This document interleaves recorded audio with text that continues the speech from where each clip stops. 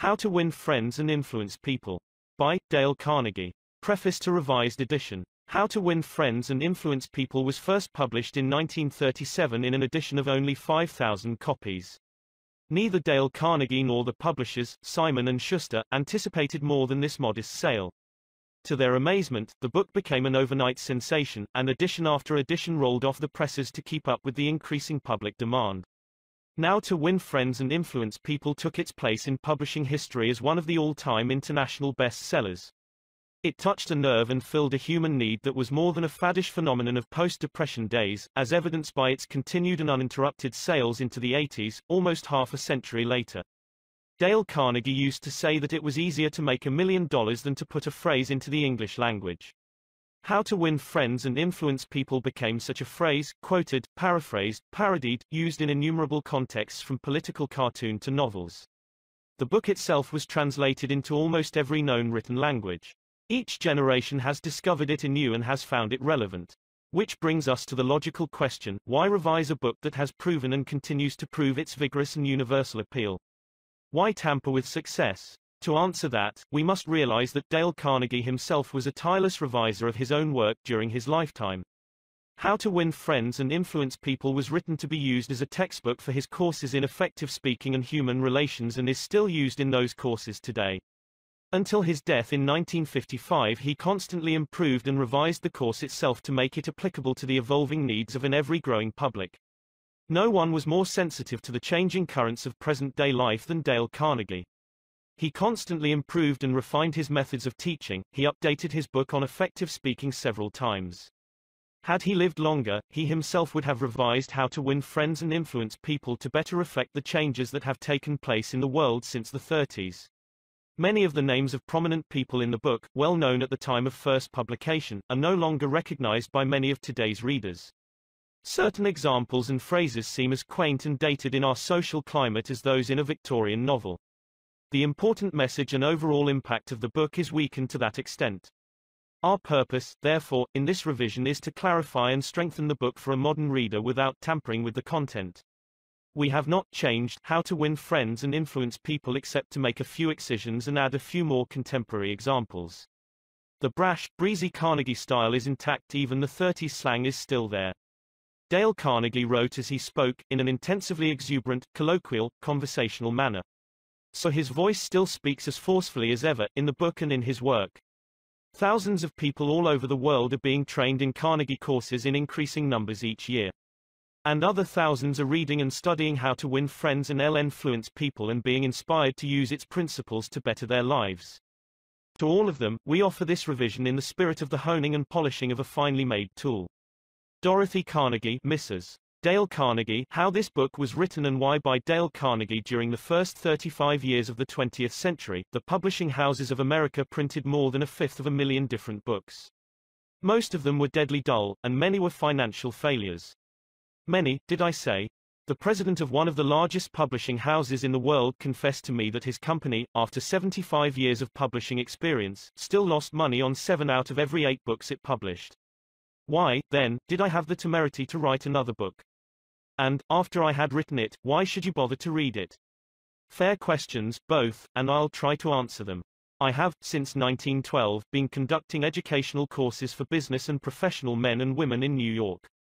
At first, I conducted courses in public speaking only, courses designed to train adults, by actual experience, to think on their feet and express their ideas with more clarity, more effectiveness and more poise, both in business interviews and before groups. But gradually, as the seasons passed, I realized that as sorely as these adults needed training in effective speaking, they needed still more training in the fine art of getting along with people in everyday business and social contacts. I also gradually realized that I was sorely in need of such training myself. As I look back across the years, I am appalled at my own frequent lack of finesse and understanding. How I wish a book such as this had been placed in my hands 20 years ago. What a priceless boon it would have been. Dealing with people is probably the biggest problem you face, especially if you are in business. Yes, and that is also true if you are a housewife, architect or engineer. Research done a few years ago under the auspices of the Carnegie Foundation for the Advancement of Teaching uncovered a most important and significant fact, a fact later confirmed by additional studies made at the Carnegie Institute of Technology. These investigations revealed that even in such technical lines as engineering, about 15% of one's financial success is due to one's technical knowledge and about 85% is due to skill in human engineering to personality and the ability to lead people. For many years, I conducted courses each season at the Engineers Club of Philadelphia, and also courses for the New York chapter of the American Institute of Electrical Engineers. A total of probably more than 1,500 engineers have passed through my classes. They came to me because they had finally realized, after years of observation and experience, that the highest paid personnel in engineering are frequently not those who know the most about engineering. One can for example, hire mere technical ability in engineering, accountancy, architecture or any other profession at nominal salaries. But the person who has technical knowledge plus the ability to express ideas, to assume leadership, and to arouse enthusiasm among people that person is headed for higher earning power. In the heyday of his activity, John D. Rockefeller said that the ability to deal with people is as purchasable a commodity as sugar or coffee, and I will pay more for that ability, said John D., than for any other under the sun. Wouldn't you suppose that every college in the land would conduct courses to develop the highest priced ability under the sun?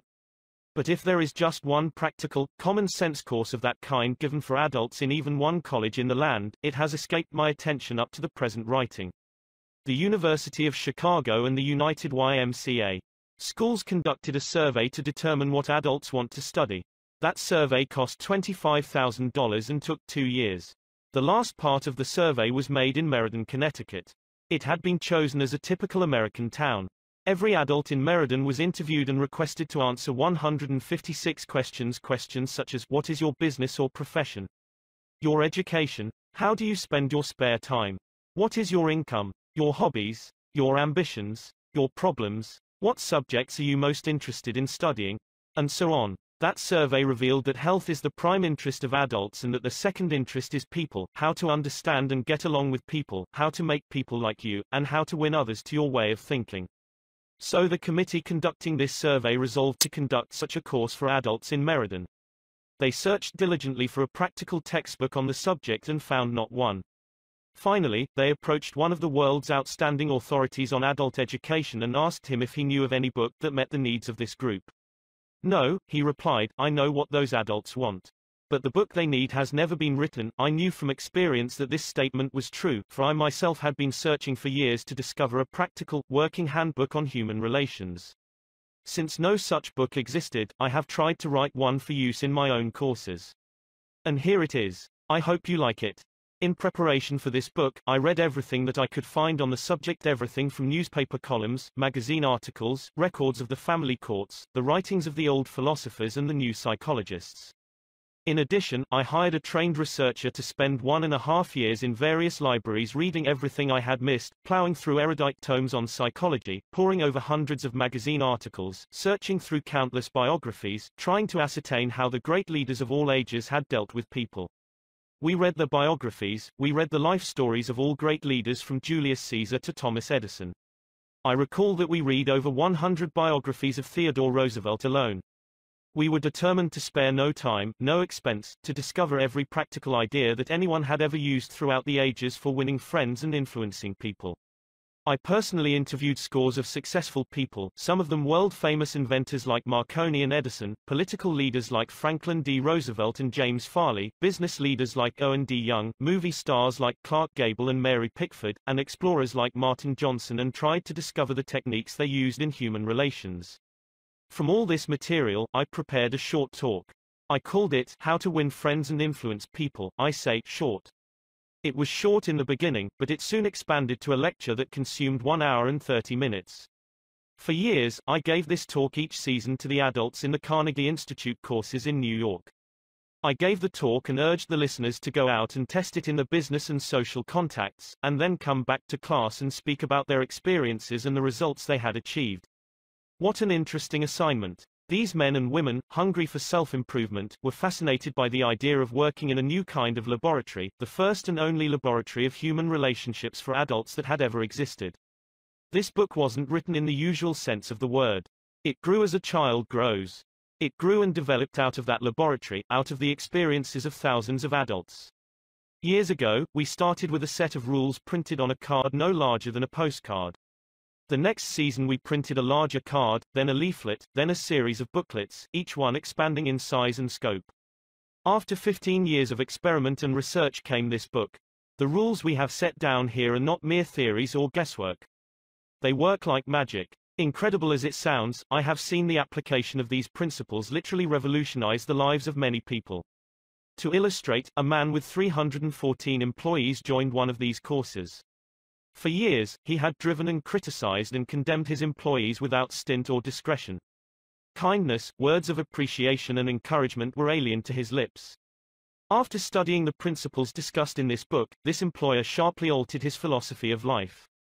His organization is now inspired with a new loyalty, a new enthusiasm, a new spirit of teamwork. 314 enemies have been turned into 314 friends. As he proudly said in a speech before the class, when I used to walk through my establishment, no one greeted me. My employees actually looked the other way when they saw me approaching. But now they're all my friends and even the janitor calls me by my first name. This employer gained more profit, more leisure and what is infinitely more important he found far more happiness in his business and in his home. Countless numbers of salespeople have sharply increased their sales by the use of these principles. Many have opened up new accounts, accounts that they had formerly solicited in vain. Executives have been given increased authority, increased pay. One executive reported a large increase in salary because he applied these truths. Another, an executive in the Philadelphia Gas Works Company, was slated for demotion when he was 65 because of his belligerence, because of his inability to lead people skillfully. This training not only saved him from the demotion but brought him a promotion with increased pay. On innumerable occasions, spouses attending the banquet given at the end of the course have told me that their homes have been much happier since their husbands or wives started this training. People are frequently astonished at the new results they achieve. It all seems like magic.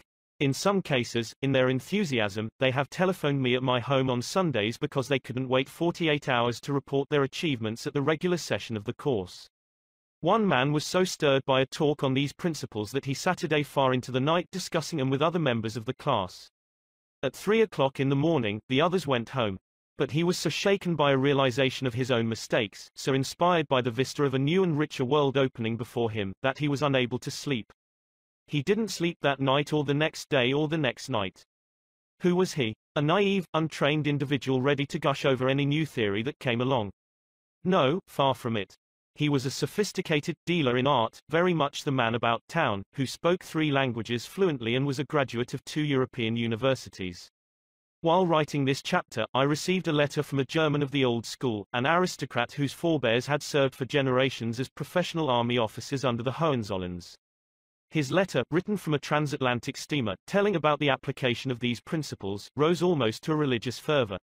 Another man, an old New Yorker, a Harvard graduate, a wealthy man, the owner of a large carpet factory, declared he had learned more in 14 weeks through this system of training about the fine art of influencing people than he had learned about the same subject during his four years in college. Absurd, laughable, fantastic. Of course, you are privileged to dismiss this statement with whatever adjective you wish. I am merely reporting, without comment, a declaration made by a conservative and eminently successful Harvard graduate in a public address to approximately 600 people at the Yale Club in New York on the evening of Thursday, February 23, 1933. Compared to what we ought to be, said the famous Professor William James of Harvard, compared to what we ought to be, we are only half awake. We are making use of only a small part of our physical and mental resources. Stating the thing broadly, the human individual thus lives far within his limits.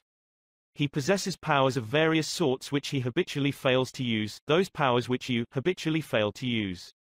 The sole purpose of this book is to help you discover, develop and profit by those dormant and unused assets. Education, said Dr. John G. Hibben, former president of Princeton University, is the ability to meet life's situations. If by the time you have finished reading the first three chapters of this book if you aren't then a little better equipped to meet life's situations, then I shall consider this book to be a total failure so far as you are concerned.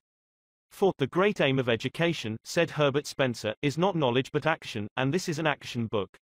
Dale Carnegie 1936, Nine Suggestions on How to Get the Most Out of This Book If you wish to get the most out of this book, there is one indispensable requirement, one essential infinitely more important than any rule or technique. Unless you have this one fundamental requisite, a thousand rules on how to study will avail little, and if you do have this cardinal endowment, then you can achieve wonders without reading any suggestions for getting the most out of a book. What is this magic requirement? Just this, a deep, driving desire to learn, a vigorous determination to increase your ability to deal with people. How can you develop such an urge? By constantly reminding yourself how important these principles are to you. Picture to yourself how their mastery will aid you in leading a richer, fuller, happier and more fulfilling life. Say to yourself over and over, my popularity, my happiness and sense of worth depend to no small extent upon my skill in dealing with people. Read each chapter rapidly at first to get a bird's eye view of it. You will probably be tempted then to rush on to the next one. But don't, unless you are reading merely for entertainment. But if you are reading because you want to increase your skill in human relations, then go back and reread each chapter thoroughly. In the long run, this will mean saving time and getting results. Stop frequently in your reading to think over what you are reading. Ask yourself just how and when you can apply each suggestion. Read with a crayon, pencil, pen, magic marker or highlighter in your hand. When you come across a suggestion that you feel you can use, draw a line beside it. If it is a four-star suggestion, then underscore every sentence or highlight it, or mark it with asterisk asterisk asterisk asterisk. Marking and underscoring a book makes it more interesting, and far easier to review rapidly. I knew a woman who had been office manager for a large insurance concern for 15 years. Every month, she read all the insurance contracts her company had issued that month. Yes, she read many of the same contracts over month after month, year after year. Why? Because experience had taught her that that was the only way she could keep the provisions clearly in mind. I once spent almost two years writing a book on public speaking and yet I found I had to keep going back over it from time to time in order to remember what I had written in my own book. The rapidity with which we forget is astonishing. So, if you want to get a real, lasting benefit out of this book, don't imagine that skimming through it once will suffice. After reading it thoroughly, you ought to spend a few hours reviewing it every month, keep it on your desk in front of you every day. Glance through it often. Keep constantly impressing yourself with the rich possibilities for improvement that still lie in the offing. Remember that the use of these principles can be made habitual only by a constant and vigorous campaign of review and application. There is no other way. Bernard Shaw once remarked, if you teach a man anything, he will never learn. Shaw was right. Learning is an active process. We learn by doing. So, if you desire to master the principles you are studying in this book, do something about them. Apply these rules at every opportunity. If you don't you will forget them quickly. Only knowledge that is used sticks in your mind. You will probably find it difficult to apply these suggestions all the time. I know because I wrote the book, and yet frequently I found it difficult to apply everything I advocated. For example, when you are displeased, it is much easier to criticize and condemn than it is to try to understand the other person's viewpoint. It is frequently easier to find fault than to find praise. It is more natural to talk about what they want than to talk about what the other person wants. And so on, so, as you read this book, remember that you are not merely trying to acquire information. You are attempting to form new habits. Ah yes, you are attempting a new way of life. That will require time and persistence and daily application. So refer to these pages often. Regard this as a working handbook on human relations, and whenever you are confronted with some specific problem, such as handling a child, winning your spouse to your way of thinking, or satisfying an irritated customer, hesitate about doing the natural thing, the impulsive thing. This is usually wrong. Instead, turn to these pages and review the paragraphs you have underscored. Then try these new ways and watch them achieve magic for you. Offer your spouse, your child or some business associate a dime or a dollar every time he or she catches you violating a certain principle. Make a lively game out of mastering these rules. The president of an important Wall Street bank once described, in a talk before one of my classes, a highly efficient system he used for self-improvement. This man had little formal schooling, yet he had become one of the most important financiers in America, and he confessed that he owed most of his success to the constant application of his homemade system. This is what he does, I'll put it in his own words as accurately as I can remember. For years I have kept an engagement book showing all the appointments I had during the day. My family never made any plans for me on Saturday night, for the family knew that I devoted a part of each Saturday evening to the illuminating process of self-examination and review and appraisal. After dinner I went off by myself, opened my engagement book, and thought over all the interviews, discussions and meetings that had taken place during the week. I asked myself, what mistakes did I make that time, what did I do that was right and in what way could I have improved my performance, what lessons can I learn from that experience. I often found that this weekly review made me very unhappy. I was frequently astonished at my own blunders. Of course, as the years passed, these blunders became less frequent. Sometimes I was inclined to pat myself on the back a little after one of these sessions. This system of self-analysis, self-education, continued year after year, did more for me than any other one thing I have ever attempted. It helped me improve my ability to make decisions, and it aided me enormously in all my contacts with people. I cannot recommend it too highly. Why not use a similar system to check up on your application of the principles discussed in this book? If you do, two things will result.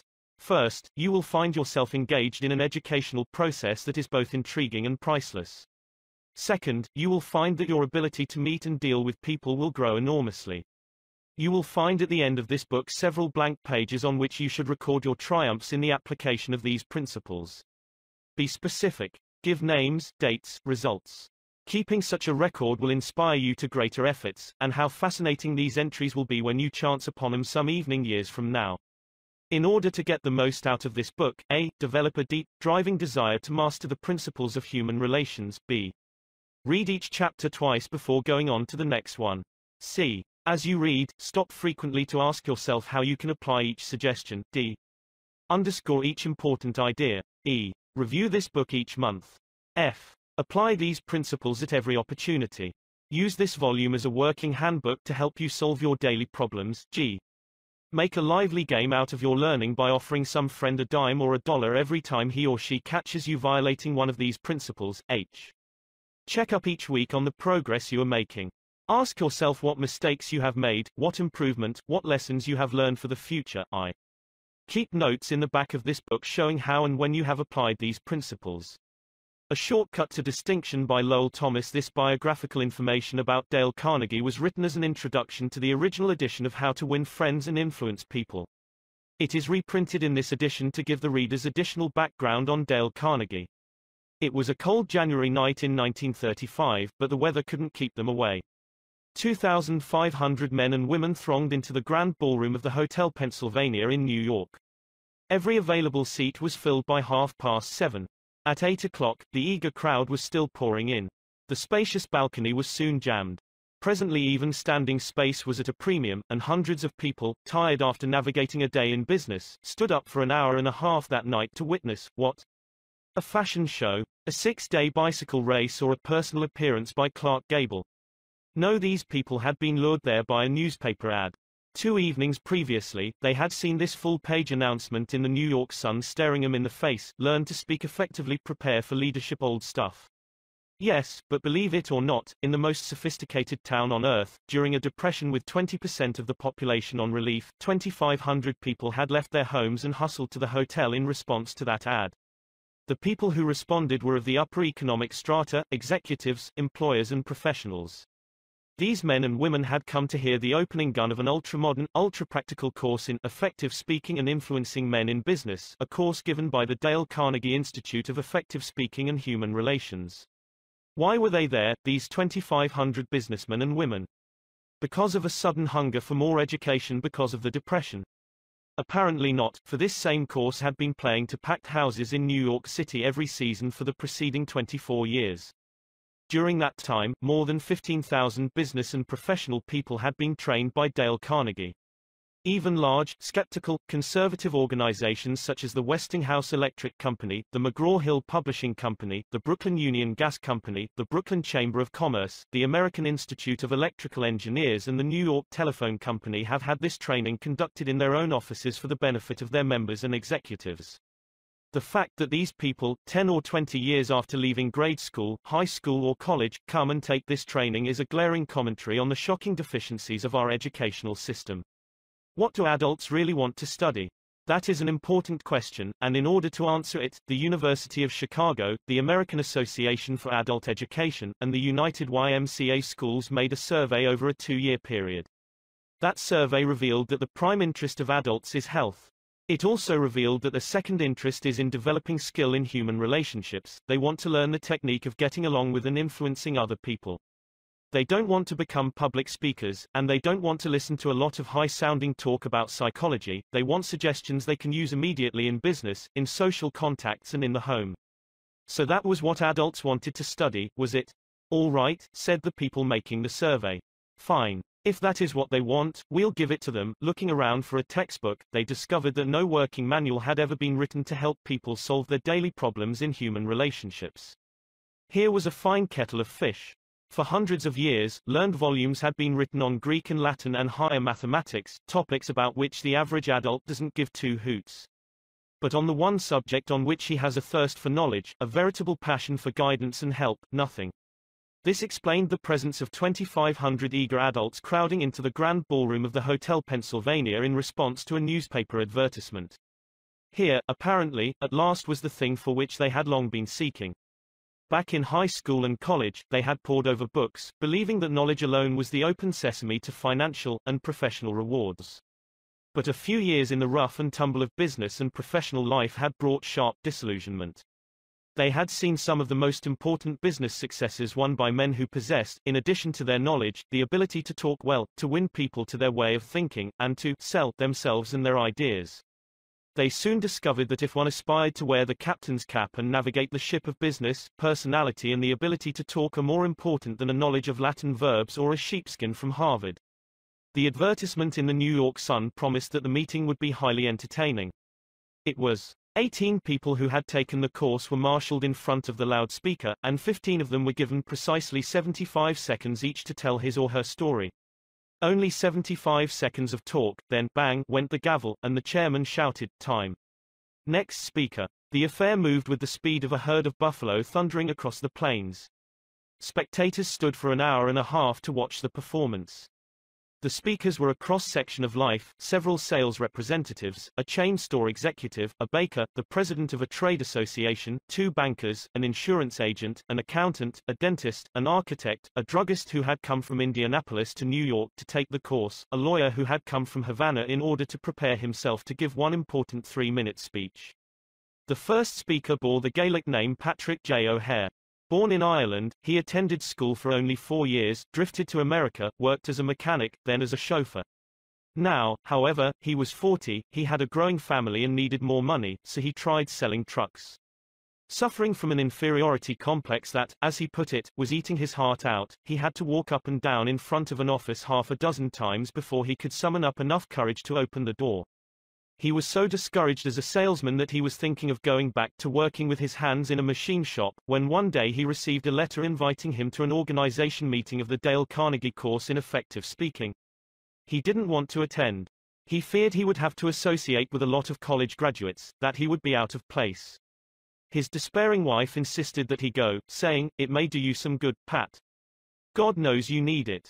He went down to the place where the meeting was to be held and stood on the sidewalk for five minutes before he could generate enough self-confidence to enter the room.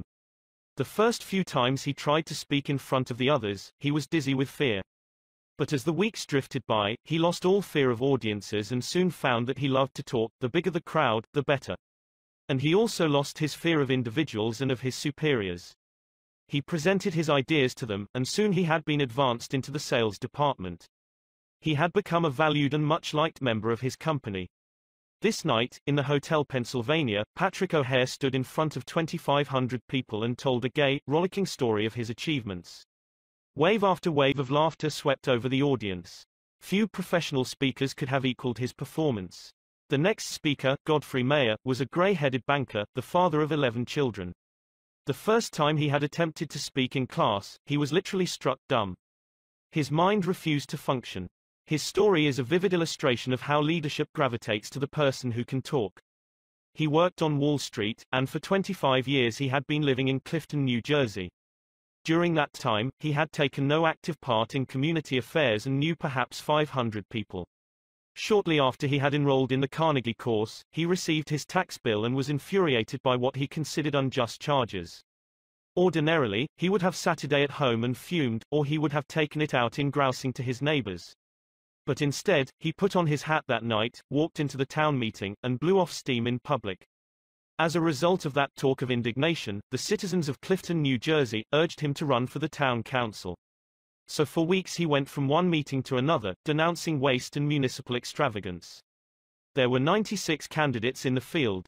When the ballots were counted, lo, Godfrey Mayer's name led all the rest. Almost overnight, he had become a public figure among the 40,000 people in his community. As a result of his talks, he made 80 times more friends in six weeks than he had been able to previously in 25 years. And his salary as councilman meant that he got a return of 1,000% a year on his investment in the Carnegie course. The third speaker, the head of a large national association of food manufacturers, told how he had been unable to stand up and express his ideas at meetings of a board of directors. As a result of learning to think on his feet, two astonishing things happened. He was soon made president of his association, and in that capacity, he was obliged to address meetings all over the United States. Excerpts from his talks were put on the Associated Press wires and printed in newspapers and trade magazines throughout the country. In two years, after learning to speak more effectively, he received more free publicity for his company and its products than he had been able to get previously with a quarter of a million dollars spent in direct advertising. This speaker admitted that he had formerly hesitated to telephone some of the more important business executives in Manhattan and invite them to lunch with him. But as a result of the prestige he had acquired by his talks, these same people telephoned him and invited him to lunch and apologized to him for encroaching on his time. The ability to speak is a shortcut to distinction. It puts a person in the limelight, raises one head and shoulders above the crowd. And the person who can speak acceptably is usually given credit for an ability out of all proportion to what he or she really possesses. A movement for adult education has been sweeping over the nation, and the most spectacular force in that movement was Dale Carnegie, a man who listened to and critiqued more talks by adults than has any other man in captivity. According to a cartoon by Believe It or Not Ripley, he had criticized 150,000 speeches. If that grand total doesn't impress you, remember that it meant one talk for almost every day that has passed since Columbus discovered America. Or, to put it in other words, if all the people who had spoken before him had used only three minutes and had appeared before him in succession, it would have taken ten months, listening day and night, to hear them all. Dale Carnegie's own career, filled with sharp contrasts, was a striking example of what a person can accomplish when obsessed with an original idea and afire with enthusiasm. Born on a Missouri farm 10 miles from a railway, he never saw a streetcar until he was 12 years old, yet by the time he was 46, he was familiar with the far-flung corners of the earth, everywhere from Hong Kong to Hammerfest, and, at one time, he approached closer to the North Pole than Admiral Byrd's headquarters at Little America was to the South Pole. This Missouri lad who had once picked strawberries and cut cockleburs for five cents an hour became the highly paid trainer of the executives of large corporations in the art of self-expression. This erstwhile cowboy who had once punched cattle and branded calves and ridden fences out in western South Dakota later went to London to put on shows under the patronage of the royal family. This chap who was a total failure the first half dozen times he tried to speak in public later became my personal manager. Much of my success has been due to training under Dale Carnegie. Young Carnegie had to struggle for an education, for hard luck was always battering away at the old farm in northwest Missouri with a flying tackle and a body slam. Year after year, the 102 river rose and drowned the corn and swept away the hay. Season after season, the fat hogs sickened and died from cholera, the bottom fell out of the market for cattle and mules, and the bank threatened to foreclose the mortgage. Sick with discouragement, the family sold out and bought another farm near the State Teachers College at Warrensburg, Missouri. Board and room could be had in town for a dollar a day, but young Carnegie couldn't afford it. So he stayed on the farm and commuted on horseback three miles to college each day. At home, he milked the cows, cut the wood, fed the hogs, and studied his Latin verbs by the light of a coal oil lamp until his eyes blurred and he began to nod. Even when he got to bed at midnight, he set the alarm for three o'clock. His father bred pedigreed Duroc Jersey hogs, and there was danger, during the bitter cold nights, that the young pigs would freeze to death, so they were put in a basket, covered with a gunny sack, and set behind the kitchen stove. True to their nature, the pigs demanded a hot meal at 3 a.m. So when the alarm went off, Dale Carnegie crawled out of the blankets, took the basket of pigs out to their mother, waited for them to nurse, and then brought them back to the warmth of the kitchen stove. There were 600 students in State Teachers College, and Dale Carnegie was one of the isolated half dozen who couldn't afford to board in town. He was ashamed of the poverty that made it necessary for him to ride back to the farm and milk the cows every night. He was ashamed of his coat, which was too tight, and his trousers, which were too short. Rapidly developing an inferiority complex, he looked about for some shortcut to distinction. He soon saw that there were certain groups in college that enjoyed influence and prestige, the football and baseball players and the chaps who won the debating and public speaking contests. Realizing that he had no flair for athletics, he decided to win one of the speaking contests. He spent months preparing his talks. He practiced as he Saturday in the saddle galloping to college and back, he practiced his speeches as he milked the cows, and then he mounted a bale of hay in the barn and with great gusto and gestures harangued the frightened pigeons about the issues of the day. But in spite of all his earnestness and preparation, he met with defeat after defeat. He was 18 at the time, sensitive and proud. He became so discouraged, so depressed, that he even thought of suicide. And then suddenly he began to win, not one contest, but every speaking contest in college. Other students pleaded with him to train them, and they won also. After graduating from college, he started selling correspondence courses to the ranchers among the sandhills of western Nebraska and eastern Wyoming. In spite of all his boundless energy and enthusiasm, he couldn't make the grade. He became so discouraged that he went to his hotel room in Alliance, Nebraska, in the middle of the day, threw himself across the bed, and wept in despair. He longed to go back to college, he longed to retreat from the harsh battle of life, but he couldn't. So he resolved to go to Omaha and get another job. He didn't have the money for a railroad ticket, so he traveled on a freight train, feeding and watering two carloads of wild horses in return for his passage. After landing in South Omaha, he got a job selling bacon and soap and lard for Armour and Company. His territory was up among the Badlands and the cow and Indian country of western South Dakota. He covered his territory by freight train and stage coach and horseback and slept in pioneer hotels where the only partition between the rooms was a sheet of muslin. He studied books on salesmanship, rode bucking broncos, played poker with the Indians, and learned how to collect money. And when, for example, an inland storekeeper couldn't pay cash for the bacon and hams he had ordered, Dale Carnegie would take a dozen pairs of shoes off his shelf, sell the shoes to the railroad men, and forward the receipts to Armour and Company. He would often ride a freight train a hundred miles a day. When the train stopped to unload freight, he would dash uptown, see three or four merchants, get his orders, and when the whistle blew, he would dash down the street again lickety-split and swing onto the train while it was moving. Within two years, he had taken an unproductive territory that had stood in the 25th place and had boosted it to first place among all the 29 car routes leading out of South Omaha. Armour and Company offered to promote him, saying, you have achieved what seemed impossible. But he refused the promotion and resigned, went to New York, studied at the American Academy of Dramatic Arts, and toured the country, playing the role of Dr. Hartley in Polly of the Circus. He would never be a Booth or a Barrymore. He had the good sense to recognize that, so back he went to sales work, selling automobiles and trucks for the Packard Motor Car Company. He knew nothing about machinery and cared nothing about it. Dreadfully unhappy, he had to scourge himself to his task each day. He longed to have time to study, to write the books he had dreamed about writing back in college. So he resigned. He was going to spend his days writing stories and novels and support himself by teaching in a night school.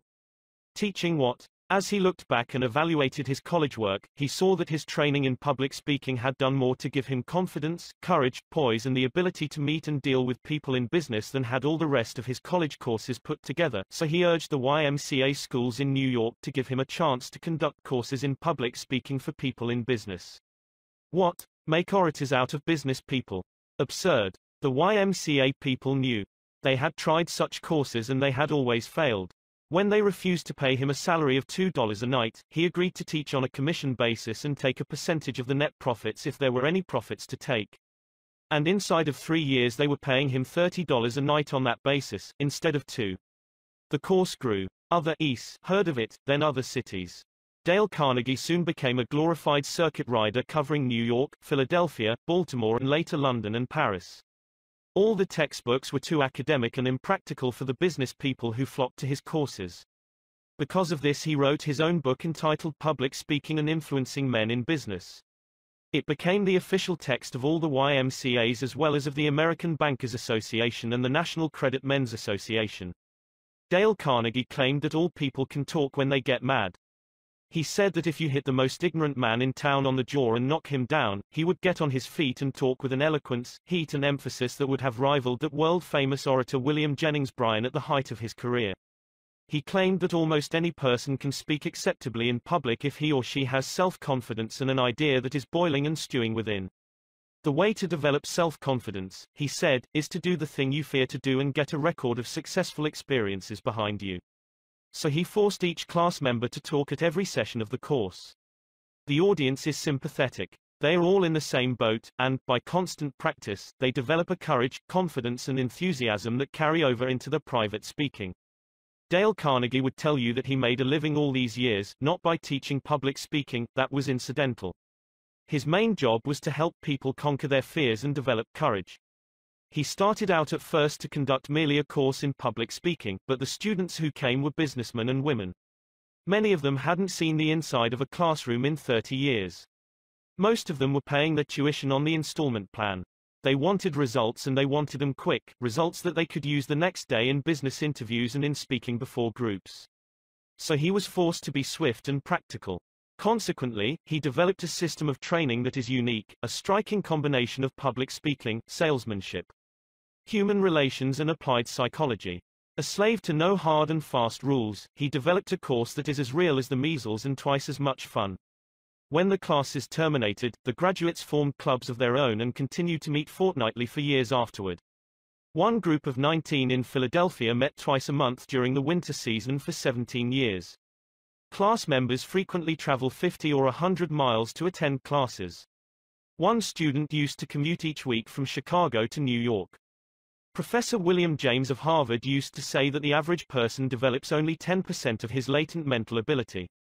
Dale Carnegie, by helping businessmen and women to develop their latent possibilities, created one of the most significant movements in adult education Lowell Thomas 1936. Part 1, Fundamental Techniques in Handling People If you want to gather honey, don't kick over the beehive On May 7, 1931, the most sensational manhunt New York City had ever known had come to its climax. After weeks of search, two-gun Crowley, the killer, the gunman who didn't smoke or drink, was at bay, trapped in his sweetheart's apartment on West End Avenue. 150 policemen and detectives laid siege to his top-floor hideaway. They chopped holes in the roof, they tried to smoke out Crowley, the cop killer, with tear gas. Then they mounted their machine guns on surrounding buildings, and for more than an hour one of New York's fine residential areas reverberated with the crack of pistol fire and the rut-tat-tat of machine guns. Crowley, crouching behind an overstuffed chair, fired incessantly at the police. 10,000 excited people watched the battle. Nothing like it ever been seen before on the sidewalks of New York. When Crowley was captured, Police Commissioner E.P. Mulrooney declared that the two-gun desperado was one of the most dangerous criminals ever encountered in the history of New York. He will kill, said the commissioner, at the drop of a feather.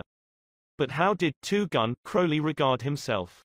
We know, because while the police were firing into his apartment, he wrote a letter addressed to whom it may concern, and, as he wrote, the blood flowing from his wounds left a crimson trail on the paper.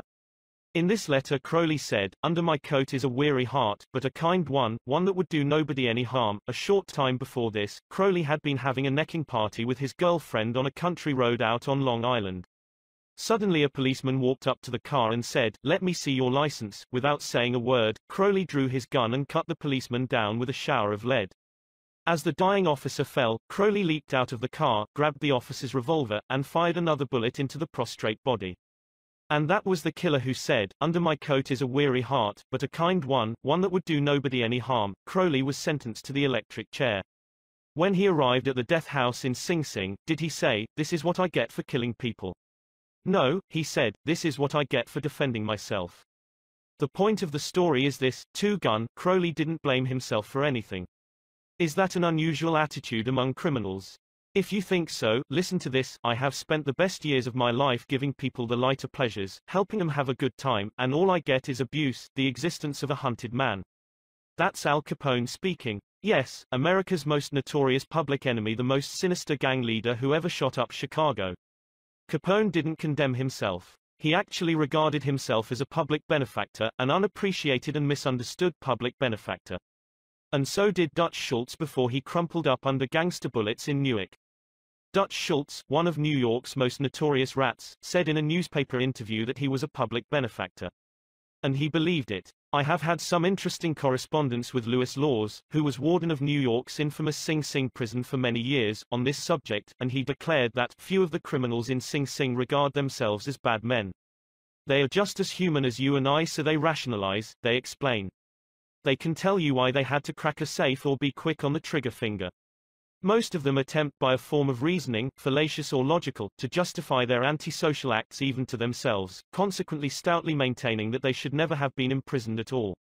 If Al Capone, Two Gun, Crowley, Dutch Schultz, and the desperate men and women behind prison walls don't blame themselves for anything, what about the people with whom you and I come in contact?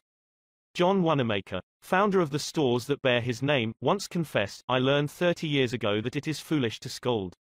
I have enough trouble overcoming my own limitations without fretting over the fact that God has not seen fit to distribute evenly the gift of intelligence. Wanamaker learned this lesson early, but I personally had to blunder through this old world for a third of a century before it even began to dawn upon me that 99 times out of a hundred, people don't criticize themselves for anything, no matter how wrong it may be. Criticism is futile because it puts a person on the defensive and usually makes him strive to justify himself. Criticism is dangerous, because it wounds a person's precious pride, hurts his sense of importance, and arouses resentment. B.F. Skinner, the world-famous psychologist, proved through his experiments that an animal rewarded for good behavior will learn much more rapidly and retain what it learns far more effectively than an animal punished for bad behavior. Later studies have shown that the same applies to humans. By criticizing, we do not make lasting changes and often incur resentment. Hans Selye, another great psychologist, said, as much as we thirst for approval, we dread condemnation. The resentment that criticism engenders can demoralize employees, family members and friends, and still not correct the situation that has been condemned. George B. Johnston of Enid, Oklahoma, is the safety coordinator for an engineering company. One of his responsibilities is to see that employees wear their hard hats whenever they are on the job in the field. He reported that whenever he came across workers who were not wearing hard hats, he would tell them with a lot of authority of the regulation and that they must comply. As a result he would get sullen acceptance, and often after he left, the workers would remove the hats. He decided to try a different approach. The next time he found some of the workers not wearing their hard hat, he asked if the hats were uncomfortable or did not fit properly. Then he reminded the men in a pleasant tone of voice that the hat was designed to protect them from injury and suggested that it always be worn on the job. The result was increased compliance with the regulation with no resentment or emotional upset. You will find examples of the futility of criticism bristling on a thousand pages of history. Take, for example, the famous quarrel between Theodore Roosevelt and President Taft, a quarrel that split the Republican Party, put Woodrow Wilson in the White House, and wrote bold, luminous lines across the First World War and altered the flow of history. Let's review the facts quickly. When Theodore Roosevelt stepped out of the White House in 1908, he supported Taft, who was elected president. Then Theodore Roosevelt went off to Africa to shoot lions. When he returned, he exploded. He denounced Taft for his conservatism, tried to secure the nomination for a third term himself, formed the Bull Moose Party, and all but demolished the GOP. In the election that followed, William Howard Taft and the Republican Party carried only two states, Vermont and Utah. The most disastrous defeat the party had ever known. Theodore Roosevelt blamed Taft, but did President Taft blame himself? Of course not, with tears in his eyes, Taft said, I don't see how I could have done any differently from what I have, who was to blame? Roosevelt or Taft? Frankly, I don't know, and I don't care.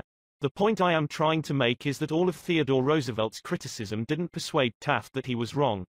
It merely made Taft strive to justify himself and to reiterate with tears in his eyes, I don't see how I could have done any differently from what I have, or, take the Teapot Dome oil scandal. It kept the newspapers ringing with indignation in the early 1920s. It rocked the nation. Within the memory of living men, nothing like it had ever happened before in American public life. Here are the bare facts of the scandal. Albert B. Fall, Secretary of the Interior in Harding's cabinet, was entrusted with the leasing of government oil reserves at Elk Hill and Teapot Dome, oil reserves that had been set aside for the future use of the Navy. Did Secretary Fall permit competitive bidding? No sir. He handed the fat, juicy contract outright to his friend Edward L. Doheny. And what did Doheny do? He gave Secretary Fall what he was pleased to call a loan of $100,000. Then, in a high-handed manner, Secretary Fall ordered United States Marines into the district to drive off competitors whose adjacent wells were sapping oil out of the Elk Hill reserves. These competitors, driven off the ground at the ends of guns and bayonets, rushed into court, and blew the lid off the Teapot Dome scandal. A stench arose so vile that it ruined the Harding administration, nauseated an entire nation, threatened to wreck the Republican Party, and put Albert B. Fall behind prison bars. Fall was condemned viciously, condemned as few men in public life have ever been. Did he repent? Never. Years later Herbert Hoover intimated in a public speech that President Harding's death had been due to mental anxiety and worry because a friend had betrayed him. When Mrs. Fall heard that, she sprang from her chair, she wept, she shook her fists at fate and screamed, What? Harding betrayed by Fall? No. My husband never betrayed anyone. This whole house full of gold would not tempt my husband to do wrong. He is the one who has been betrayed and led to the slaughter and crucified. There you are, human nature in action, wrongdoers, blaming everybody but themselves. We are all like that. So when you and I attempted to criticize someone tomorrow, let's remember Al Capone, Two Gun, Crowley and Albert Fall. Let's realize that criticisms are like homing pigeons. They always return home. Let's realize that the person we are going to correct and condemn will probably justify himself or herself, and condemn us in return, or, like the gentle Taft, will say, I don't see how I could have done any differently from what I have. On the morning of April 15, 1865, Abraham Lincoln lay dying in a hall bedroom of a cheap lodging house directly across the street from Ford's Theater, where John Wilkes Booth had shot him. Lincoln's long body lay stretched diagonally across a sagging bed that was too short for him. A cheap reproduction of Rosa Bonheur's famous painting The Horse Fair hung above the bed, and a dismal gas jet flickered yellow light. As Lincoln lay dying, Secretary of War Stanton said, There lies the most perfect ruler of men that the world has ever seen. What was the secret of Lincoln's success in dealing with people? I studied the life of Abraham Lincoln for 10 years and devoted all of three years to writing and rewriting a book entitled Lincoln the Unknown. I believe I have made as detailed and exhaustive a study of Lincoln's personality and home life as it is possible for any being to make. I made a special study of Lincoln's method of dealing with people. Did he indulge in criticism? Oh, yes. As a young man in the Pigeon Creek Valley of Indiana, he not only criticized but he wrote letters and poems ridiculing people and dropped these letters on the country roads where they were sure to be found. One of these letters aroused resentments that burned for a lifetime. Even after Lincoln had become a practicing lawyer in Springfield, Illinois, he attacked his opponents openly in letters published in the newspapers. But he did this just once too often. In the autumn of 1842 he ridiculed a vain, pugnacious politician by the name of James Shields. Lincoln lammed him through an anonymous letter published in Springfield Journal. The town roared with laughter. Shields, sensitive and proud, boiled with indignation. He found out who wrote the letter, leaped on his horse, started after Lincoln, and challenged him to fight a duel. Lincoln didn't want to fight. He was opposed to dueling, but he couldn't get out of it and save his honor. He was given the choice of weapons. Since he had very long arms, he chose cavalry broadswords and took lessons in sword fighting from a West Point graduate, and, on the appointed day, he and Shields met on a sandbar in the Mississippi River, prepared to fight to the death, but, at the last minute, the seconds interrupted and stopped the duel. That was the most lurid personal incident in Lincoln's life. It taught him an invaluable lesson in the art of dealing with people. Never again did he write an insulting letter. Never again did he ridicule anyone. And from that time on, he almost never criticized anybody for anything. Time after time, during the Civil War, Lincoln put a new general at the head of the Army of the Potomac, and each one in turn, McClellan, Pope, Burnside, Hooker, Meade, blundered tragically and drove Lincoln to pacing the floor in despair. Half the nation savagely condemned these incompetent generals, but Lincoln, with malice toward none, with charity for all, held his peace. One of his favorite quotations was Judge not, that ye be not judged, and when Mrs. Lincoln and others spoke harshly of the Southern people, Lincoln replied, don't criticize them, they are just what we would be under similar circumstances. Yet if any man ever had occasion to criticize, surely it was Lincoln. Let's take just one illustration. The Battle of Gettysburg was fought during the first three days of July 1863. During the night of July 4, Lee began to retreat southward while storm clouds deluged the country with rain. When Lee reached the Potomac with his defeated army, he found a swollen, impassable river in front of him, and a victorious Union army behind him. Lee was in a trap. He couldn't escape. Lincoln saw that. Here was a golden, heaven-sent opportunity the opportunity to capture Lee's army and end the war immediately. So, with a surge of high hope, Lincoln ordered Meade not to call a council of war but to attack Lee immediately. Lincoln telegraphed his orders and then sent a special messenger to Meade demanding immediate action. And what did General Meade do? He did the very opposite of what he was told to do. He called a council of war in direct violation of Lincoln's orders. He hesitated. He procrastinated. He telegraphed all manner of excuses. He refused point blank to attack Lee. Finally, the waters receded, and Lee escaped over the Potomac with his forces. Lincoln was furious. What does this mean? Lincoln cried to his son Robert. Great God! What does this mean? We had them within our grasp and had only to stretch forth our hands and they were ours, yet nothing that I could say or do could make the army move. Under the circumstances, almost any general could have defeated Lee. If I had gone up there, I could have whipped him myself. In bitter disappointment, Lincoln Saturday down and wrote Meade this letter. And remember, at this period of his life Lincoln was extremely conservative and restrained in his phraseology. So, this letter coming from Lincoln in 1863 was tantamount to the severest rebuke. My dear General, I do not believe you appreciate the magnitude of the misfortune involved in Lee's escape. He was within our easy grasp, and to have closed upon him would, in connection with our other late successes, have ended the war. As it is, the war will be prolonged indefinitely. If you could not safely attack Lee last Monday, how can you possibly do so south of the river, when you can take with you very few no more than two-thirds of the force you then had in hand? It would be unreasonable to expect, and I do not expect that you can now effect much. Your golden opportunity is gone, and I am distressed immeasurably because of it. What do you suppose Meade did when he read the letter? Meade never saw that letter. Lincoln never mailed it. It was found among his papers after his death. My guess is, and this is only a guess, that after writing that letter, Lincoln looked out of the window and said to himself, just a minute. Maybe I ought not to be so hasty. It is easy enough for me to sit here in the quiet of the White House and order Meade to attack, but if I had been up at Gettysburg, and if I had seen as much blood as Meade has seen during the last week, and if my ears had been pierced with the screams and shrieks of the wounded and dying, maybe I wouldn't be so anxious to attack either. If I had Meade's timid temperament, perhaps I would have done just what he had done. Anyhow, it is water under the bridge now. If I send this letter, it will relieve my feelings, but it will make me try to justify himself. It will make him condemn me. It will arouse hard feelings, impair all his further usefulness as a commander, and perhaps force him to resign from the army. So, as I have already said, Lincoln put the letter aside, for he had learned by bitter experience that sharp criticisms and rebukes almost invariably end in futility. Theodore Roosevelt said that when he, as president, was confronted with a perplexing problem, he used to lean back and look up at a large painting of Lincoln which hung above his desk in the White House and ask himself, what would Lincoln do if he were in my shoes? How would he solve this problem? The next time we attempted to admonish somebody, let's pull a $5 bill out of our pocket, look at Lincoln's picture on the bill, and ask, how would Lincoln handle this problem if he had it? Mark Twain lost his temper occasionally and wrote letters that turned the paper brown. For example, he once wrote to a man who had aroused his ire, the thing for you is a burial permit. You have only to speak and I will see that you get it. On another occasion he wrote to an editor about a proofreader's attempts to improve my spelling and punctuation. He ordered, set the matter according to my copy hereafter and see that the proofreader retains his suggestions in the mush of his decayed brain. The writing of these stinging letters made Mark Twain feel better. They allowed him to blow off steam, and the letters didn't do any real harm, because Mark's wife secretly lifted them out of the mail. They were never sent. Do you know someone you would like to change and regulate and improve? Good. That is fine. I am all in favor of it, but why not begin on yourself?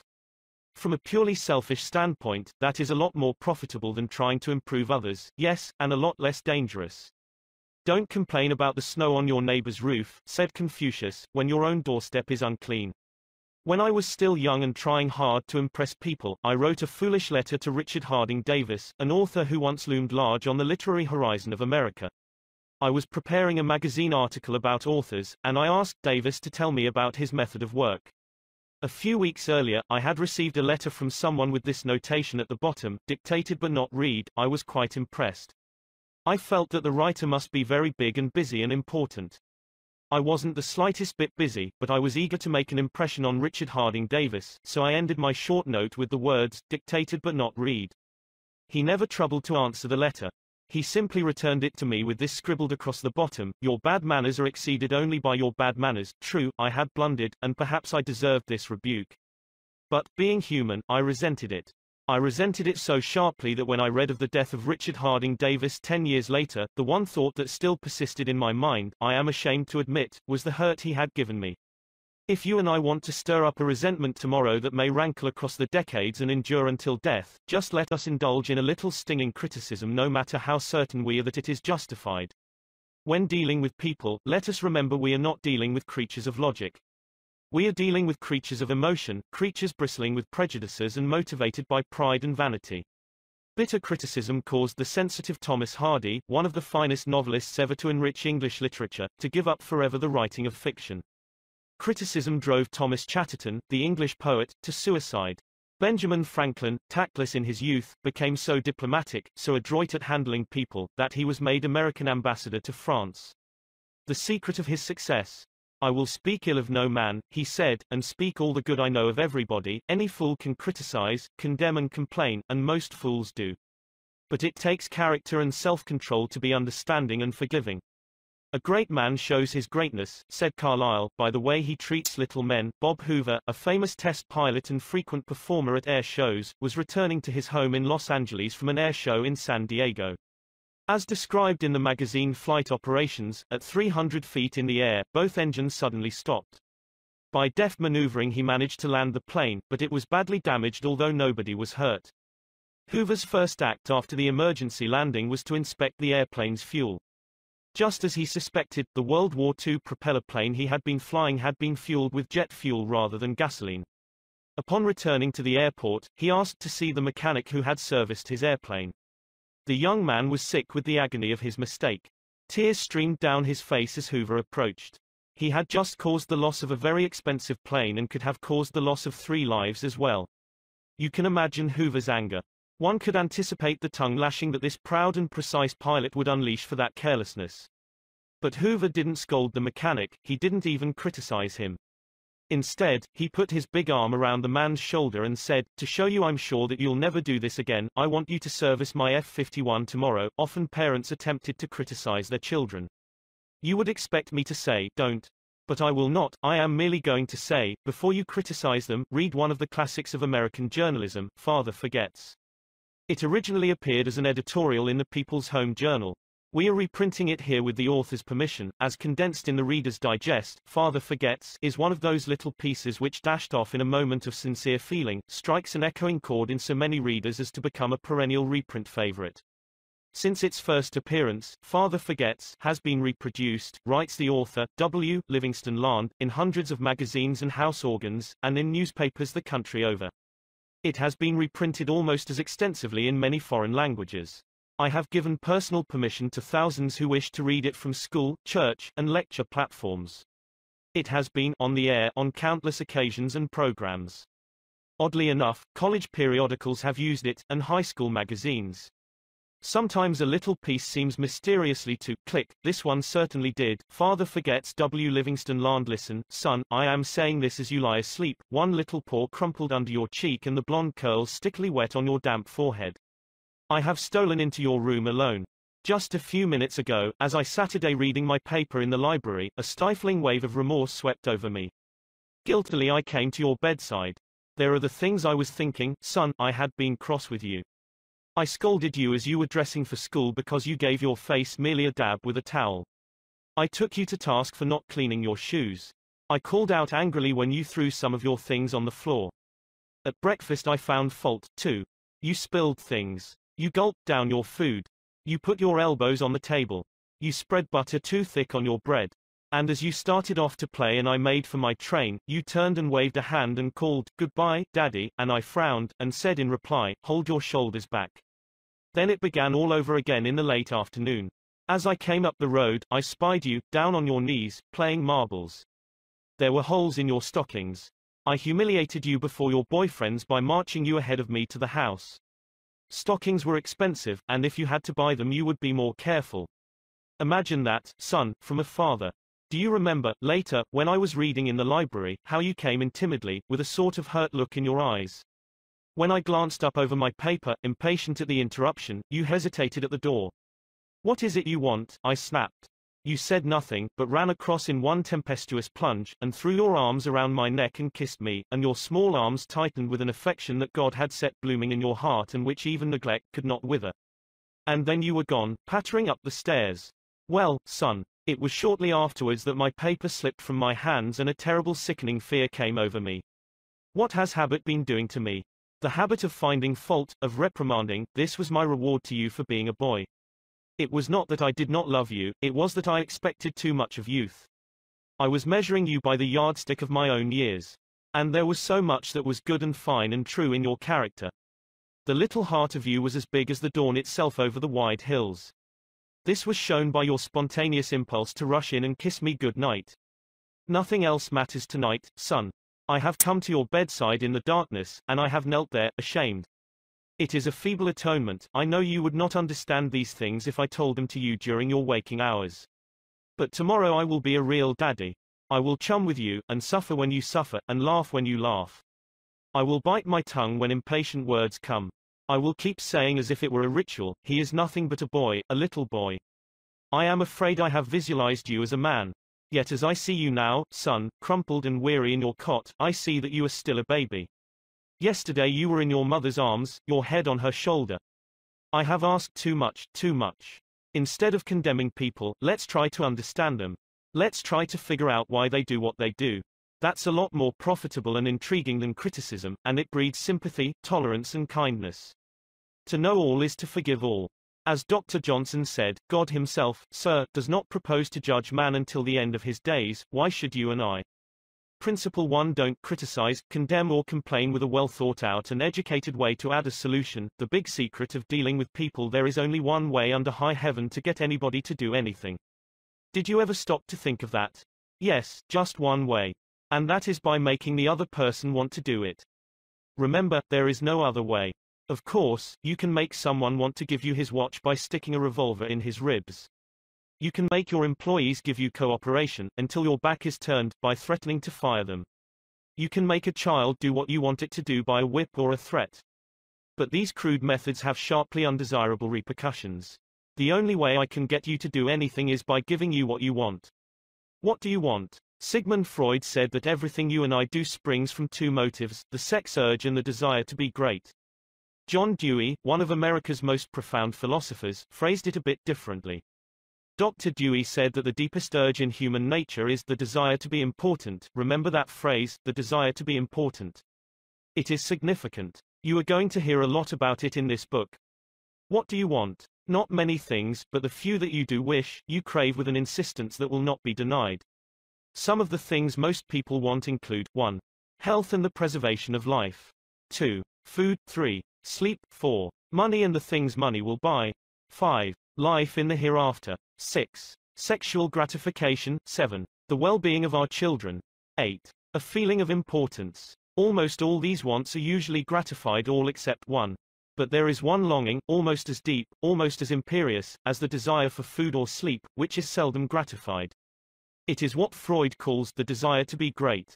It is what Dewey calls the desire to be important. Lincoln once began a letter saying, Everybody likes a compliment. William James said, The deepest principle in human nature is the craving to be appreciated. He didn't speak, mind you, of the wish or the desire or the longing to be appreciated. He said the craving to be appreciated. Here is a gnawing and unfaltering human hunger, and the rare individual who honestly satisfies this heart hunger will hold people in the palm of his or her hand and even the undertaker will be sorry when he dies. The desire for a feeling of importance is one of the chief distinguishing differences between mankind and the animals. To illustrate, when I was a farm boy out in Missouri, my father bred fine Duroc Jersey hogs and pedigreed white-faced cattle. We used to exhibit our hogs and white-faced cattle at the country fairs and livestock shows throughout the Middle West. We won first prizes by the score. My father pinned his blue ribbons on a sheet of white muslin, and when friends or visitors came to the house, he would get out the long sheet of muslin. He would hold one end and I would hold the other while he exhibited the blue ribbons. The hogs didn't care about the ribbons they had won. But father did. These prizes gave him a feeling of importance. If our ancestors hadn't had this flaming urge for a feeling of importance, civilization would have been impossible. Without it, we should have been just about like animals. It was this desire for a feeling of importance that led an uneducated, poverty-stricken grocery clerk to study some law books he found in the bottom of a barrel of household plunder that he had bought for 50 cents. You have probably heard of this grocery clerk. His name was Lincoln. It was this desire for a feeling of importance that inspired Dickens to write his immortal novels. This desire inspired Sir Christopher Wren to design his symphonies in stone. This desire made Rockefeller amass millions that he never spent. And this same desire made the richest family in your town build a house far too large for its requirements. This desire makes you want to wear the latest styles, drive the latest cars, and talk about your brilliant children. It is this desire that lures many boys and girls into joining gangs and engaging in criminal activities. The average young criminal, according to E.P. Mulrooney, one-time police commissioner of New York, is filled with ego, and his first request after arrest is for those lurid newspapers that make him out a hero. The disagreeable prospect of serving time seems remote so long as he can gloat over his likeness sharing space with pictures of sports figures, movie and TV stars and politicians. If you tell me how you get your feeling of importance, I'll tell you what you are. That determines your character. That is the most significant thing about you. For example, John D. Rockefeller got his feeling of importance by giving money to erect a modern hospital in Peking, China, to care for millions of poor people whom he had never seen and never would see. Dillinger, on the other hand, got his feeling of importance by being a bandit, a bank robber and killer. When the FBI agents were hunting him, he dashed into a farmhouse up in Minnesota and said, I'm Dillinger. He was proud of the fact that he was public enemy number one. I'm not going to hurt you, but I'm Dillinger, he said. Yes, the one significant difference between Dillinger and Rockefeller is how they got the feeling of importance. History sparkles with amusing examples of famous people struggling for a feeling of importance. Even George Washington wanted to be called His Mightiness, the President of the United States, and Columbus pleaded for the title Admiral of the Ocean and Viceroy of India. Catherine the Great refused to open letters that were not addressed to Her Imperial Majesty, and Mrs. Lincoln, in the White House, turned upon Mrs. Grant like a tigress and shouted, How dare you be seated in my presence until I invite you. Our millionaires helped finance Admiral Byrd's expedition to the Antarctic in 1928 with the understanding that ranges of icy mountains would be named after them, and Victor Hugo aspired to have nothing less than the city of Paris renamed in his honor. Even Shakespeare, mightiest of the mighty, tried to add luster to his name by procuring a coat of arms for his family. People sometimes became invalids in order to win sympathy and attention and get a feeling of importance. For example, take Mrs. McKinley. She got a feeling of importance by forcing her husband, the President of the United States, to neglect important affairs of state while he reclined on the bed beside her for hours at a time, his arm about her, soothing her to sleep.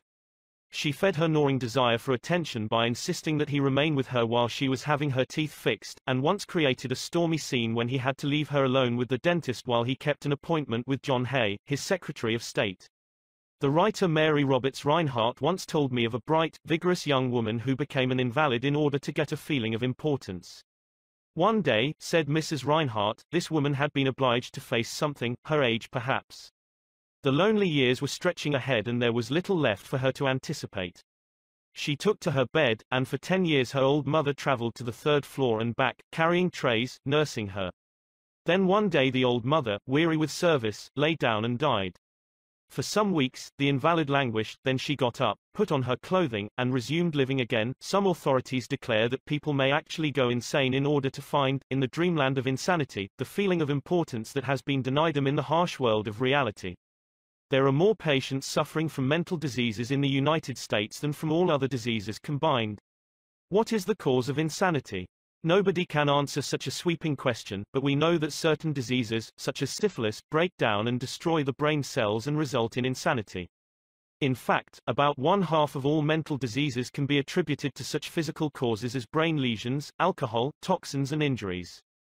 But the other half, and this is the appalling part of the story, the other half of the people who go insane apparently have nothing organically wrong with their brain cells. In post-mortem examinations, when the brain tissues are studied under the highest powered microscopes, these tissues are found to be apparently just as healthy as yours and mine. Why do these people go insane? I put that question to the head physician of one of our most important psychiatric hospitals. This doctor, who has received the highest honors and the most coveted awards for his knowledge of this subject, told me frankly that he didn't know why people went insane. Nobody knows for sure but he did say that many people who go insane find in insanity a feeling of importance that they were unable to achieve in the world of reality. Then he told me this story, I have a patient right now whose marriage proved to be a tragedy. She wanted love, sexual gratification, children and social prestige, but life blasted all her hopes. Her husband didn't love her. He refused even to eat with her and forced her to serve his meals in his room upstairs. She had no children, no social standing. She went insane, and, in her imagination, she divorced her husband and resumed her maiden name. She now believes she has married into English aristocracy, and she insists on being called Lady Smith. And as for children, she imagines now that she has had a new child every night. Each time I call on her she says, Doctor, I had a baby last night, life once wrecked all her dream ships on the sharp rocks of reality, but in the sunny, fantasy isles of insanity, all her barkentines race into port with canvas billowing and wind singing through the masts, tragic. Oh, I don't know. Her physician said to me, if I could stretch out my hand and restore her sanity, I wouldn't do it. She's much happier as she is. If some people are so hungry for a feeling of importance that they actually go insane to get it, imagine what miracle you and I can achieve by giving people honest appreciation this side of insanity.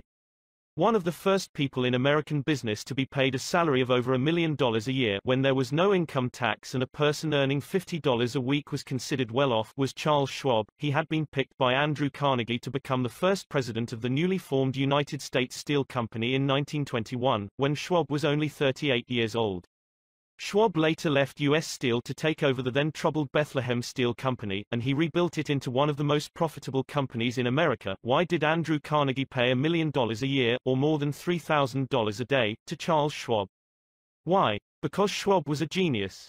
No. Because he knew more about the manufacture of steel than other people. Nonsense. Charles Schwab told me himself that he had many men working for him who knew more about the manufacture of steel than he did. Schwab says that he was paid this salary largely because of his ability to deal with people. I asked him how he did it.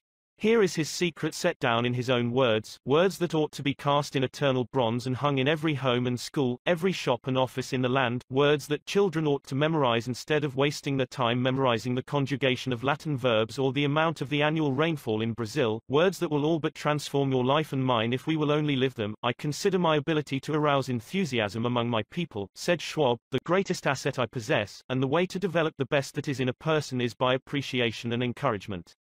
There is nothing else that so kills the ambitions of a person as criticisms from superiors.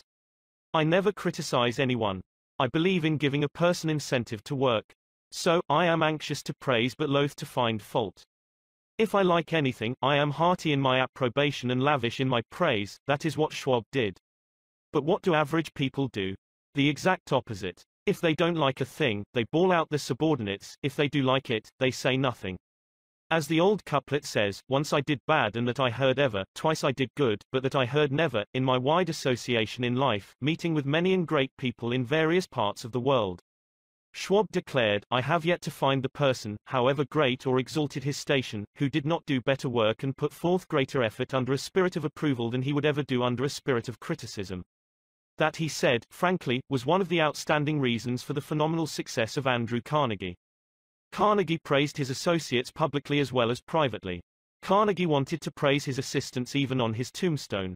He wrote an epitaph for himself which read, Here lies one who knew how to get around him men who were cleverer than himself. Sincere appreciation was one of the secrets of the first John D. Rockefeller's success in handling men. For example, when one of his partners, Edward T. Bedford, lost a million dollars for the firm by a bad buy in South America, John D. might have criticized, but he knew Bedford had done his best, and the incident was closed.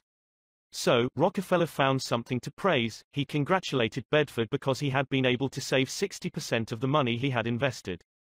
That's splendid, said Rockefeller.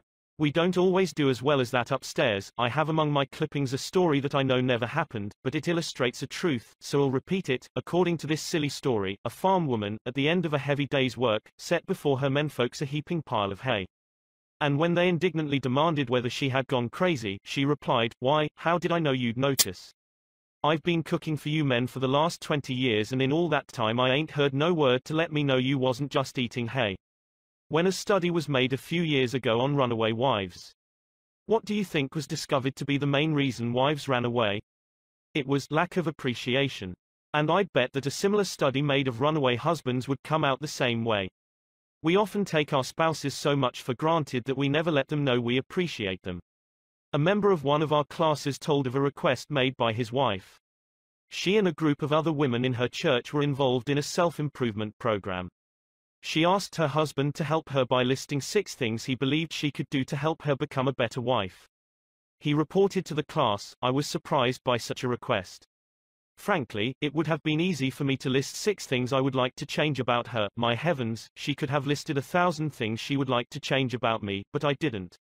I said to her, let me think about it and give you an answer in the morning. The next morning I got up very early and called the florist and had him send six red roses to my wife with a note saying, I can't think of six things I would like to change about you. I love you the way you are. When I arrived at home that evening, who do you think greeted me at the door? That's right. My wife. She was almost in tears. Needless to say, I was extremely glad I had not criticized her as she had requested. The following Sunday at church, after she had reported the results of her assignment, several women with whom she had been studying came up to me and said, that was the most considerate thing I have ever heard. It was then I realized the power of appreciation. Florenz Ziegfeld, the most spectacular producer who ever dazzled Broadway, gained his reputation by his subtle ability to glorify the American girl. Time after time, he took drab little creatures that no one ever looked at twice and transformed them on the stage into glamorous visions of mystery and seduction. Knowing the value of appreciation and confidence, he made women feel beautiful by the sheer power of his gallantry and consideration. He was practical, he raised the salary of chorus girls from $30 a week to as high as $175. And he was also chivalrous. On opening night at the Follies, he sent telegrams to the stars in the cast, and he deluged every chorus girl in the show with American Beauty roses. I once succumbed to the fad of fasting and went for six days and nights without eating. It wasn't difficult. I was less hungry at the end of the sixth day than I was at the end of the second. Yet I know, as you know, people who would think they had committed a crime if they let their families or employees go for six days without food, but they will let them go for six days, and six weeks, and sometimes 60 years without giving them the hearty appreciation that they crave almost as much as they crave food. When Alfred Lunt, one of the great actors of his time, played the leading role in Reunion in Vienna, he said, There is nothing I need so much as nourishment for my self-esteem. We nourish the bodies of our children and friends and employees, but how seldom do we nourish their self-esteem?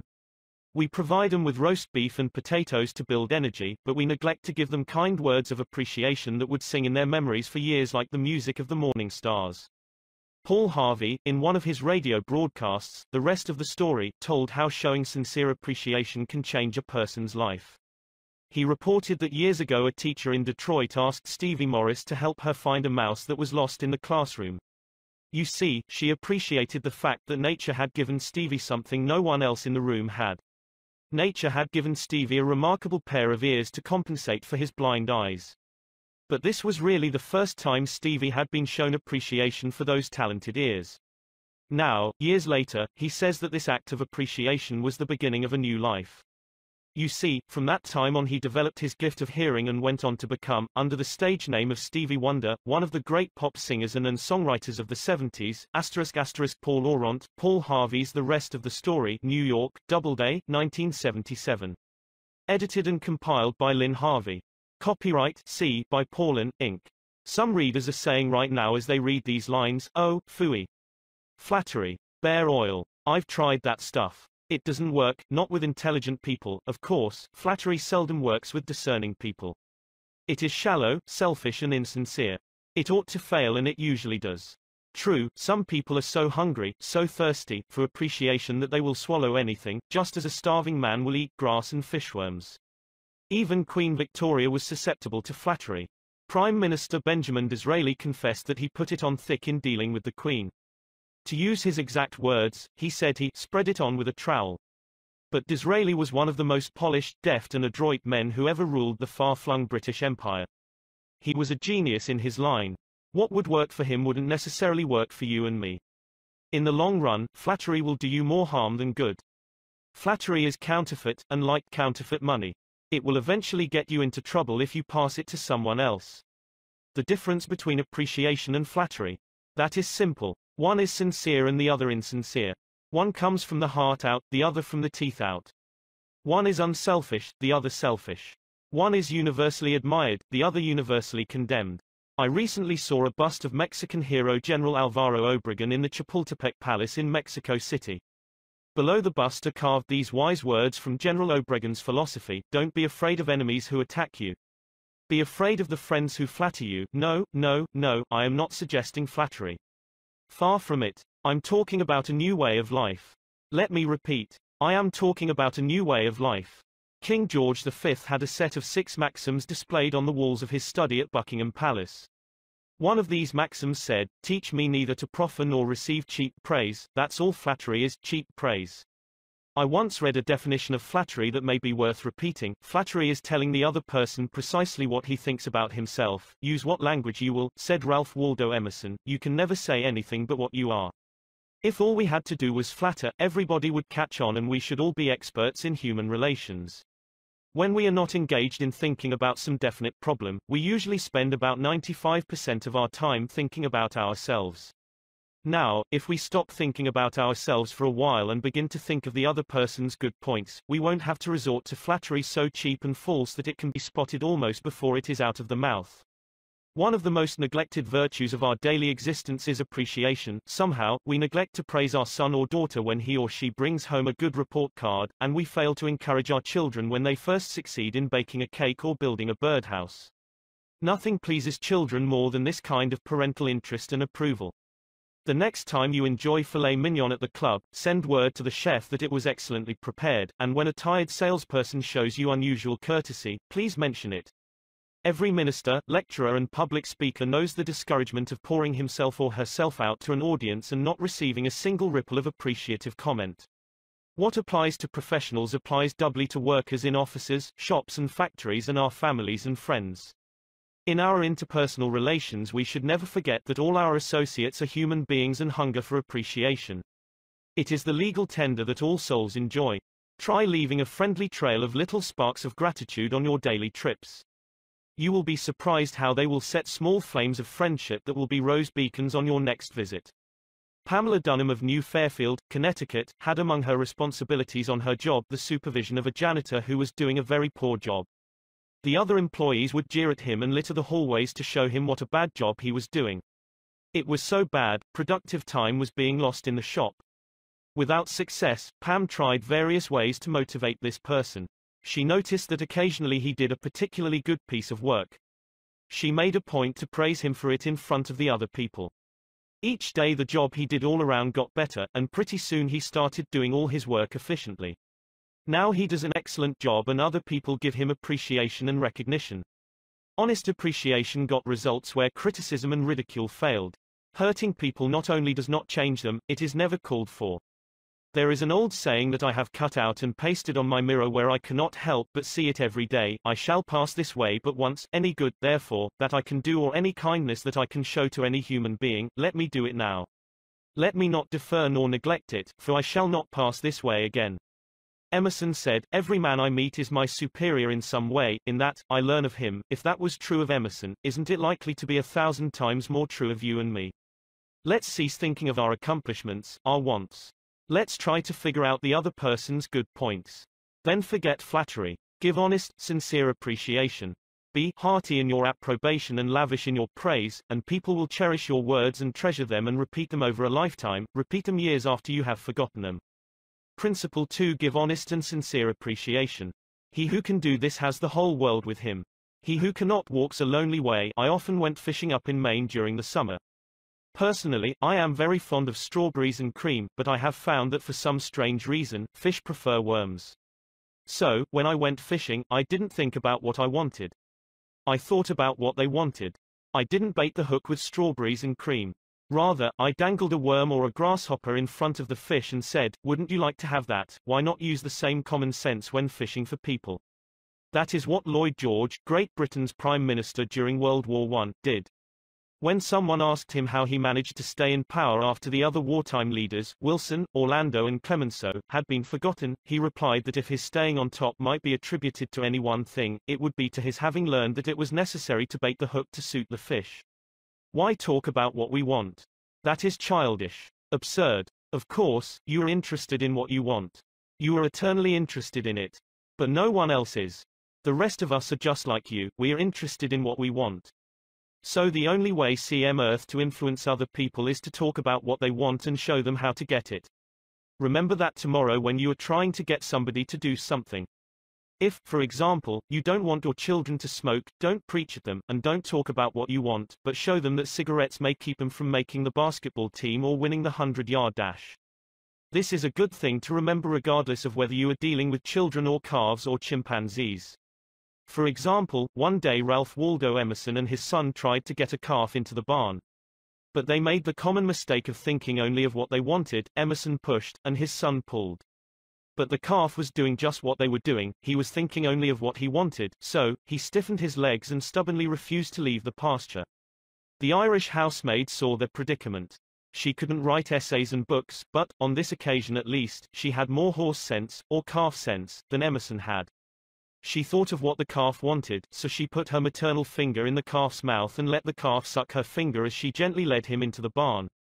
Every act you have ever performed since the day you were born was performed because you wanted something. How about the time you gave a large contribution to the Red Cross? Yes, that is no exception to the rule.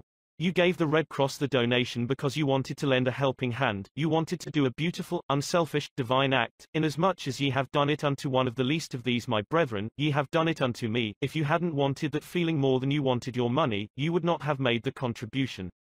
Of course, you might have made the contribution because you were ashamed to refuse or because a customer asked you to do it. But one thing is certain. You made the contribution because you wanted something. Harry A. Overstreet in his illuminating book Influencing Human Behavior said, Action springs out of what we fundamentally desire, and the best piece of advice which can be given to would-be persuaders, whether in business, in the home, in the school, in politics, is, first, arouse in the other person an eager want. He who can do this has the whole world with him. He who cannot walks a lonely way. Andrew Carnegie, the poverty-stricken Scotch lad who started to work at two cents an hour and finally gave away $365 million, learned early in life that the only way to influence people is to talk in terms of what the other person wants. He attended school only four years, yet he learned how to handle people. To illustrate, his sister-in-law was worried sick over her two boys. They were at Yale, and they were so busy with their own affairs that they neglected to write home and paid no attention whatever to their mother's frantic letters. Then Carnegie offered to wager a hundred dollars that he could get an answer by return mail, without even asking for it. Someone called his bet, so he wrote his nephews a chatty letter, mentioning casually in a postscript that he was sending each one a $5 bill. He neglected, however, to enclose the money. Back came replies by return mail thanking Dear Uncle Andrew for his kind note and you can finish the sentence yourself. Another example of persuading comes from Stan Novak of Cleveland, Ohio, a participant in our course. Stan came home from work one evening to find his youngest son, Tim, kicking and screaming on the living room floor. He was to start kindergarten the next day and was protesting that he would not go. Stan's normal reaction would have been to banish the child to his room and tell him he'd just better make up his mind to go. He had no choice. But tonight, recognizing that this would not really help Tim start kindergarten in the best frame of mind, Stan Saturday down and thought, if I were Tim, why would I be excited about going to kindergarten? He and his wife made a list of all the fun things Tim would do such as finger painting, singing songs, making new friends. Then they put them into action. We all started finger painting on the kitchen table my wife, Lil, my other son Bob, and myself, all having fun.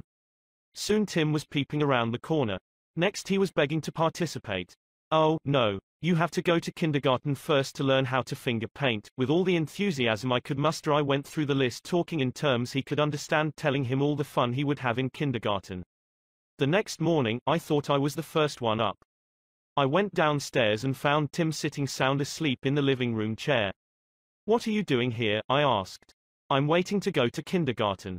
I don't want to be late. The enthusiasm of our entire family had aroused in Tim an eager want that no amount of discussion or threat could have possibly accomplished. Tomorrow you may want to persuade somebody to do something. Before you speak, pause and ask yourself, how can I make this person want to do it? That question will stop us from rushing into a situation heedlessly, with futile chatter about our desires. At one time I rented the grand ballroom of a certain New York hotel for 20 nights in each season in order to hold a series of lectures. At the beginning of one season, I was suddenly informed that I should have to pay almost three times as much rent as formerly. This news reached me after the tickets had been printed and distributed and all announcements had been made. Naturally, I didn't want to pay the increase, but what was the use of talking to the hotel about what I wanted? They were interested only in what they wanted. So, a couple of days later I went to see the manager. I was a bit shocked when I got your letter, I said, but I don't blame you at all. If I had been in your position, I should probably have written a similar letter myself. Your duty as the manager of the hotel is to make all the profit possible. If you don't do that, you will be fired and you ought to be fired. Now, let's take a piece of paper and write down the advantages and the disadvantages that will accrue to you, if you insist on this increase in rent. Then I took a letterhead and ran a line through the center and headed one column advantages and the other column disadvantages. I wrote down under the head advantages these words, ballroom free. Then I went on to say, you will have the advantage of having the ballroom free to rent for dances and conventions. That is a big advantage, for affairs like that will pay you much more than you can get for a series of lectures. If I tie your ballroom up for 20 nights during the course of the season, it is sure to mean a loss of some very profitable business to you. Now, let's consider the disadvantages. First, instead of increasing your income from me, you are going to decrease it. In fact, you are going to wipe it out because I cannot pay the rent you are asking. I shall be forced to hold these lectures at some other place. There's another disadvantage to you also. These lectures attract crowds of educated and cultured people to your hotel. That is good advertising for you, isn't it? In fact, if you spent $5,000 advertising in the newspapers, you couldn't bring as many people to look at your hotel as I can bring by these lectures. That is worth a lot to a hotel, isn't it?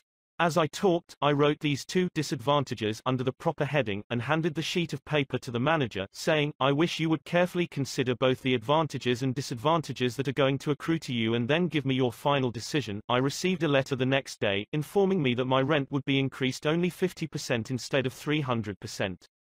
Mind you, I got this reduction without saying a word about what I wanted. I talked all the time about what the other person wanted and how he could get it. Suppose I had done the human, natural thing, suppose I had stormed into his office and said, what do you mean by raising my rent 300% when you know the tickets have been printed and the announcements made? 300%. Ridiculous. Absurd. I won't pay it. What would have happened then? An argument would have begun to steam and boil and sputter, and you know how arguments end. Even if I had convinced him that he was wrong, his pride would have made it difficult for him to back down and give in. Here is one of the best bits of advice ever given about the fine art of human relationships. If there is any one secret of success, said Henry Ford, it lies in the ability to get the other person's point of view and see things from that person's angle as well as from your own. That is so good, I want to repeat it. If there is any one secret of success, it lies in the ability to get the other person's point of view and see things from that person's angle as well as from your own. That is so simple, so obvious, that anyone ought to see the truth of it at a glance, yet 90% of the people on this earth ignore it 90% of the time. An example. Look at the letters that come across your desk tomorrow morning, and you will find that most of them violate this important canon of common sense. Take this one, a letter written by the head of the radio department of an advertising agency with offices scattered across the continent.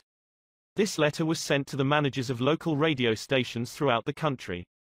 I have set down, in brackets, my reactions to each paragraph, Mr. John Blank, Blankville, Indiana Dear Mr. Blank, the company desires to retain its position in advertising agency leadership in the radio field. Who cares what your company desires? I am worried about my own problems. The bank is foreclosing the mortgage on my house, the bugs are destroying the hollyhocks, the stock market tumbled yesterday. I missed the 8.15 this morning, I wasn't invited to the Joneses dance last night, the doctor tells me I have high blood pressure and neuritis and dandruff. And then what happens? I come down to the office this morning worried, open my mail and here is some little whippersnapper off in New York yapping about what his company wants. BAH. If he only realized what sort of impression his letter makes, he would get out of the advertising business and start manufacturing sheep dip. This agency's national advertising accounts were the bulwark of the network. Our subsequent clearances of station time have kept us at the top of agencies year after year. You are big and rich and right at the top, are you? So what? I don't give two whoops in Hades if you are as big as General Motors and General Electric and the general staff of the U.S. Army all combined. If you had as much sense as a half-witted hummingbird, you would realize that I am interested in how big I am, not how big you are. All this talk about your enormous success makes me feel small and unimportant. We desire to service our accounts with the last word on radio station information. You desire, you desire, you unmitigated ass. I'm not interested in what you desire or what the President of the United States desires. Let me tell you once and for all that I am interested in what I desire, and you haven't said a word about that yet in this absurd letter of yours. Will you, therefore, put the company on your preferred list for weekly station information, every single detail that will be useful to an agency in intelligently booking time? Preferred list. You have your nerve. You make me feel insignificant by your big talk about your company, and then you ask me to put you on a preferred list, and you don't even say, please, when you ask it. A prompt acknowledgement of this letter, giving us your latest doings, will be mutually helpful. You fool. You mail me a cheap form letter, a letter scattered far and wide like the autumn leaves, and you have the gall to ask me, when I am worried about the mortgage and the hollyhocks and my blood pressure, to sit down and dictate a personal note acknowledging your form letter, and you ask me to do it promptly. What do you mean, promptly? Don't you know I am just as busy as you are, or, at least, I like to think I am. And while we are on the subject, who gave you the lordly right to order me around? You say it will be mutually helpful. At last, at last, you have begun to see my viewpoint. But you are vague about how it will be to my advantage. Very truly yours, John Doe Manager Radio Department PS.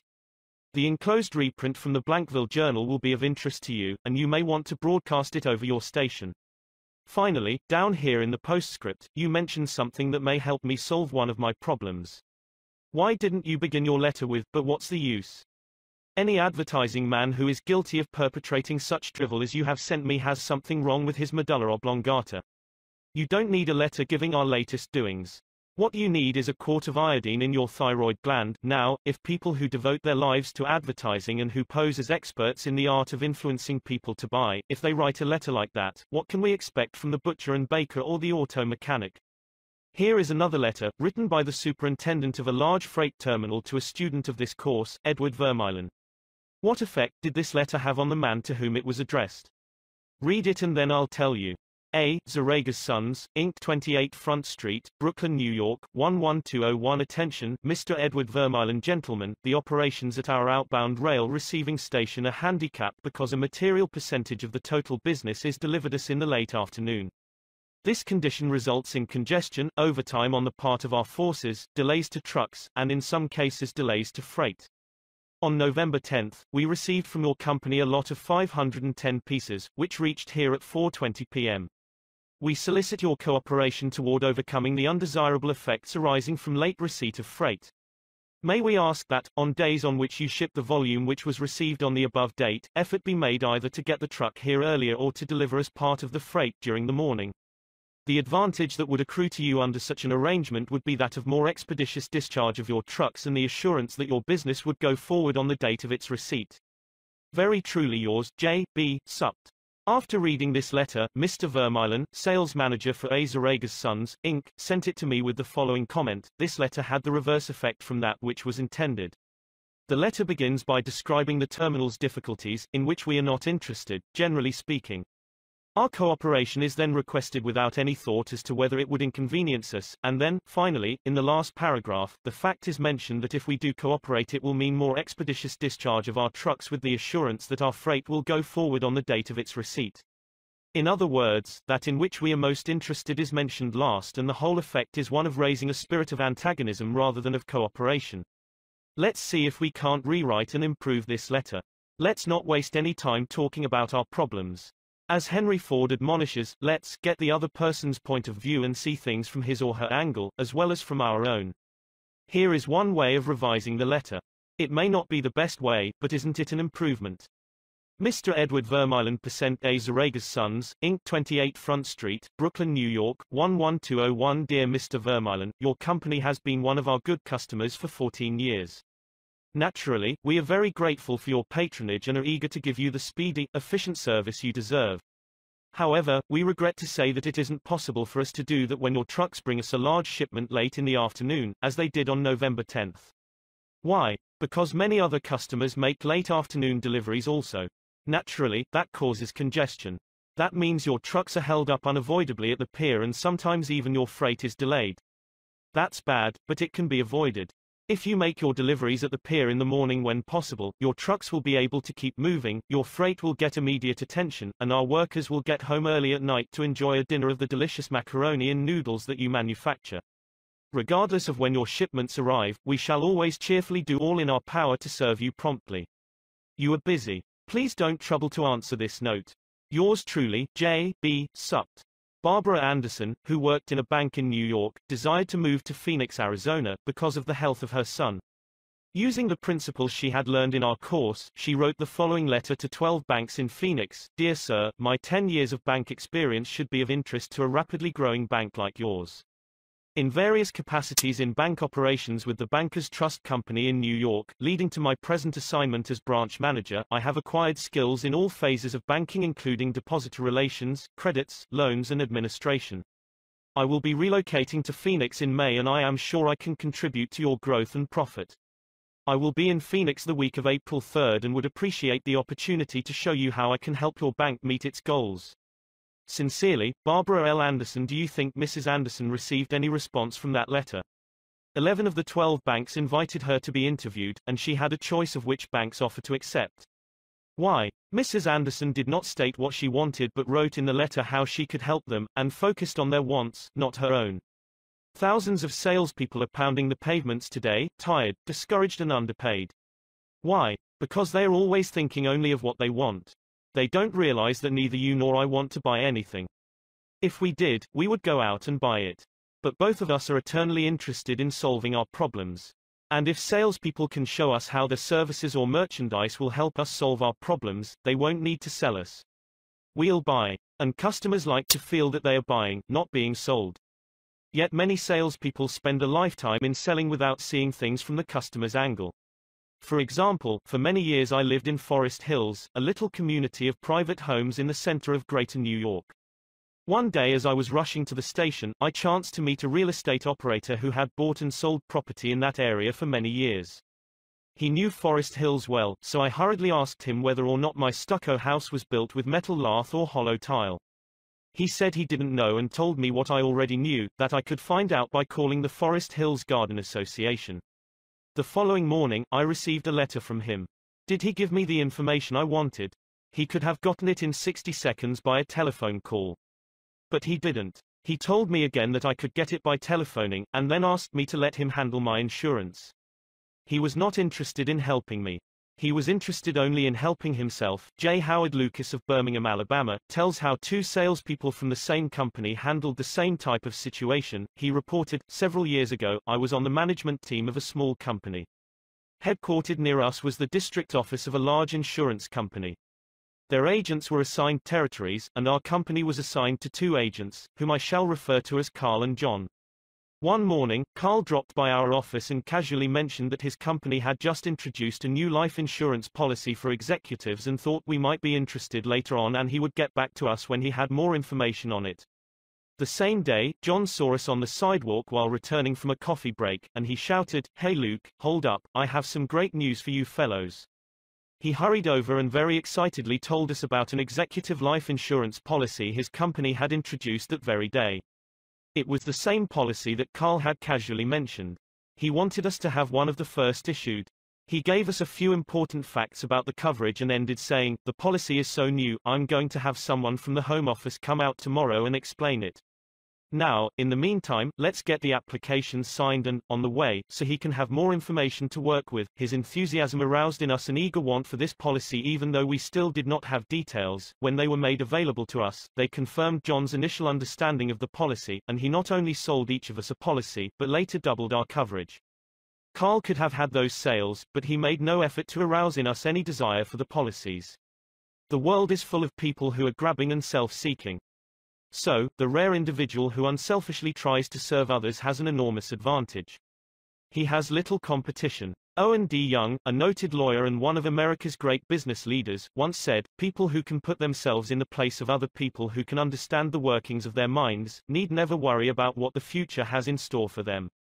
If out of reading this book you get just one thing, an increased tendency to think always in terms of other people's point of view, and see things from their angle, if you get that one thing out of this book, it may easily prove to be one of the building blocks of your career. Looking at the other person's point of view and arousing in him an eager want for something is not to be construed as manipulating that person so that he will do something that is only for your benefit and his detriment. Each party should gain from the negotiation.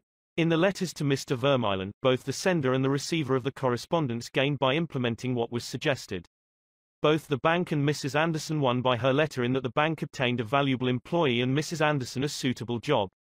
And in the example of John's sale of insurance to Mr. Lucas, both gained through this transaction. Another example in which everybody gains through this principle of arousing an eager want comes from Michael E. Whidden of Warwick, Rhode Island, who is a territory salesman for the Shell Oil Company. Mike wanted to become the number one salesperson in his district, but one service station was holding him back. It was run by an older man who could not be motivated to clean up his station. It was in such poor shape that sales were declining significantly. This manager would not listen to any of Mike's pleas to upgrade the station. After many exhortations and heart-to-heart -heart talks, all of which had no impact, Mike decided to invite the manager to visit the newest Shell station in his territory.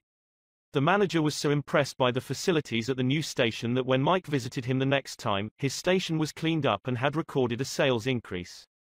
This enabled Mike to reach the number one spot in his district. All his talking and discussion hadn't helped, but by arousing an eager want in the manager, by showing him the modern station, he had accomplished his goal, and both the manager and Mike benefited. Most people go through college and learn to read Virgil and master the mysteries of calculus without ever discovering how their own minds function. For instance, I once gave a course in effective speaking for the young college graduates who were entering the employ of the Carrier Corporation, the large air conditioner manufacturer. One of the participants wanted to persuade the others to play basketball in their free time, and this is about what he said, I want you to come out and play basketball. I like to play basketball, but the last few times I've been to the gymnasium there haven't been enough people to get up a game. Two or three of us got to throwing the ball around the other night, and I got a black eye. I wish all of you would come down tomorrow night. I want to play basketball, did he talk about anything you want? You don't want to go to a gymnasium that no one else goes to, do you? You don't care about what he wants. You don't want to get a black eye. Could he have shown you how to get the things you want by using the gymnasium? Surely. More pep, keener edge to the appetite. Clearer brain, fun, games. Basketball. To repeat Professor Overstreet's wise advice, first, arouse in the other person an eager want he who can do this has the whole world with him. He who cannot walks a lonely way. One of the students in the author's training course was worried about his little boy. The child was underweight and refused to eat properly. His parents used the usual method. They scolded and nagged. Mother wants you to eat this and that, father wants you to grow up to be a big man. Did the boy pay any attention to these pleas? Just about as much as you pay to one fleck of sand on a sandy beach. No one with a trace of horse sense would expect a child three years old to react to the viewpoint of a father 30 years old. Yet that was precisely what that father had expected. It was absurd. He finally saw that. So he said to himself, what does that boy want? How can I tie up what I want to what he wants? It was easy for the father when he started thinking about it. His boy had a tricycle that he loved to ride up and down the sidewalk in front of the house in Brooklyn. A few doors down the street lived a bully, a bigger boy who would pull the little boy off his tricycle and ride it himself. Naturally, the little boy would run screaming to his mother, and she would have to come out and take the bully off the tricycle and put her little boy on again. This happened almost every day. What did the little boy want? It didn't take a Sherlock Holmes to answer that one. His pride, his anger, his desire for a feeling of importance, all the strongest emotions in his makeup, goaded him to get revenge, to smash the bully in the nose. And when his father explained that the boy would be able to wallop the daylights out of the bigger kid someday if he would only eat the things his mother wanted him to eat, when his father promised him that, there was no longer any problem of dietetics. That boy would have eaten spinach, sauerkraut, salt mackerel, anything in order to be big enough to whip the bully who had humiliated him so often. After solving that problem, the parents tackled another, the little boy had the unholy habit of wetting his bed. He slept with his grandmother. In the morning, his grandmother would wake up and feel the sheet and say, Look, Johnny, what you did again last night. He would say, No, I didn't do it. You did it, scolding, spanking, shaming him, reiterating that the parents didn't want him to do it, none of these things kept the bed dry. So, the parents asked, How can we make this boy want to stop wetting his bed? What were his wants? First, he wanted to wear pajamas like daddy instead of wearing a nightgown like grandmother. Grandmother was getting fed up with his nocturnal iniquities, so she gladly offered to buy him a pair of pajamas if he would reform. Second, he wanted a bed of his own. Grandma didn't object. His mother took him to a department store in Brooklyn, winked at the salesgirl, and said, Here is a little gentleman who would like to do some shopping. The salesgirl made him feel important by saying, young man, what can I show you? He stood a couple of inches taller and said, I want to buy a bed for myself. When he was shown the one his mother wanted him to buy, she winked at the salesgirl and the boy was persuaded to buy it. The bed was delivered the next day, and that night, when father came home, the little boy ran to the door shouting, Daddy. Daddy. Come upstairs and see my bed that I bought. The father, looking at the bed, obeyed Charles Schwab's injunction. He was hearty in his approbation and lavish in his praise. You are not going to wet this bed, are you? The father said, Oh, no, no. I am not going to wet this bed. The boy kept his promise, for his pride was involved. That was his bed. He and he alone had bought it. And he was wearing pajamas now like a little man. He wanted to act like a man.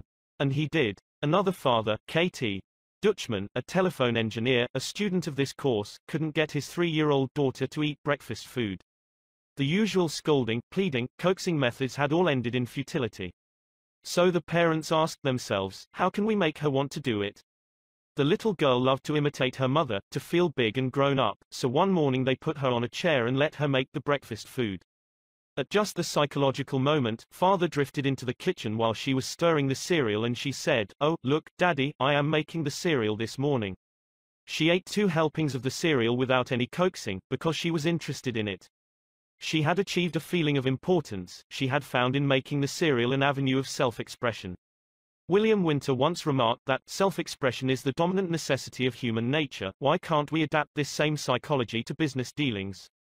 When we have a brilliant idea, instead of making others think it is ours, why not let them cook and stir the idea themselves? They will then regard it as their own, they will like it and maybe eat a couple of helpings of it. Remember, first, arouse in the other person an eager want. He who can do this has the whole world with him.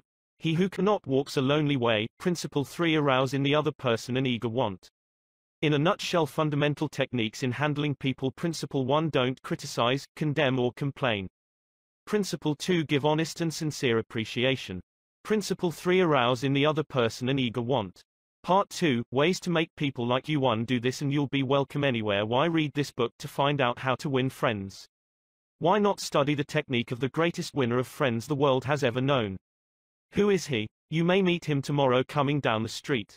When you get within 10 feet of him, he will begin to wag his tail. If you stop and pat him, he will almost jump out of his skin to show you how much he likes you.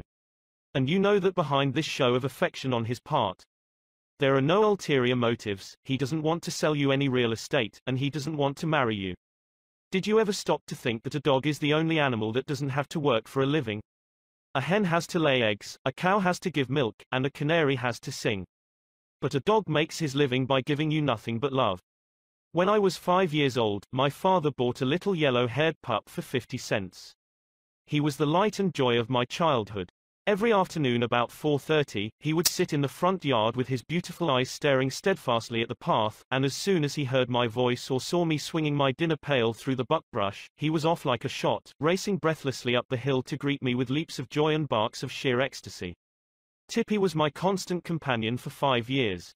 Then one tragic night, I shall never forget it, he was killed within 10 feet of my head, killed by lightning. Tippy's death was the tragedy of my boyhood. You never read a book on psychology, Tippy. You didn't need to. You knew by some divine instinct that you can make more friends in two months by becoming genuinely interested in other people than you can in two years by trying to get other people interested in you. Let me repeat that. You can make more friends in two months by becoming interested in other people than you can in two years by trying to get other people interested in you. Yet I know and you know people who blunder through life trying to wigwag other people into becoming interested in them. Of course, it doesn't work. People are not interested in you. They are not interested in me. They are interested in themselves, morning, noon and after dinner. The New York Telephone Company made a detailed study of telephone conversations to find out which word is the most frequently used. You have guessed it, it is the personal pronoun I, I, I. It was used 3,900 times in 500 telephone conversations. I, I, I, I. When you see a group photograph that you are in, whose picture do you look for first? If we merely try to impress people and get people interested in us, we will never have many true, sincere friends. Friends, real friends, are not made that way. Napoleon tried it, and in his last meeting with Josephine he said, Josephine, I have been as fortunate as any man ever was on this earth, and yet, at this hour, you are the only person in the world on whom I can rely, and historians doubt whether he could rely even on her. Alfred Adler, the famous Viennese psychologist, wrote a book entitled What Life Should Mean to You. In that book he says, it is the individual who is not interested in his fellow men who has the greatest difficulties in life and provides the greatest injury to others. It is from among such individuals that all human failures spring. You may read scores of erudite tomes on psychology without coming across a statement more significant for you and for me. Adler's statement is so rich with meaning that I am going to repeat it in italics. It is the individual who is not interested in his fellow men who has the greatest difficulties in life and provides the greatest injury to others. It is from among such individuals that all human failures spring. I once took a course in short story writing at New York University, and during that course the editor of a leading magazine talked to our class. He said he could pick up any one of the dozens of stories that drifted across his desk every day and after reading a few paragraphs he could feel whether the author liked people. If the author doesn't like people, he said, people won't like his or her stories.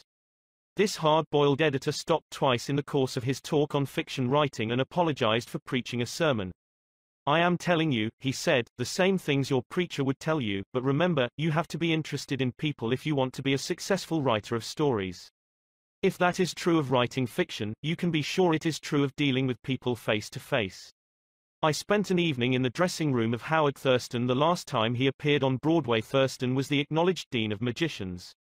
For 40 years he had traveled all over the world, time and again, creating illusions, mystifying audiences, and making people gasp with astonishment. More than 60 million people had paid admission to his show, and he had made almost $2 million in profit. I asked Mr. Thurston to tell me the secret of his success. His schooling certainly had nothing to do with it, for he ran away from home as a small boy, became a hobo, rode in boxcars, slept in haystacks, begged his food from door to door, and learned to read by looking out of boxcars at signs along the railway. Did he have a superior knowledge of magic? No, he told me hundreds of books had been written about legerdemain and scores of people knew as much about it as he did. But he had two things that the others didn't have. First, he had the ability to put his personality across the footlights. He was a master showman. He knew human nature. Everything he did, every gesture, every intonation of his voice, every lifting of an eyebrow had been carefully rehearsed in advance, and his actions were timed to split seconds.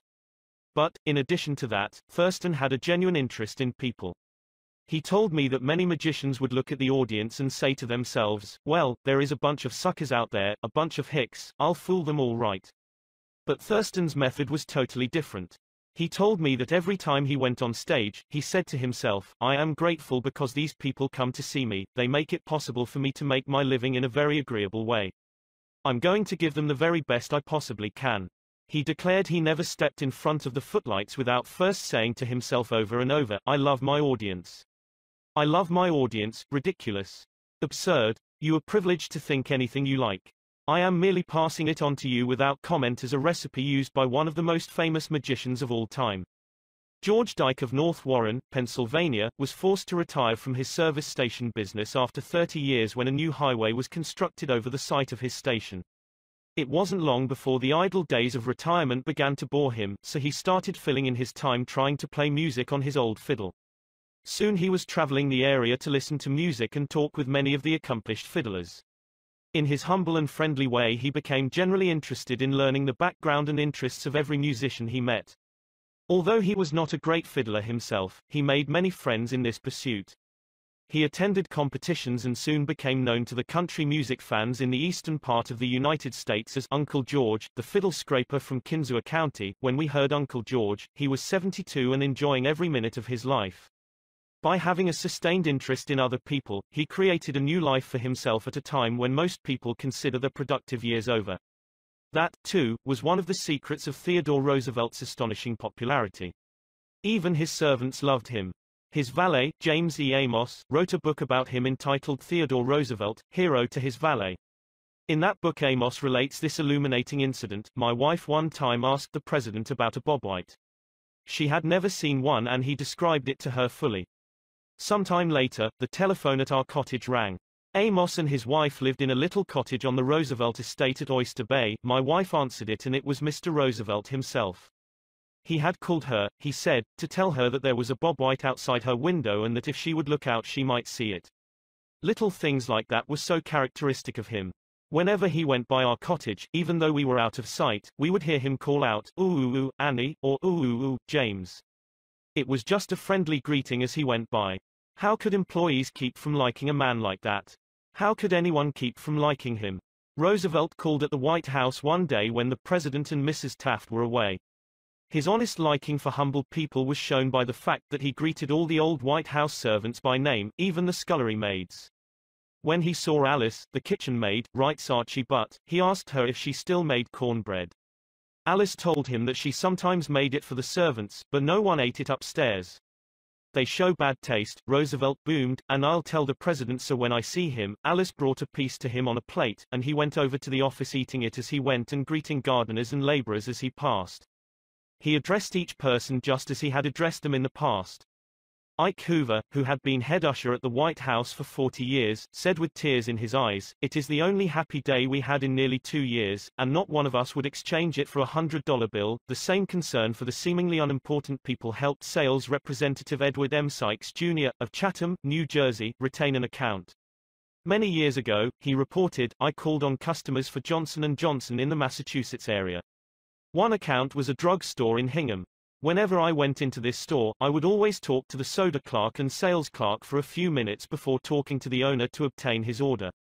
One day I went up to the owner of the store, and he told me to leave as he was not interested in buying J&J products anymore because he felt they were concentrating their activities on food and discount stores to the detriment of the small drugstore. I left with my tail between my legs and drove around the town for several hours. Finally, I decided to go back and try at least to explain our position to the owner of the store. When I returned, I walked in and as usual said hello to the soda clerk and sales clerk. When I walked up to the owner, he smiled at me and welcomed me back. He then gave me double the usual order. I looked at him with surprise and asked him what had happened since my visit only a few hours earlier. He pointed to the young man at the soda fountain and said that after I had left, the boy had come over and said that I was one of the few salespeople that called on the store that even bothered to say hello to him and to the others in the store. He told the owner that if any salesperson deserved his business, it was I. The owner agreed and remained a loyal customer. I never forgot that to be genuinely interested in other people is a most important quality for a salesperson to possess, for any person, for that matter. I have discovered from personal experience that one can win the attention and time and cooperation of even the most sought after people by becoming genuinely interested in them. Let me illustrate. Years ago I conducted a course in fiction writing at the Brooklyn Institute of Arts and Sciences, and we wanted such distinguished and busy authors as Kathleen Norris, Fannie Hurst, Ida Tarbell, Albert Payson Terhune and Rupert Hughes to come to Brooklyn and give us the benefit of their experiences. So we wrote them, saying we admired their work and were deeply interested in getting their advice and learning the secrets of their success. Each of these letters was signed by about 150 students. We said we realized that these authors were busy, too busy to prepare a lecture. So we enclosed a list of questions for them to answer about themselves and their methods of work. They liked that. Who wouldn't like it? So they left their homes and traveled to Brooklyn to give us a helping hand. By using the same method, I persuaded Leslie M. Shaw, Secretary of the Treasury in Theodore Roosevelt's cabinet, George W. Wickersham, Attorney General in Taft's cabinet, William Jennings Bryan, Franklin D. Roosevelt and many other prominent men to come to talk to the students of my courses in public speaking. All of us, be we workers in a factory, clerks in an office or even a king upon his throne, all of us like people who admire us. Take the German Kaiser, for example. At the close of World War I he was probably the most savagely and universally despised man on this earth. Even his own nation turned against him when he fled over into Holland to save his neck. The hatred against him was so intense that millions of people would have loved to tear him limb from limb or burn him at the stake. In the midst of all this forest fire of fury, one little boy wrote the Kaiser a simple, sincere letter glowing with kindliness and admiration. This little boy said that no matter what the others thought, he would always love Wilhelm as his emperor. The Kaiser was deeply touched by his letter and invited the little boy to come to see him. The boy came, so did his mother, and the Kaiser married her. That little boy didn't need to read a book on how to win friends and influence people. He knew how instinctively. If we want to make friends, let's put ourselves out to do things for other people, things that require time, energy, unselfishness and thoughtfulness. When the Duke of Windsor was Prince of Wales, he was scheduled to tour South America, and before he started out on that tour he spent months studying Spanish so that he could make public talks in the language of the country, and the South Americans loved him for it. For years I made it a point to find out the birthdays of my friends. How? Although I haven't the foggiest bit of faith in astrology, I began by asking the other party whether he believed the date of one's birth has anything to do with character and disposition. I then asked him or her to tell me the month and day of birth. If he or she said November 24th, for example, I kept repeating to myself, November 24th, November 24th. The minute my friend's back was turned, I wrote down the name and birthday and later would transfer it to a birthday book. At the beginning of each year, I had these birthday dates scheduled in my calendar pad so that they came to my attention automatically. When the natal day arrived, there was my letter or telegram. What a hit it made. I was frequently the only person on earth who remembered. If we want to make friends, let's greet people with animation and enthusiasm. When somebody calls you on the telephone use the same psychology. Say, hello, in tones that bespeak how pleased you are to have the person call. Many companies train their telephone operators to greet all callers in a tone of voice that radiates interest and enthusiasm. The caller feels the company is concerned about them. Let's remember that when we answer the telephone tomorrow. Showing a genuine interest in others not only wins friends for you but may develop in its customers a loyalty to your company. In an issue of the publication of the National Bank of North America of New York, the following letter from Madeline Rosedale, a depositor, was published, asterisk asterisk Eagle, publication of the National Bank of North America, NEW York, March 31, 1978. I would like you to know how much I appreciate your staff. Everyone is so courteous, polite and helpful. What a pleasure it is, after waiting on a long line, to have the teller greet you pleasantly. Last year my mother was hospitalized for five months. Frequently I went to Marie Petricello, a teller. She was concerned about my mother and inquired about her progress, is there any doubt that Mrs. Rosedale will continue to use this bank? Charles R. Walters, of one of the large banks in New York City, was assigned to prepare a confidential report on a certain corporation. He knew of only one person who possessed the facts he needed so urgently. As Mr. Walters was ushered into the president's office, a young woman stuck her head through a door and told the president that she didn't have any stamps for him that day. I am collecting stamps for my 12-year-old son, the president explained to Mr. Walters. Mr. Walters stated his mission and began asking questions. The president was vague, general, nebulous. He didn't want to talk, and apparently nothing could persuade him to talk. The interview was brief and barren. Frankly, I didn't know what to do, Mr. Walters said as he related the story to the class. Then I remembered what his secretary had said to him, stamps, 12-year-old son. And I also recalled that the foreign department of our bank collected stamps, stamps taken from letters pouring in from every continent washed by the seven seas. The next afternoon I called on this man and sent in word that I had some stamps for his boy. Was I ushered in with enthusiasm? Yes sir, he couldn't have shaken my hand with more enthusiasm if he had been running for Congress. He radiated smiles and goodwill. My George will love this one, he kept saying as he fondled the stamps. And look at this. This is a treasure. We spent half an hour talking stamps and looking at a picture of his boy, and he then devoted more than an hour of his time to giving me every bit of information I wanted, without my even suggesting that he do it. He told me all he knew, and then called in his subordinates and questioned them. He telephoned some of his associates. He loaded me down with facts, figures, reports and correspondence. In the parlance of newspaper reporters, I had a scoop. Here is another illustration. M. Knaphle Jr. of Philadelphia had tried for years to sell fuel to a large chain store organization. But the chain store company continued to purchase its fuel from an out-of-town dealer and haul it right past the door of Knaphle's office. Mr. Knaphle made a speech one night before one of my classes, pouring out his hot wrath upon chain stores, branding them as a curse to the nation. And still he wondered why he couldn't sell them. I suggested that he try different tactics. To put it briefly, this is what happened. We staged a debate between members of the course on whether the spread of the chain store is doing the country more harm than good. Mr. Knaphle, at my suggestion, took the negative side, he agreed to defend the chain stores, and then went straight to an executive of the chain store organization that he despised and said, I am not here to try to sell fuel. I have come to ask you to do me a favor. He then told about his debate and said, I have come to you for help because I can't think of anyone else who would be more capable of giving me the facts I want. I'm anxious to win this debate, and I'll deeply appreciate whatever help you can give me. Here is the rest of the story in Mr. Knaphle's own words. I had asked this man for precisely one minute of his time. It was with that understanding that he consented to see me. After I had stated my case, he motioned me to a chair and talked to me for exactly one hour and 47 minutes. He called in another executive who had written a book on chain stores. He wrote to the National Chain Store Association and secured for me a copy of a debate on the subject. He feels that the chain store is rendering a real service to humanity. He is proud of what he is doing for hundreds of communities. His eyes fairly glowed as he talked, and I must confess that he opened my eyes to things I had never even dreamed of. He changed my whole mental attitude. As I was leaving, he walked with me to the door, put his arm around my shoulder, wished me well in my debate, and asked me to stop in and see him again and let him know how I made out. The last words he said to me were, please see me again later in the spring.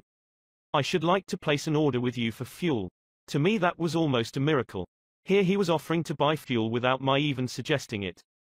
I had made more headway in two hours by becoming genuinely interested in him and his problems than I could have made in ten years trying to get him interested in me and my product.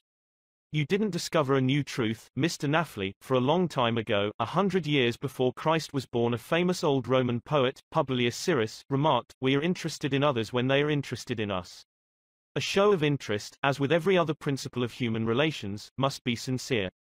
It must pay off not only for the person showing the interest, but for the person receiving the attention. It is a two-way street both parties benefit. Martin Ginsburg, who took our course in Long Island, New York, reported how the special interest a nurse took in him profoundly affected his life. It was Thanksgiving Day and I was 10 years old. I was in a welfare ward of a city hospital and was scheduled to undergo major orthopedic surgery the next day. I knew that I could only look forward to months of confinement, convalescence and pain. My father was dead, my mother and I lived alone in a small apartment and we were on welfare. My mother was unable to visit me that day. As the day went on, I became overwhelmed with the feeling of loneliness, despair and fear.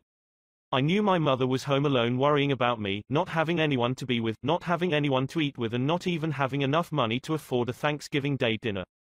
The tears welled up in my eyes, and I stuck my head under the pillow and pulled the covers over it. I cried silently, but oh so bitterly, so much that my body racked with pain. A young student nurse heard my sobbing and came over to me. She took the covers off my face and started wiping my tears. She told me how lonely she was, having to work that day and not being able to be with her family. She asked me whether I would have dinner with her. She brought two trays of food, sliced turkey, mashed potatoes, cranberry sauce and ice cream for dessert.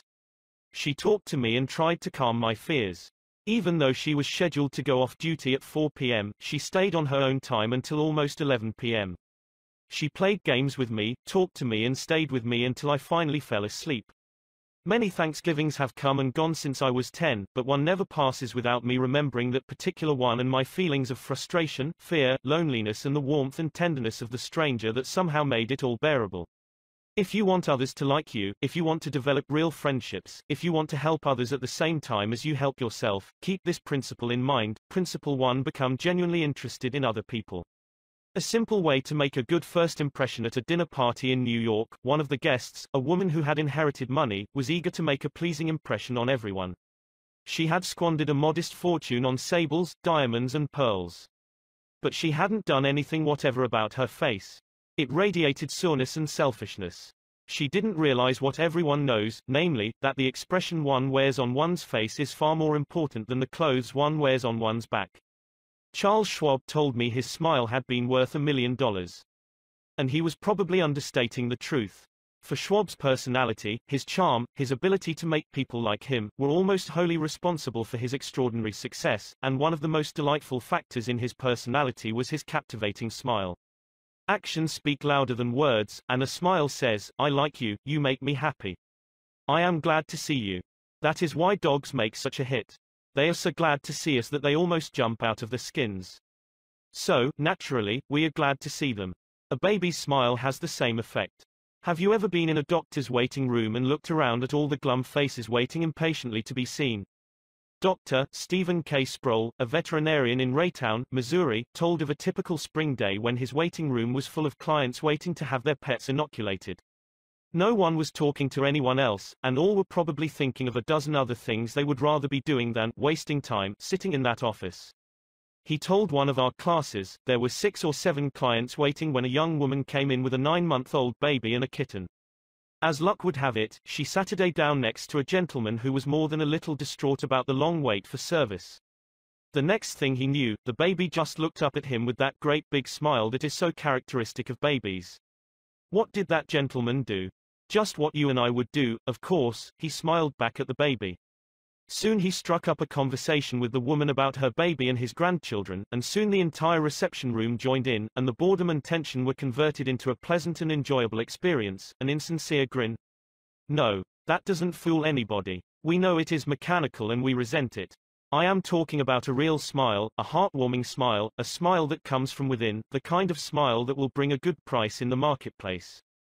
Professor James V. McConnell, a psychologist at the University of Michigan, expressed his feelings about a smile.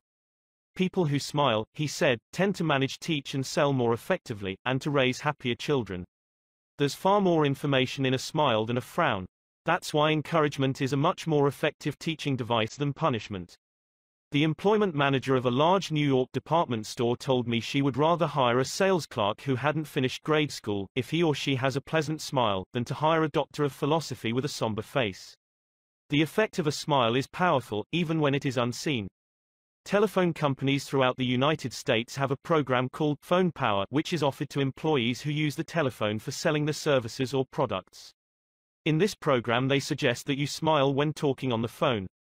Your smile comes through in your voice. Robert Cryer, manager of a computer department for a Cincinnati, Ohio, company, told how he had successfully found the right applicant for a hard-to-fill position. I was desperately trying to recruit a PhD in computer science for my department. I finally located a young man with ideal qualifications who was about to be graduated from Purdue University. After several phone conversations I learned that he had several offers from other companies, many of them larger and better known than mine. I was delighted when he accepted my offer. After he started on the job, I asked him why he had chosen us over the others. He paused for a moment and then he said, I think it was because managers in the other companies spoke on the phone in a cold, business-like manner, which made me feel like just another business transaction. Your voice sounded as if you were glad to hear from me, that you really wanted me to be part of your organization. You can be assured, I am still answering my phone with a smile. The chairman of the board of directors of one of the largest rubber companies in the United States told me that, according to his observations, people rarely succeed at anything unless they have fun doing it. This industrial leader doesn't put much faith in the old adage that hard work alone is the magic key that will unlock the door to our desires. I have known people, he said, who succeeded because they had a rip-roaring good time conducting their business. Later, I saw those people change as the fun became work.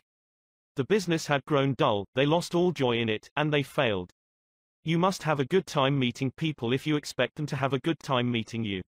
I have asked thousands of business people to smile at someone every hour of the day for a week and then come to class and talk about the results.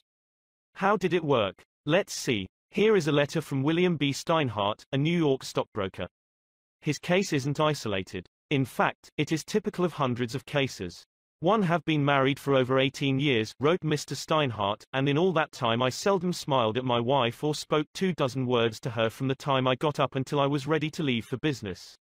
I was one of the worst grouches who ever walked down Broadway.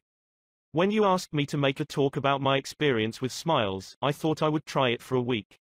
So the next morning, while combing my hair, I looked at my glum mug in the mirror and said to myself, Bill, you are going to wipe the scowl off that sourpuss of yours today. You are going to smile. And you are going to begin right now. As I sat Saturday down to breakfast, I greeted my wife with a good morning, my dear, and smiled as I said it. You warned me that she might be surprised. Well, you underestimated her reaction. She was bewildered. She was shocked. I told her that in the future she could expect this as a regular occurrence, and I kept it up every morning. This changed attitude of mine brought more happiness into our home in the two months since I started than there was during the last year. As I leave for my office, I greet the elevator operator in the apartment house with a good morning and a smile. I greet the doorman with a smile. I smile at the cashier in the subway booth when I ask for change. As I stand on the floor of the stock exchange, I smile at people who until recently never saw me smile. I soon found that everybody was smiling back at me. I treat those who come to me with complaints or grievances in a cheerful manner. I smile as I listen to them and I find that adjustments are accomplished much easier. I find that smiles are bringing me dollars, many dollars every day. I share my office with another broker. One of his clerks is a likable young chap, and I was so elated about the results I was getting that I told him recently about my new philosophy of human relations.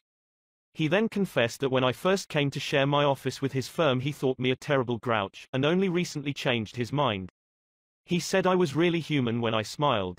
I have also eliminated criticism from my system. I give appreciation and praise now instead of condemnation. I have stopped talking about what I want. I am now trying to see the other person's viewpoint. And these things have literally revolutionized my life. I am a totally different man, a happier man, a richer man, richer in friendships and happiness, the only things that matter much after all, you don't feel like smiling. Then what? Two things. First, force yourself to smile. If you are alone, force yourself to whistle or hum a tune or sing. Act as if you were already happy, and that will tend to make you happy. Here is the way the psychologist and philosopher William James put it, action seems to follow feeling, but really action and feeling go together, and by regulating the action, which is under the more direct control of the will, we can indirectly regulate the feeling. Which is not. Thus the sovereign voluntary path to cheerfulness, if our cheerfulness be lost, is to sit up cheerfully and to act and speak as if cheerfulness were already there.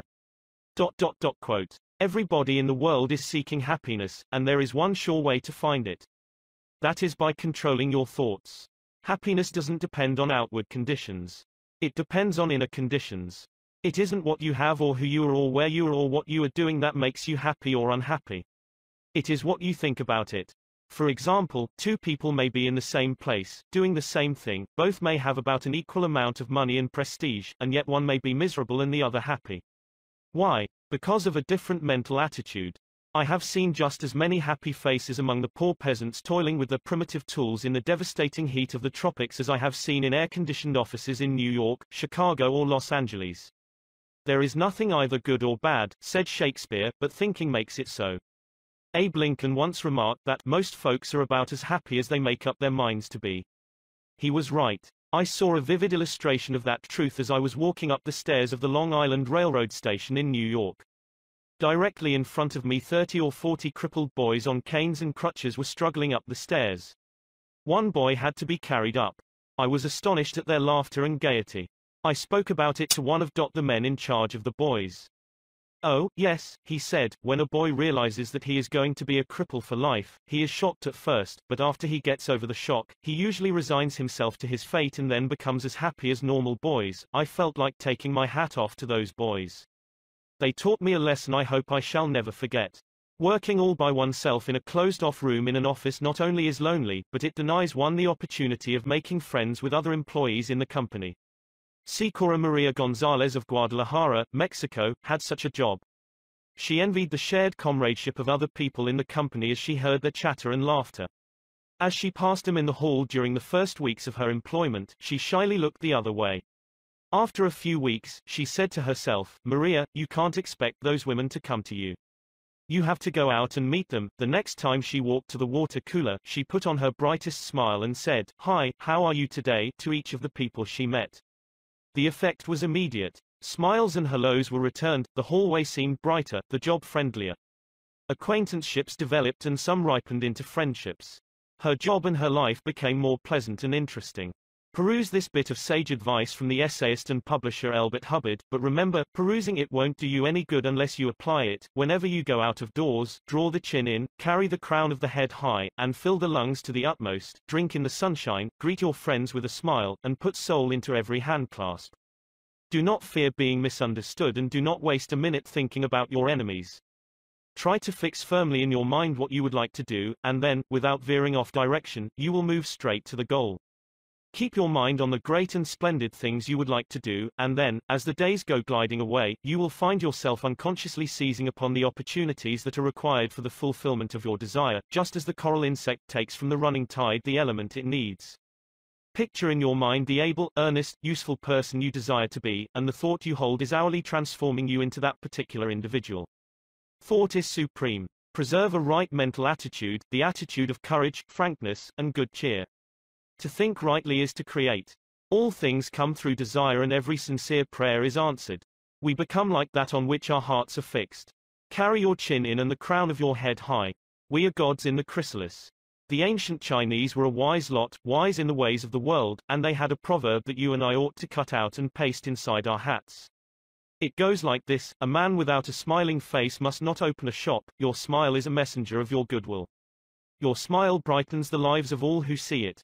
To someone who has seen a dozen people frown, scowl or turn their faces away, your smile is like the sun breaking through the clouds. Especially when that someone is under pressure from his bosses, his customers, his teachers or parents or children, a smile can help him realize that all is not hopeless, that there is joy in the world. Some years ago, a department store in New York City, in recognition of the pressures its sales clerks were under during the Christmas rush, presented the readers of its advertisements with the following homely philosophy, the value of a smile it costs nothing, but creates much. It enriches those who receive, without impoverishing those who give. It happens in a flash and the memory of it sometimes lasts forever, none are so rich they can get along without it, and none so poor but are richer for its benefits. It creates happiness in the home, fosters goodwill in a business, and is the countersign of friends. It is rest to the weary, daylight to the discouraged, sunshine to the sad, and nature's best antidote for trouble. Yet it cannot be bought, begged, borrowed, or stolen, for it is something that is no earthly good to anybody till it is given away. And if in the last-minute rush of Christmas buying some of our salespeople should be too tired to give you a smile, may we ask you to leave one of yours? For nobody needs a smile so much as those who have none left to give. Principle 2 Smile. If you don't do this, you are headed for trouble back in 1898. A tragic thing happened in Rockland County, New York. A child had died, and on this particular day the neighbors were preparing to go to the funeral. Jim Farley went out to the barn to hitch up his horse. The ground was covered with snow, the air was cold and snappy, the horse hadn't been exercised for days, and as he was led out to the watering trough, he wheeled playfully, clicked both his heels high in the air, and killed Jim Farley. So the little village of Stony Point had two funerals that week instead of one. Jim Farley left behind him a widow and three boys, and a few hundred dollars in insurance. His oldest boy, Jim, was 10, and he went to work in a brickyard, wheeling sand and pouring it into the molds and turning the brick on edge to be dried by the sun. This boy Jim never had a chance to get much education but with his natural geniality, he had a flair for making people like him, so he went into politics, and as the years went by, he developed an uncanny ability for remembering people's names. He never saw the inside of a high school, but before he was 46 years of age, four colleges had honored him with degrees and he had become chairman of the Democratic National Committee and Postmaster General of the United States. I once interviewed Jim Farley and asked him the secret of his success. He said, hard work, and I said, don't be funny. He then asked me what I thought was the reason for his success. I replied, I understand you can call 10,000 people by their first names, no. You are wrong, he said. I can call 50,000 people by their first names, make no mistake about it. That ability helped Mr. Farley put Franklin Roosevelt in the White House when he managed Roosevelt's campaign in 1932. During the years that Jim Farley traveled as a salesman for a gypsum concern, and during the years that he held office as town clerk in Stony Point, he built up a system for remembering names. In the beginning, it was a very simple one. Whenever he met a new acquaintance, he found out his or her complete name and some facts about his or her family, business and political opinions. He fixed all these facts well in mind as part of the picture, and the next time he met that person, even if it was a year later, he was able to shake hands, inquire after the family, and ask about the hollyhocks in the backyard. No wonder he developed a following. For months before Roosevelt's campaign for president began, Jim Farley wrote hundreds of letters a day to people all over the western and northwestern states. Then he hopped onto a train and in 19 days covered 20 states and 12,000 miles, traveling by buggy, train, automobile and boat. He would drop into town, meet his people at lunch or breakfast, tea or dinner, and give them a heart-to-heart talk, then he'd dash off again on another leg of his journey. As soon as he arrived back east, he wrote to one person in each town he had visited, asking for a list of all the guests to whom he had talked. The final list contained thousands and thousands of names, yet each person on that list was paid the subtle flattery of getting a personal letter from James Farley. These letters began, Dear Bill or Dear Jane, and they were always signed, Jim. Jim Farley discovered early in life that the average person is more interested in his or her own name than in all the other names on earth put together. Remember that name and call it easily, and you have paid a subtle and very effective compliment. But forget it or misspell it, and you have placed yourself at a sharp disadvantage. For example, I once organized a public speaking course in Paris and sent form letters to all the American residents in the city. French typists with apparently little knowledge of English filled in the names and naturally they made blunders. One man, the manager of a large American bank in Paris, wrote me a scathing rebuke because his name had been misspelled. Sometimes it is difficult to remember a name, particularly if it is hard to pronounce. Rather than even try to learn it. Many people ignore it or call the person by an easy nickname. Sid Levy called on a customer for some time whose name was Nicodemus Papadoulos. Most people just called him Nick, Levy told us. I made a special effort to say his name over several times to myself before I made my call.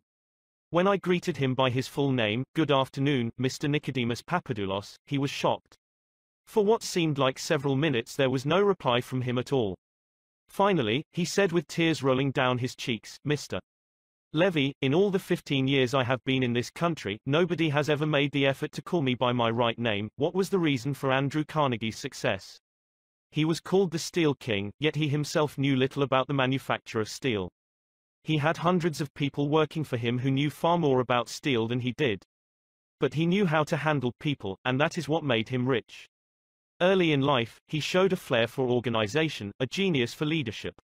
By the time he was 10, he too had discovered the astounding importance people place on their own name. And he used that discovery to win cooperation. To illustrate, when he was a boy back in Scotland, he got hold of a rabbit, a mother rabbit. Presto. He soon had a whole nest of little rabbits, and nothing to feed them. But he had a brilliant idea. He told the boys and girls in the neighborhood that if they would go out and pull enough clover and dandelions to feed the rabbits, he would name the bunnies in their honor. The plan worked like magic, and Carnegie never forgot it. Years later, he made millions by using the same psychology in business. For example, he wanted to sell steel rails to the Pennsylvania Railroad. J. Edgar Thomson was the president of the Pennsylvania Railroad then. So Andrew Carnegie built a huge steel mill in Pittsburgh and called it the Edgar Thomson Steel Works. Here is a riddle. See if you can guess it. When the Pennsylvania Railroad needed steel rails, where do you suppose J. Edgar Thomson bought them? From Sears, Roebuck. No no you're wrong. Guess again. When Carnegie and George Pullman were battling each other for supremacy in the railroad sleeping car business, the Steel King again remembered the lesson of the rabbits. The Central Transportation Company, which Andrew Carnegie controlled, was fighting with the company that Pullman owned. Both were struggling to get the sleeping car business of the Union Pacific Railroad, bucking each other, slashing prices, and destroving all chance of profit. Both Carnegie and Pullman had gone to New York to see the board of directors of the Union Pacific. Meeting one evening in the St. Nicholas Hotel, Carnegie said, Good evening, Mr. Pullman, aren't we making a couple of fools of ourselves? What do you mean? Pullman demanded. Then Carnegie expressed what he had on his mind, a merger of their two interests. He pictured in glowing terms the mutual advantages of working with, instead of against, each other. Pullman listened attentively, but he was not wholly convinced. Finally he asked, what would you call the new company, and Carnegie replied promptly, why, the Pullman Palace Car Company, of course, Pullman's face brightened. Come into my room, he said. Let's talk it over, that talk made industrial history. This policy of remembering and honoring the names of his friends and business associates was one of the secrets of Andrew Carnegie's leadership. He was proud of the fact that he could call many of his factory workers by their first names, and he boasted that while he was personally in charge, no strike ever disturbed his flaming steel mills. Benton Love, chairman of Texas Commerce Bancshares, believes that the bigger a corporation gets, the colder it becomes. One way to warm it up, he said, is to remember people's names. The executive who tells me he can't remember names is at the same time telling me he can't remember a significant part of his business and is operating on quicksand. Karen Kursick of Rancho Palos Verdes, California, a flight attendant for TWA, made it a practice to learn the names of as many passengers in her cabin as possible and use the name when serving them. This resulted in many compliments on her service expressed both to her directly and to the airline. One passenger wrote, I haven't flown TWA for some time, but I'm going to start flying nothing but TWA from now on. You make me feel that your airline has become a very personalized airline and that is important to me. People are so proud of their names that they strive to perpetuate them at any cost. Even blustering, hard-boiled old P.T. Barnum, the greatest showman of his time, disappointed because he had no sons to carry on his name, offered his grandson, C.H. Seeley, $25,000 if he would call himself Barnum Seeley. For many centuries, nobles and magnates supported artists, musicians and authors so that their creative works would be dedicated to them. Libraries and museums owe their richest collections to people who cannot bear to think that their names might perish from the memory of the race. The New York Public Library has its Astor and Lenox collections. The Metropolitan Museum perpetuates the names of Benjamin Altman and J.P. Morgan. And nearly every church is beautified by stained glass windows commemorating the names of their donors. Many of the buildings on the campus of most universities bear the names of donors who contributed large sums of money for this honor. Most people don't remember names, for the simple reason that they don't take the time and energy necessary to concentrate and repeat and fix names indelibly in their minds. They make excuses for themselves, they are too busy. But they were probably no busier than Franklin D. Roosevelt, and he took time to remember and recall even the names of mechanics with whom he came into contact. To illustrate, the Chrysler organization built a special car for Mr. Roosevelt, who could not use a standard car because his legs were paralyzed. W. F. Chamberlain and a mechanic delivered it to the White House. I have in front of me a letter from Mr. Chamberlain relating his experiences. I taught President Roosevelt how to handle a car with a lot of unusual gadgets, but he taught me a lot about the fine art of handling people. When I called at the White House, Mr. Chamberlain writes, the president was extremely pleasant and cheerful. He called me by name, made me feel very comfortable, and particularly impressed me with the fact that he was vitally interested in things I had to show him and tell him. The car was so designed that it could be operated entirely by hand. A crowd gathered around to look at the car, and he remarked, I think it is marvelous. All you have to do is to touch a button and it moves away and you can drive it without effort.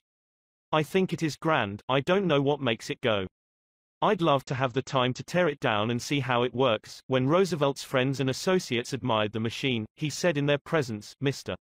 Chamberlain, I certainly appreciate all the time and effort you have spent in developing this car. It is a mighty fine job. He admired the radiator, the special rear vision mirror and clock, the special spotlight, the kind of upholstery, the sitting position of the driver's seat, the special suitcases in the trunk with his monogram on each suitcase. In other words, he took notice of every detail to which he knew I had given considerable thought. He made a point of bringing these various pieces of equipment to the attention of Mrs. Roosevelt, Miss Perkins, the Secretary of Labor, and his secretary. He even brought the old White House porter into the picture by saying, George, you want to take particularly good care of the suitcases. When the driving lesson was finished, the president turned to me and said, Well, Mr. Chamberlain, I have been keeping the Federal Reserve Board waiting 30 minutes. I guess I had better get back to work. I took a mechanic with me to the White House. He was introduced to Roosevelt when he arrived. He didn't talk to the president, and Roosevelt heard his name only once. He was a shy chap, and he kept in the background. But before leaving us, the president looked for the mechanic, shook his hand, called him by name, and thanked him for coming to Washington. And there was nothing perfunctory about his thanks. He meant what he said. I could feel that. A few days after returning to New York, I got an autographed photograph of President Roosevelt and a little note of thanks again expressing his appreciation for my assistance. How he found time to do it is a mystery to me. Franklin D. Roosevelt knew that one of the simplest, most obvious and most important ways of gaining goodwill was by remembering names and making people feel important, yet how many of us do it? Half the time we are introduced to a stranger, we chat a few minutes and can't even remember his or her name by the time we say goodbye. One of the first lessons a politician learns is this, to recall a voter's name is statesmanship. To forget it is oblivion, and the ability to remember names is almost as important in business and social contacts as it is in politics. Napoleon III, Emperor of France and nephew of the great Napoleon, boasted that in spite of all his royal duties he could remember the name of every person he met. His technique? Simple. If he didn't hear the name distinctly, he said, so sorry. I didn't get the name clearly, then, if it was an unusual name, he would say, how is it spelled? During the conversation, he took the trouble to repeat the name several times and tried to associate it in his mind with the person's features, expression and general appearance. If the person was someone of importance, Napoleon went to even further pains. As soon as His Royal Highness was alone, he wrote the name down on a piece of paper, looked at it, concentrated on it, fixed it securely in his mind, and then tore up the paper. In this way, he gained an eye impression of the name as well as an ear impression. All this takes time, but good manners, said Emerson, are made up of petty sacrifices. The importance of remembering and using names is not just the prerogative of kings and corporate executives. It works for all of us. Ken Nottingham, an employee of General Motors in Indiana, usually had lunch at the company cafeteria. He noticed that the woman who worked behind the counter always had a scowl on her face. She had been making sandwiches for about two hours and I was just another sandwich to her. I told her what I wanted. She weighed out the ham on a little scale, then she gave me one leaf of lettuce, a few potato chips and handed them to me. The next day I went through the same line. Same woman, same scowl. The only difference was I noticed her name tag. I smiled and said, hello, Eunice, and then told her what I wanted. Well, she forgot the scale, piled on the ham, gave me three leaves of lettuce and heaped on the potato chips until they fell off the plate. We should be aware of the magic contained in a name and realize that this single item is wholly and completely owned by the person with whom we are dealing and nobody else. The name sets the individual apart, it makes him or her unique among all others. The information we are imparting or the request we are making takes on a special importance when we approach the situation with the name of the individual.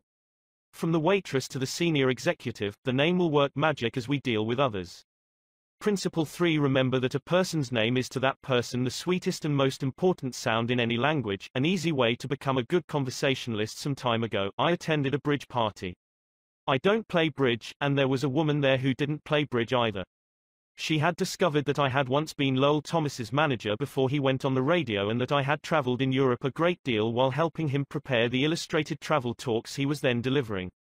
So she said, Oh, Mr. Carnegie, I do want you to tell me about all the wonderful places you have visited and the sights you have seen. As we Saturday down on the sofa, she remarked that she and her husband had recently returned from a trip to Africa. Africa, I exclaimed. How interesting. I've always wanted to see Africa, but I never got there except for a 24-hour stay once in Algiers. Tell me, did you visit the big game country? Yes. How fortunate. I envy you. Do tell me about Africa, that kept her talking for 45 minutes. She never again asked me where I had been or what I had seen. She didn't want to hear me talk about my travels. All she wanted was an interested listener, so she could expand her ego and tell about where she had been. Was she unusual? No. Many people are like that. For example, I met a distinguished botanist at a dinner party given by a New York book publisher. I had never talked with a botanist before, and I found him fascinating. I literally sat a day on the edge of my chair and listened while he spoke of exotic plants and experiments in developing new forms of plant life and indoor gardens, and even told me astonishing facts about the humble potato. I had a small indoor garden of my own, and he was good enough to tell me how to solve some of my problems. As I said, we were at a dinner party. There must have been a dozen other guests, but I violated all the canons of courtesy, ignored everyone else, and talked for hours to the botanist. Midnight came, I said good night to everyone and departed. The botanist then turned to our host and paid me several flattering compliments. I was most stimulating, I was this and I was that, and he ended by saying I was a most interesting conversationalist, an interesting conversationalist. Why, I had said hardly anything at all. I couldn't have said anything if I had wanted to without changing the subject, for I didn't know any more about botany than I knew about the anatomy of a penguin. But I had done this, I had listened intently. I had listened because I was genuinely interested.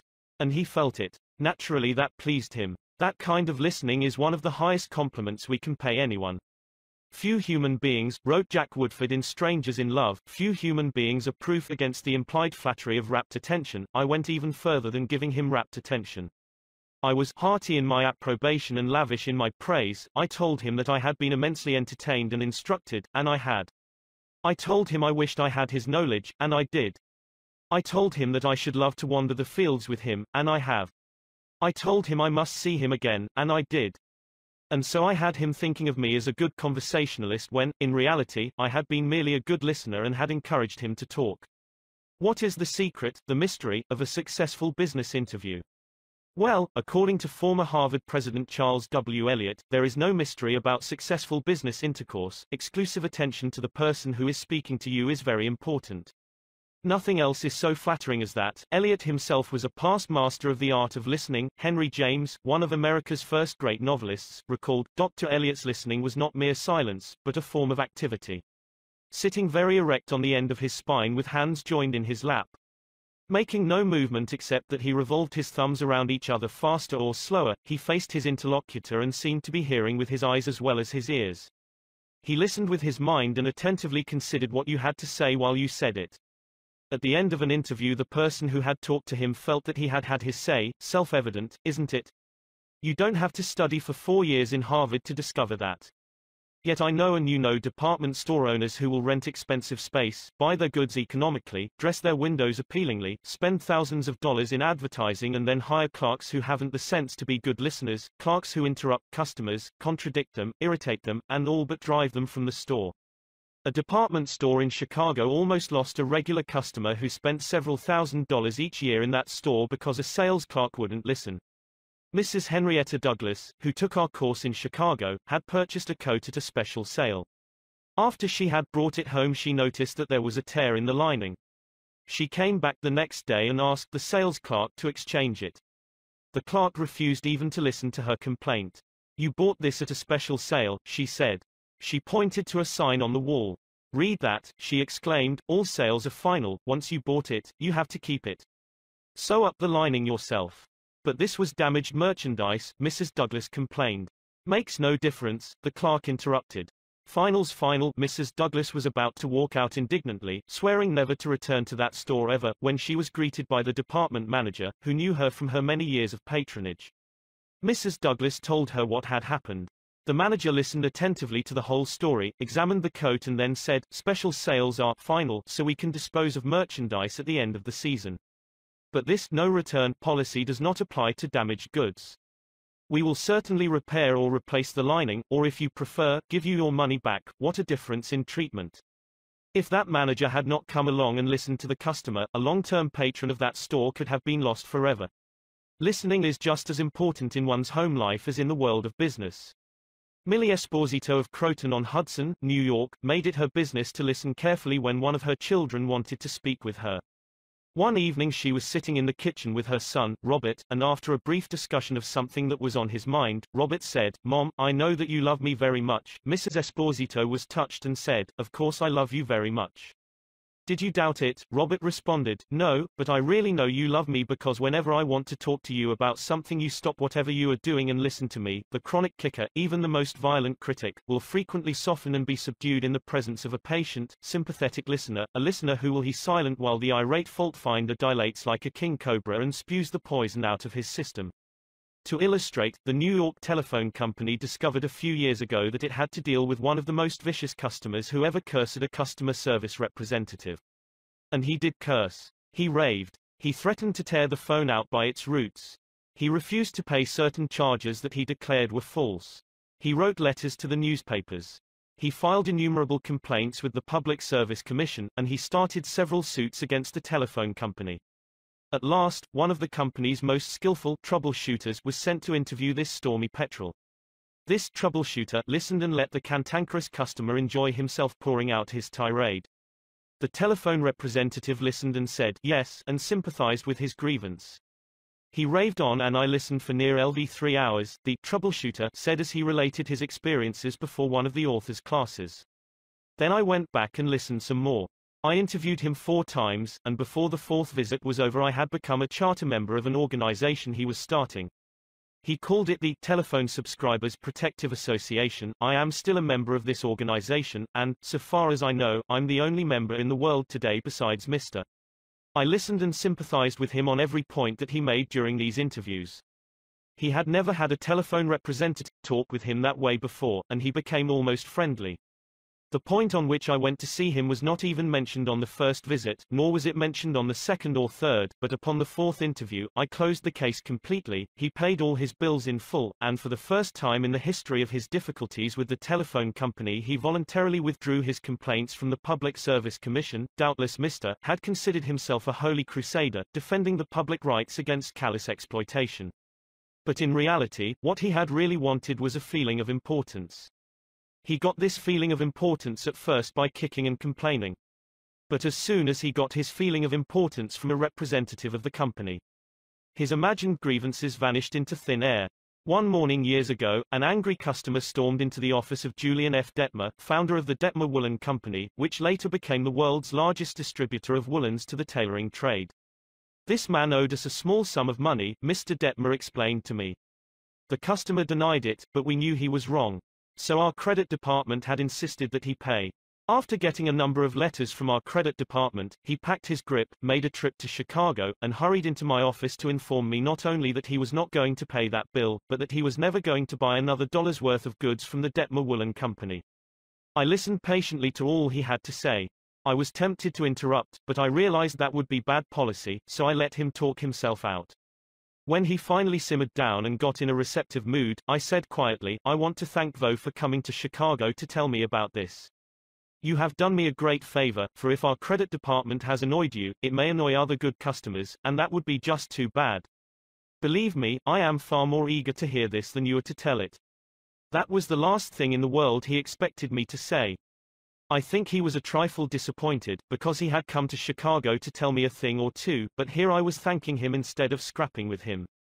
I assured him we would wipe the charge off the books and forget it, because he was a very careful man with only one account to look after, while our clerks had to look after thousands. Therefore, he was less likely to be wrong than we were.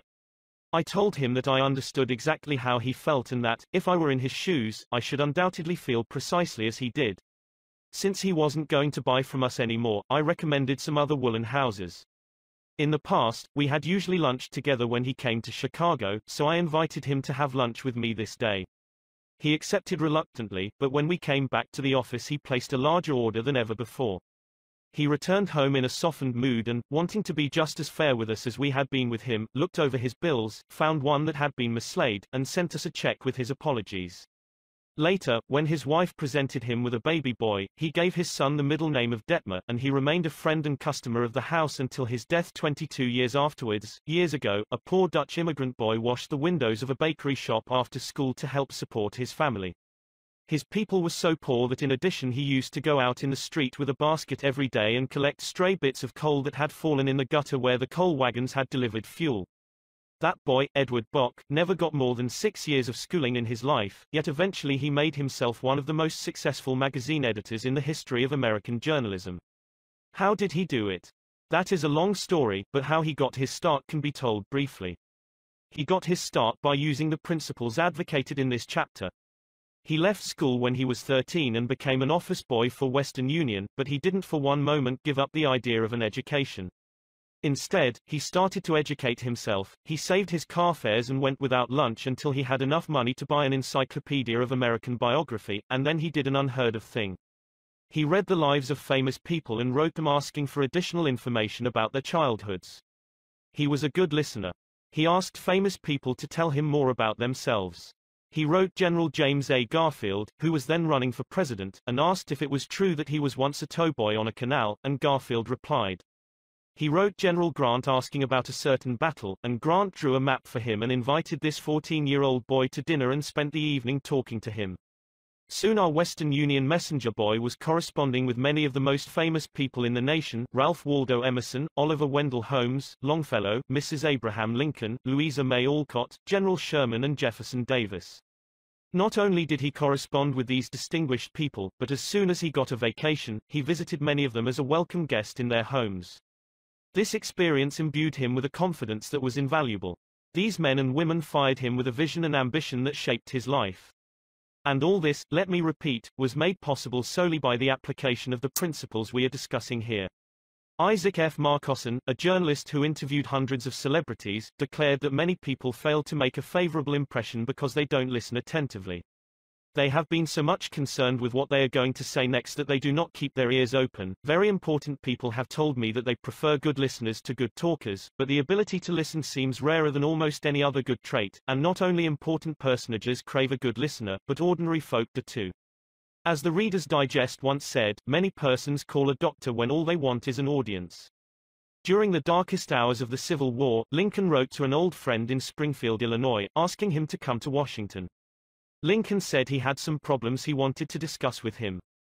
The old neighbor called at the White House, and Lincoln talked to him for hours about the advisability of issuing a proclamation freeing the slaves. Lincoln went over all the arguments for and against such a move, and then read letters and newspaper articles, some denouncing him for not freeing the slaves and others denouncing him for fear he was going to free them. After talking for hours, Lincoln shook hands with his old neighbor, said good night, and sent him back to Illinois without even asking for his opinion.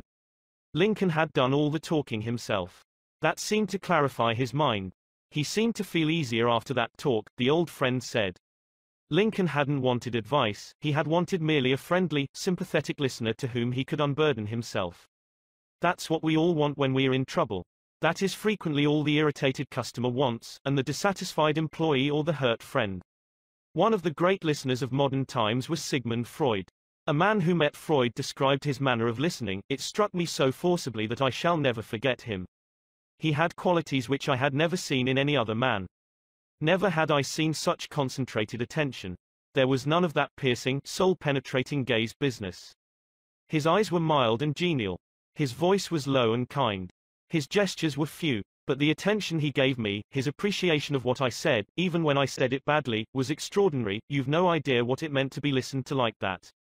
If you want to know how to make people shun you and laugh at you behind your back and even despise you, here is the recipe, never listen to anyone for long. Talk incessantly about yourself. If you have an idea while the other person is talking, don't wait for him or her to finish, bust right in and interrupt in the middle of a sentence. Do you know people like that? I do, unfortunately, and the astonishing part of it is that some of them are prominent. Bores, that is all they are, bores intoxicated with their own egos, drunk with a sense of their own importance. People who talk only of themselves think only of themselves. And, those people who think only of themselves, Dr. Nicholas Murray Butler, longtime president of Columbia University, said, are hopelessly uneducated. They are not educated, said Dr. Butler, no matter how instructed they may be, so if you aspire to be a good conversationalist, be an attentive listener. To be interesting, be interested. Ask questions that other persons will enjoy answering. Encourage them to talk about themselves and their accomplishments. Remember that the people you are talking to are a hundred times more interested in themselves and their wants and problems than they are in you and your problems. A person's toothache means more to that person than a famine in China which kills a million people. A boil on one's neck interests one more than 40 earthquakes in Africa, think of that the next time you start a conversation. Principle 4 Be a good listener. How to interest people Everyone who was ever a guest of Theodore Roosevelt was astonished at the range and diversity of his knowledge. Whether his visitor was a cowboy or a rough rider, a New York politician or a diplomat, Roosevelt knew what to say. And how was it done? The answer was simple. Whenever Roosevelt expected a visitor, he sat up late the night before, reading up on the subject in which he knew his guest was particularly interested. For Roosevelt knew, as all leaders know, that the royal road to a person's heart is to talk about the things he or she treasures most. The genial William Lyon Phelps, essayist and professor of literature at Yale, learned this lesson early in life. When I was eight years old and was spending a weekend visiting my Aunt Libby Lindsley at her home in Stratford on the Housatonic, he wrote in his essay on human nature, a middle-aged man called one evening, and after a polite skirmish with my aunt, he devoted his attention to me. At that time, I happened to be excited about boats, and the visitor discussed the subject in a way that seemed to me particularly interesting. After he left, I spoke of him with enthusiasm. What a man. My aunt informed me he was a New York lawyer, that he cared nothing whatever about boats, that he took not the slightest interest in the subject. But why then did he talk all the time about boats? Because he is a gentleman. He saw you were interested in boats, and he talked about the things he knew would interest and please you. He made himself agreeable, and William Lyon Phelps added, first never forgot my aunt's remark.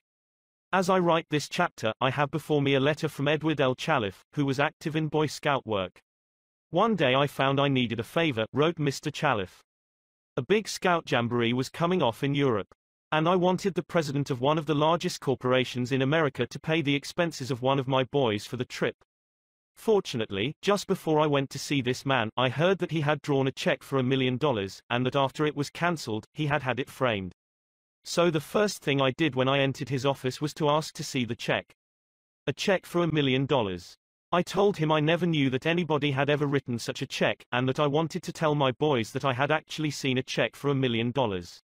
He gladly showed it to me, I admired it and asked him to tell me all about how it happened to be drawn. You notice, don't you, that Mr. Chalif didn't begin by talking about the Boy Scouts, or the Jamboree in Europe, or what it was he wanted. He talked in terms of what interested the other man. Here's the result. Presently, the man I was interviewing said, Oh, by the way, what was it you wanted to see me about? So I told him. To my vast surprise, Mr. Chalif continues, he not only granted immediately what I asked for, but much more. I had asked him to send only one boy to Europe, but he sent five boys and myself, gave me a letter of credit for a thousand dollars and told us to stay in Europe for seven weeks. He also gave me letters of introduction to his branch presidents, putting them at our service, and he himself met us in Paris and showed us the town. Since then, he has given jobs to some of the boys whose parents were in want, and he is still active in our group. Yet I know if I hadn't found out what he was interested in, and got him warmed up first, I wouldn't have found him one-tenth as easy to approach. Is this a valuable technique to use in business? Is it? Let's see, take Henry G. Duvernoy of Duvernoy & Sons, a wholesale baking firm in New York. Mr. Duvernoy had been trying to sell bread to a certain New York hotel. He had called on the manager every week for four years. He went to the same social affairs the manager attended. He even took rooms in the hotel and lived there in order to get the business. But he failed, then, said Mr. Duvernoy, after studying human relations, I resolved to change my tactics. I decided to find out what interested this man, what caught his enthusiasm. I discovered he belonged to a society of hotel executives called the Hotel Greeters of America. He not only belonged, but his bubbling enthusiasm had made him president of the organization, and president of the International Greeters. No matter where its conventions were held, he would be there. So when I saw him the next day, I began talking about the greeters. What a response I got. What a response. He talked to me for half an hour about the greeters, his tones vibrant with enthusiasm. I could plainly see that this society was not only his hobby, it was the passion of his life. Before I left his office, he had sold me a membership in his organization. In the meantime, I had said nothing about bread. But a few days later, the steward of his hotel phoned me to come over with samples and prices. I don't know what you did to the old boy, the steward greeted me, but he sure is sold on you, think of it. I had been drumming at that man for four years, trying to get his business, and I'd still be drumming at him if I hadn't finally taken the trouble to find out what he was interested in, and what he enjoyed talking about. Edward E. Harriman of Hagerstown, Maryland, chose to live in the beautiful Cumberland Valley of Maryland after he completed his military service. Unfortunately, at that time there were few jobs available in the area. A little research uncovered the fact that a number of companies in the area were either owned or controlled by an unusual business maverick, R.J. Funkhouser, whose rise from poverty to riches intrigued Mr. Harriman. However, he was known for being inaccessible to job seekers. Mr. Harriman wrote, I interviewed a number of people and found that his major interest was anchored in his drive for power and money. Since he protected himself from people like me by use of a dedicated and stern secretary, I studied her interests and goals and only then I paid an unannounced visit at her office. She had been Mr. Funkhouser's orbiting satellite for about 15 years. When I told her I had a proposition for him which might translate itself into financial and political success for him, she became enthused. I also conversed with her about her constructive participation in his success. After this conversation she arranged for me to meet Mr. Funkhouser. I entered his huge and impressive office determined not to ask directly for a job. He was seated behind a large carved desk and thundered at me, How about it, young man? I said, Mr. Funkhouser, I believe I can make money for you. He immediately rose and invited me to sit in one of the large upholstered chairs.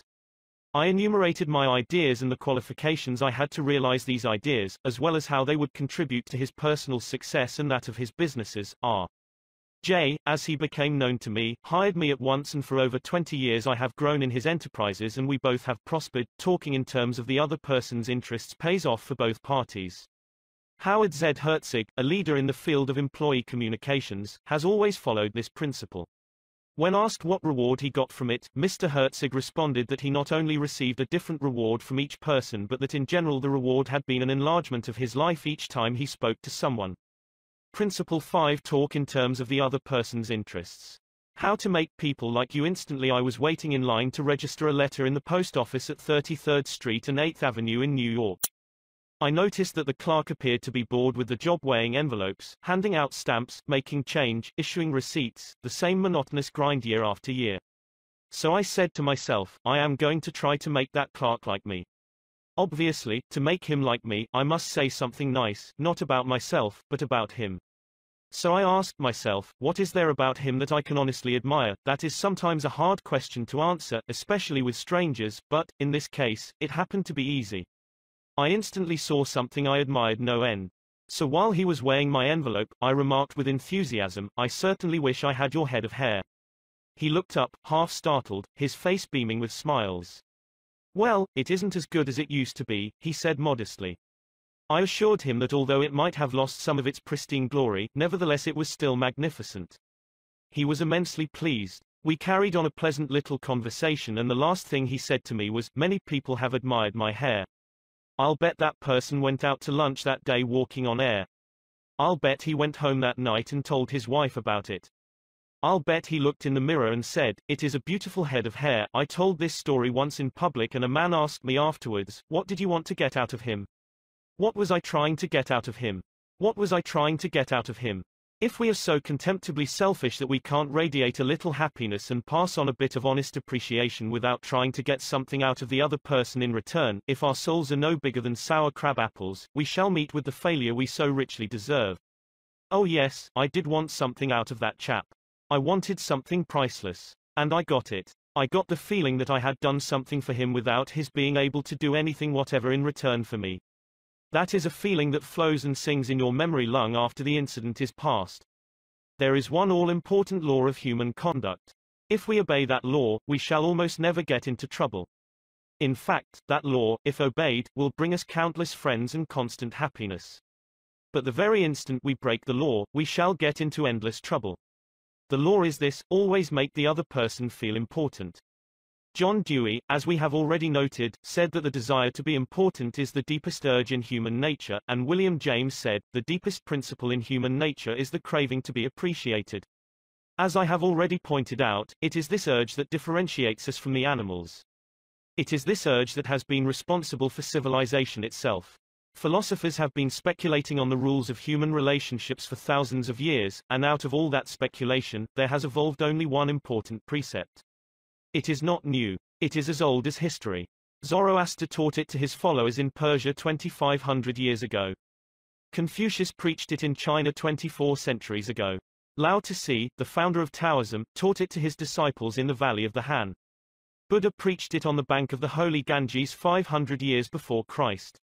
The sacred books of Hinduism taught it a thousand years before that. Jesus taught it among the stony hills of Judea 19 centuries ago. Jesus summed it up in one thought probably the most important rule in the world, do unto others as you would have others do unto you. You want the approval of those with whom you come in contact. You want recognition of your true worth. You want a feeling that you are important in your little world.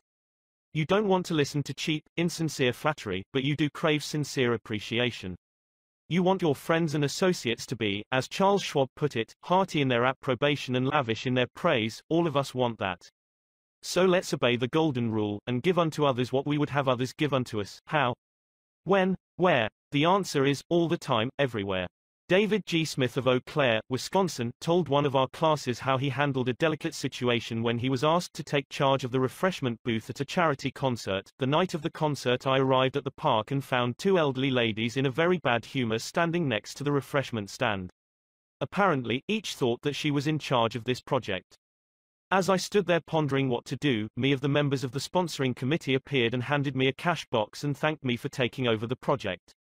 She introduced Rose and Jane as my helpers and then ran off. A great silence ensued. Realizing that the cash box was a symbol of authority of sorts, I gave the box to Rose and explained that I might not be able to keep the money straight and that if she took care of it I would feel better. I then suggested to Jane that she show two teenagers who had been assigned to refreshments how to operate the soda machine. And I asked her to be responsible for that part of the project. The evening was very enjoyable with Rose happily counting the money, Jane supervising the teenagers, and me enjoying the concert. You don't have to wait until you are ambassador to France or chairman of the Clambake committee of your lodge before you use this philosophy of appreciation. You can work magic with it almost every day. If, for example, the waitress brings us mashed potatoes when we have ordered French fried, let's say, I'm sorry to trouble you, but I prefer French fried, she'll probably reply, no trouble at all, and will be glad to change the potatoes, because we have shown respect for her. Little phrases such as, I'm sorry to trouble you, would you be so kind as to? Won't you please, would you mind? Thank you, little courtesies like these oil the cogs of the monotonous grind of everyday life and, incidentally, they are the hallmark of good breeding. Let's take another illustration. Hall Caine's novels The Christian, The Deemster, The Manxman, among them, were all bestsellers in the early part of this century. Millions of people read his novels, countless millions. He was the son of a blacksmith. He never had more than eight years schooling in his life, yet when he died he was the richest literary man of his time.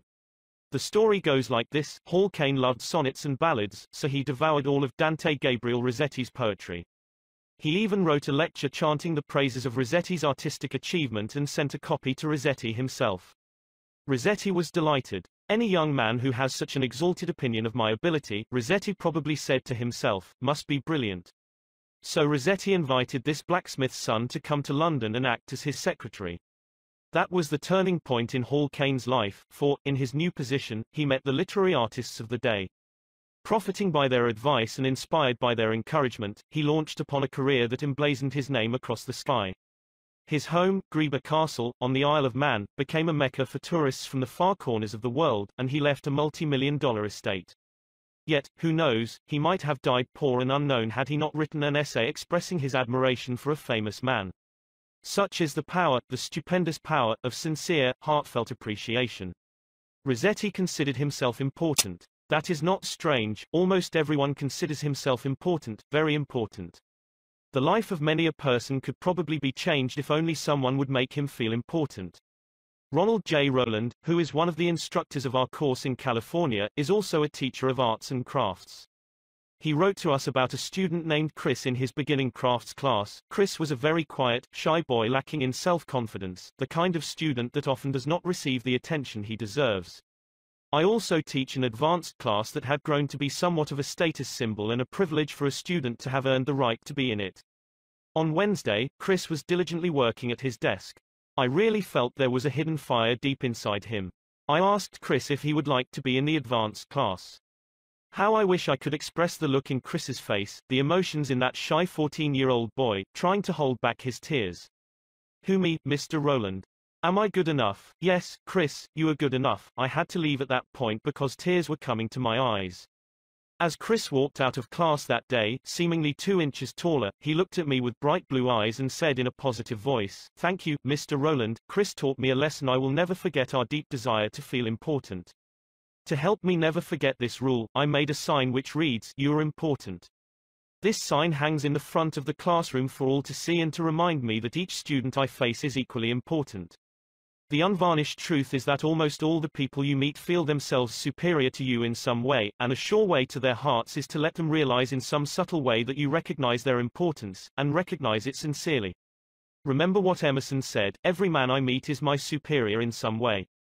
In that, I learn of him, and the pathetic part of it is that frequently those who have the least justification for a feeling of achievement bolster up their egos by a show of tumult and conceit which is truly nauseating.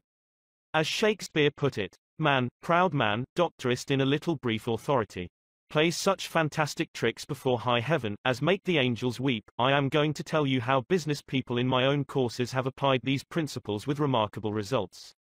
Let's take the case of a Connecticut attorney, because of his relatives he prefers not to have his name mentioned. Shortly after joining the course, Mr. R. drove to Long Island with his wife to visit some of her relatives. She left him to chat with an old aunt of hers and Th rushed off by herself to visit some of the younger relatives.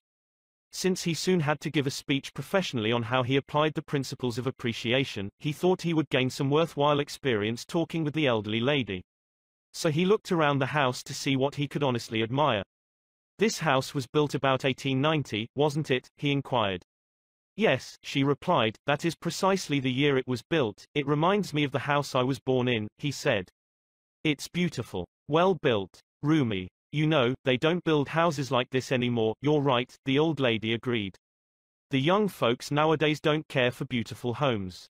All they want is a small apartment, and then they go off gadding about in their automobiles. This is a dream house, she said in a voice vibrating with tender memories. This house was built with love. My husband and I dreamed about it for years before we built it. We didn't have an architect. We planned it all ourselves. She showed Mr. R. about the house, and he expressed his hearty admiration for the beautiful treasures she had picked up in her travels and cherished over a lifetime, paisley shawls, an old English tea set, Wedgwood china, French beds and chairs, Italian paintings, and silk draperies that had once hung in a French chateau. After showing Mr. R. through the house, she took him out to the garage. There, jacked up on blocks, was a Packard car, in mint condition. My husband bought that car for me shortly before he passed on, she said softly. I have never ridden in it since his death. You appreciate nice things, and I'm going to give this car to you. Why, Auntie, he said, you overwhelm me. I appreciate your generosity, of course, but I couldn't possibly accept it. I'm not even a relative of yours.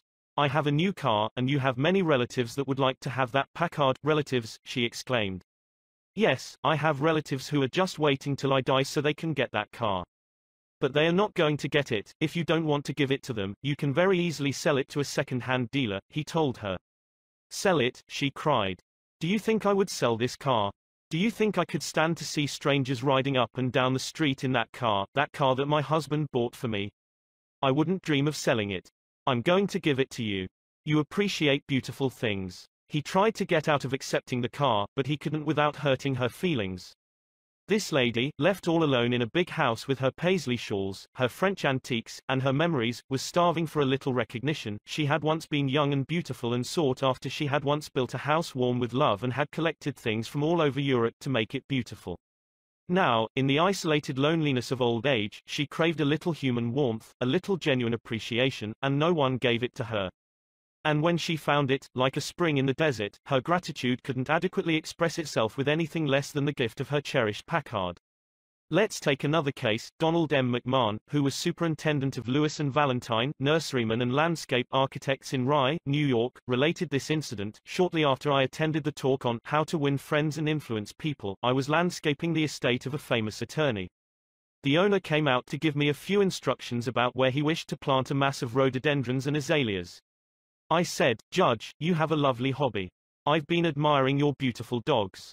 I understand you win a lot of blue ribbons every year at the show in Madison Square Garden. The effect of this little expression of appreciation was striking. Yes, the judge replied, I do have a lot of fun with my dogs. Would you like to see my kennel? He spent almost an hour showing me his dogs and the prizes they had won. He even brought out their pedigrees and explained about the bloodlines responsible for such beauty and intelligence. Finally, turning to me, he asked, Do you have any small children? Yes, I do, I replied, I have a son. Well, wouldn't he like a puppy? The judge inquired. Oh, yes, he'd be tickled pink. All right, I'm going to give him one, the judge announced. He started to tell me how to feed the puppy. Then he paused. You'll forget it if I tell you. I'll write it out, so the judge went in the house, typed out the pedigree and feeding instructions, and gave me a puppy worth several hundred dollars and one hour and fifteen minutes of his valuable time largely because I had expressed my honest admiration for his hobby and achievements. George Eastman, of Kodak fame, invented the transparent film that made motion pictures possible, amassed a fortune of a hundred million dollars, and made himself one of the most famous businessmen on earth. Yet in spite of all these tremendous accomplishments, he craved little recognitions even as you and I to illustrate. When Eastman was building the Eastman School of Music and also Kilbourn Hall in Rochester, James Adamson, then president of the Superior Seating Company of New York, wanted to get the order to supply the theater chairs for these buildings. Phoning the architect, Mr. Adamson made an appointment to see Mr. Eastman in Rochester. When Adamson arrived, the architect said, I know you want to get this order, but I can tell you right now that you won't stand a ghost of a show if you take more than five minutes of George Eastman's time. He is a strict disciplinarian. He is very busy. So tell your story quickly and get out. Adamson was prepared to do just that. When he was ushered into the room he saw Mr. Eastman bending over a pile of papers at his desk. Presently, Mr. Eastman looked up, removed his glasses, and walked toward the architect and Mr. Adamson, saying, Good morning, gentlemen, what can I do for you? The architect introduced them, and then Mr. Adamson said, While we've been waiting for you, Mr. Eastman, I've been admiring your office. I wouldn't mind working in a room like this myself. I'm in the interior woodworking business, and I never saw a more beautiful office in all my life. George Eastman replied, You remind me of something I had almost forgotten. It is beautiful, isn't it? I enjoyed it a great deal when it was first built. But I come down here now with a lot of other things on my mind and sometimes don't even see the room for weeks at a time. Adamson walked over and rubbed his hand across a panel. This is English oak, isn't it? A little different texture from Italian oak, yes, Eastman replied. Imported English oak. It was selected for me by a friend who specializes in fine woods, then Eastman showed him about the room, commenting on the proportions, the coloring, the hand carving and other effects he had helped to plan and execute. While drifting about the room, admiring the woodwork, they paused before a window, and George Eastman, in his modest, soft-spoken way, pointed out some of the institutions through which he was trying to help humanity, the University of Rochester, the General Hospital, the Homeopathic Hospital, the Friendly Home, the Children's Hospital. Mr. Adamson congratulated him warmly on the idealistic way he was using his wealth to alleviate the sufferings of humanity. Presently, George Eastman unlocked a glass case and pulled out the first camera he had ever owned, an invention he had bought from an Englishman. Adamson questioned him at length about his early struggles to get started in business, and Mr. Eastman spoke with real feeling about the poverty of his childhood, telling how his widowed mother had kept a boarding house while he clerked in an insurance office. The terror of poverty haunted him day and night, and he resolved to make enough money so that his mother wouldn't have to work. Mr. Adamson drew him out with further questions and listened, absorbed, while he related the story of his experiments with dry photographic plates. He told how he had worked in an office all day, and sometimes experimented all night, taking only brief naps while the chemicals were working, sometimes working and sleeping in his clothes for 72 hours at a stretch. James Adamson had been ushered into Eastman's office at 10.15 and had been warned that he must not take more than five minutes, but an hour had passed, then two hours passed. And they were still talking. Finally, George Eastman turned to Adamson and said, The last time I was in Japan I bought some chairs, brought them home, and put them in my sun porch. But the sun peeled the paint, so I went downtown the other day and bought some paint and painted the chairs myself. Would you like to see what sort of a job I can do painting chairs? All right. Come up to my home and have lunch with me and I'll show you. After lunch, Mr. Eastman showed Adamson the chairs he had brought from Japan. They weren't worth more than a few dollars, but George Eastman, now a multimillionaire, was proud of them because he himself had painted them. The order for the seats amounted to $90,000. Who do you suppose got the order, James Adamson or one of his competitors? From the time of this story until Mr. Eastman's death, he and James Adamson were close friends. Claude Marais, a restaurant owner in Rouen, France, used this principle and saved his restaurant the loss of a key employee. This woman had been in his employ for five years and was a vital link between M. Marais and his staff of 21 people. He was shocked to receive a registered letter from her advising him of her resignation. M. Marais reported, I was very surprised and, even more, disappointed, because I was under the impression that I had been fair to her and receptive to her needs. Inasmuch as she was a friend as well as an employee, I probably had taken her too much for granted and maybe was even more demanding of her than of other employees. I could not, of course, accept this resignation without some explanation. I took her aside and said, Paulette, you must understand that I cannot accept your resignation you mean a great deal to me and to this company, and you are as important to the success of this restaurant as I am. I repeated this in front of the entire staff, and I invited her to my home and reiterated my confidence in her with my family present. Paulette withdrew her resignation, and today I can rely on her as never before. I frequently reinforce this by expressing my appreciation for what she does and showing her how important she is to me and to the restaurant. Talk to people about themselves, said Disraeli, one of the shrewdest men who ever ruled the British Empire. Talk to people about themselves and they will listen for hours. Principle 6 Make the other person feel important and do it sincerely. In a nutshell, 6 ways to make people like you. Principle 1 Become genuinely interested in other people. Principle 2 Smile. Principle 3 Remember that a person's name is to that person the sweetest and most important sound in any language. Principle 4 Be a good listener. Principle 5 Talk in terms of the other person's interests. Principle 6 Make the other person feel important and do it sincerely. Part 3 How to win people to your way of thinking 1 You can't win an argument shortly after the close of World War I. I learned an invaluable lesson one night in London. I was manager at the time for Sir Ross Smith.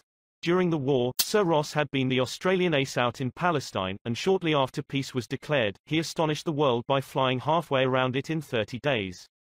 No such feat had ever been attempted before. It created a tremendous sensation. The Australian government awarded him $50,000, the King of England knighted him, and, for a while, he was the most talked about man under the Union Jack. I was attending a banquet one night given in Sir Ross's honor, and during the dinner, the man sitting next to me told a humorous story which hinged on the quotation, There's a divinity that shapes our ends, rough hew them how we will. The raconteur mentioned that the quotation was from the Bible. He was wrong. I knew that, I knew it positively. There couldn't be the slightest doubt about it. And so, to get a feeling of importance and display my superiority, I appointed myself as an unsolicited and unwelcome committee of one to correct him. He stuck to his guns.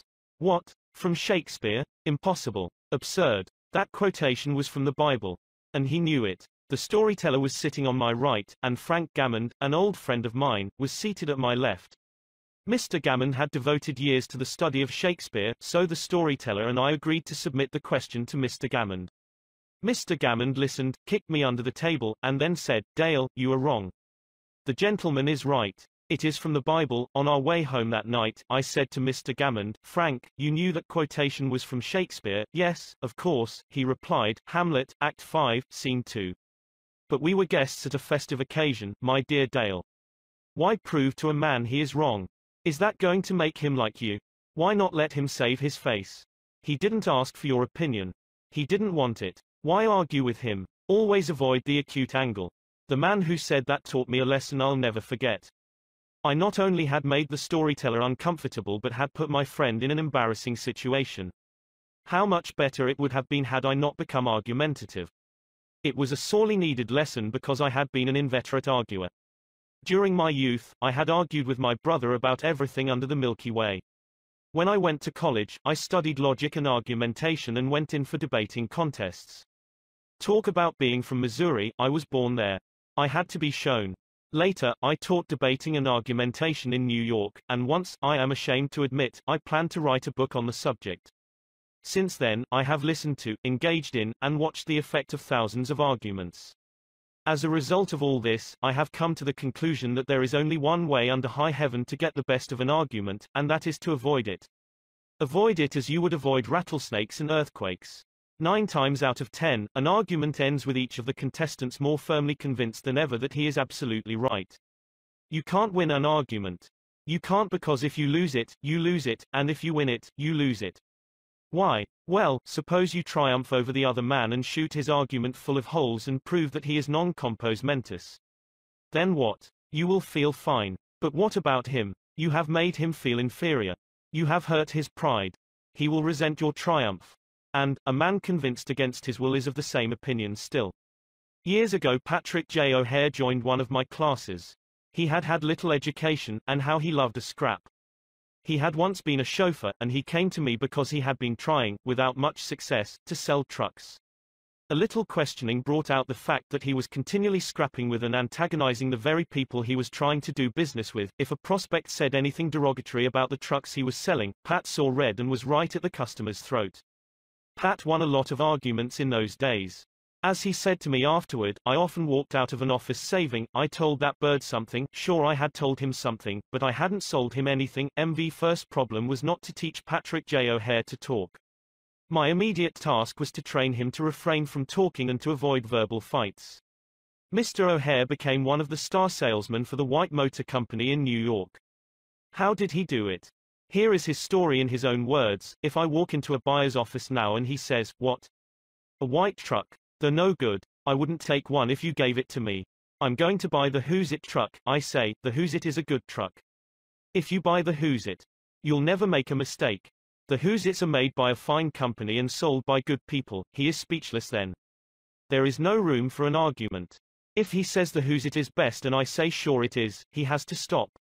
He can't keep on all afternoon saying, it's the best, when I'm agreeing with him. We then get off the subject of who's it and I begin to talk about the good points of the white truck. There was a time when a remark like his first one would have made me see scarlet and red and orange. I would start arguing against the who's it, and the more I argued against it, the more my prospect argued in favor of it, and the more he argued, the more he sold himself on my competitor's product. As I look back now I wonder how I was ever able to sell anything. I lost years of my life in scrapping and arguing. I keep my mouth shut now. It pays. As wise old Ben Franklin used to say, if you argue and rankle and contradict, you may achieve a victory sometimes, but it will be an empty victory because you will never get your opponent's goodwill. So figure it out for yourself. Which would you rather have, an academic, theatrical victory or a person's goodwill? You can seldom have both. The Boston transcript once printed this bit of significant doggerel, here lies the body of William J., who died maintaining his right of way he was right, dead right, as he sped along, but he's just as dead as if he were wrong.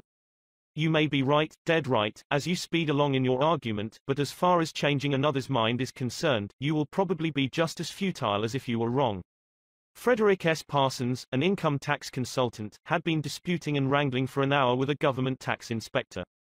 An item of $9,000 was at stake. Mr. Parsons claimed that this $9,000 was in reality a bad debt, that it would never be collected, that it ought not to be taxed. Bad debt, my eye, retorted the inspector. It must be taxed. This inspector was cold, arrogant and stubborn, Mr. Parsons said as he told the story to the class. Reason was wasted and so were facts. The longer we argued, the more stubborn he became. So I decided to avoid argument, change the subject, and give him appreciation. I said, I suppose this is a very petty matter in comparison with the really important and difficult decisions you're required to make. I've made a study of taxation myself. But I've had to get my knowledge from books.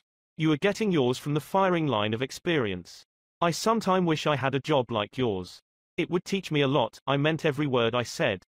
Well, the inspector straightened up in his chair, leaned back, and talked for a long time about his work, telling me of the clever frauds he had uncovered. His tone gradually became friendly, and presently he was telling me about his children. As he left, he advised me that he would consider my problem further and give me his decision in a few days. He called at my office three days later and informed me that he had decided to leave the tax return exactly as it was filed. This tax inspector was demonstrating one of the most common of human frailties. He wanted a feeling of importance, and as long as Mr. Parsons argued with him, he got his feeling of importance by loudly asserting his authority. But as soon as his importance was admitted and the argument stopped and he was permitted to expand his ego, he became a sympathetic and kindly human being. Buddha said, hatred is never ended by hatred but by love, and a misunderstanding is never ended by an argument but by tact, diplomacy, conciliation and a sympathetic desire to see the other person's viewpoint. Lincoln once reprimanded a young army officer for indulging in a violent controversy with an associate. No man who is resolved to make the most of himself, said Lincoln, can spare time for personal contention. Still less can he afford to take the consequences, including the vitiation of his temper and the loss of self-control. Yield larger things to which you show no more than equal rights, and yield lesser ones though clearly your own. Better give your path to a dog than be bitten by him in contesting for the right. Even killing the dog would not cure the bite. In an article in Bits and Pieces, asterisk some suggestions are made on how to keep a disagreement from becoming an argument, welcome the disagreement. Remember the slogan, when two partners always agree, one of them is not necessary. If there is some point you haven't thought about, be thankful if it is brought to your attention. Perhaps this disagreement is your opportunity to be corrected before you make a serious mistake. Distrust your first instinctive impression. Our first natural reaction in a disagreeable situation is to be defensive. Be careful. Keep calm and watch out for your first reaction. It may be you at your worst, not your best. Control your temper. Remember, you can measure the size of a person by what makes him or her angry. Listen first. Give your opponents a chance to talk. Let them finish. Do not resist, defend or debate. This only raises barriers. Try to build bridges of understanding. Don't build higher barriers of misunderstanding. Look for areas of agreement. When you have heard your opponents out, dwell first on the points and areas on which you agree. Be honest, look for areas where you can admit error and say so. Apologize for your mistakes. It will help disarm your opponents and reduce defensiveness. Promise to think over your opponent's ideas and study them carefully. And mean it. Your opponents may be right. It is a lot easier at this stage to agree to think about the points than to move rapidly ahead and find yourself in a position where your opponents can say, we tried to tell you, but you wouldn't listen. Thank your opponents sincerely for their interest. Anyone who takes the time to disagree with you is interested in the same things you are. Think of them as people who really want to help you, and you may turn your opponents into friends. Postpone action to give both sides time to think through the problem. Suggest that a new meeting be held later that day or the next day, when all the facts may be brought to bear. In preparation for this meeting, ask yourself some hard questions. Could my opponents be right? Partly right? Is there truth or merit in their position or argument? Is my reaction one that will relieve the problem, or will it just relieve any frustration? Will my reaction drive my opponents further away or draw them closer to me? Will my reaction elevate the estimation good people have of me? Will I win or lose? What price will I have to pay if I win? If I am quiet about it, will the disagreement blow over? Is this difficult situation an opportunity for me? Asterisk Bits and Pieces, published by the Economics Press, Fairfield, NJ. Opera tenor Jan Peerce, after he was married nearly 50 years, once said, My wife and I made a pact a long time ago, and we've kept it no matter how angry we've grown with each other. When one yells, the other should listen because when two people yell, there is no communication, just noise and bad vibrations. Principle 1 The only way to get the best of an argument is to avoid it. A sure way of making enemies and how to avoid it when Theodore Roosevelt was in the White House, he confessed that if he could be right 75% of the time, he would reach the highest measure of his expectation. If that was the highest rating that one of the most distinguished men of the 20th century could hope to obtain, what about you and me? If you can be sure of being right only 55% of the time, you can go down to Wall Street and make a million dollars a day. If you can't be sure of being right even 55% of the time, why should you tell other people they are wrong? You can tell people they are wrong by a look or an intonation or a gesture just as eloquently as you can in words, and if you tell them they are wrong, do you make them want to agree with you? Never. For you have struck a direct blow at their intelligence, judgment, pride and self-respect. That will make them want to strike back but it will never make them want to change their minds. You may then hurl at them all the logic of a Plato or an Immanuel Kant, but you will not alter their opinions, for you have hurt their feelings. Never begin by announcing, I am going to prove so and so to you. That's bad. That's tantamount to saying, I'm smarter than you are, I'm going to tell you a thing or two and make you change your mind, that is a challenge. It arouses opposition and makes the listener want to battle with you before you even start. It is difficult, under even the most benign conditions, to change people's minds. So why make it harder? Why handicap yourself? If you are going to prove anything, don't let anybody know it. Do it so subtly, so adroitly, that no one will feel that you are doing it. This was expressed succinctly by Alexander Pope, men must be taught as if you taught them not and things unknown proposed as things forgot. Over 300 years ago Galileo said, you cannot teach a man anything, you can only help him to find it within himself. As Lord Chesterfield said to his son, be wiser than other people if you can, but do not tell them so. Socrates said repeatedly to his followers in Athens, one thing only I know, and that is that I know nothing. Well, I can't hope to be any smarter than Socrates, so I have quit telling people they are wrong. And I find that it pays. If a person makes a statement that you think is wrong, yes, even that you know is wrong, isn't it better to begin by saying, well, now, look, I thought otherwise, but I may be wrong. I frequently am. And if I am wrong, I want to be put right. Let's examine the facts, there's magic, positive magic, in such phrases as, I may be wrong. I frequently am. Let's examine the facts, nobody in the heavens above or on earth beneath or in the waters under the earth will ever object to your saying, I may be wrong. Let's examine the facts. One of our class members who used this approach in dealing with customers was Harold Reinke, a Dodge dealer in Billings, Montana. He reported that because of the pressures of the automobile business, he was often hard-boiled and callous when dealing with customers' complaints. This caused flared tempers, loss of business and general unpleasantness. He told his class, recognizing that this was getting me nowhere fast, I tried a new tack. I would say something like this, our dealership has made so many mistakes that I am frequently ashamed. We may have erred in your case. Tell me about it. This approach becomes quite disarming, and by the time the customer releases his feelings, he is usually much more reasonable when it comes to settling the matter. In fact, several customers have thanked me for having such an understanding attitude. And two of them have even brought in friends to buy new cars.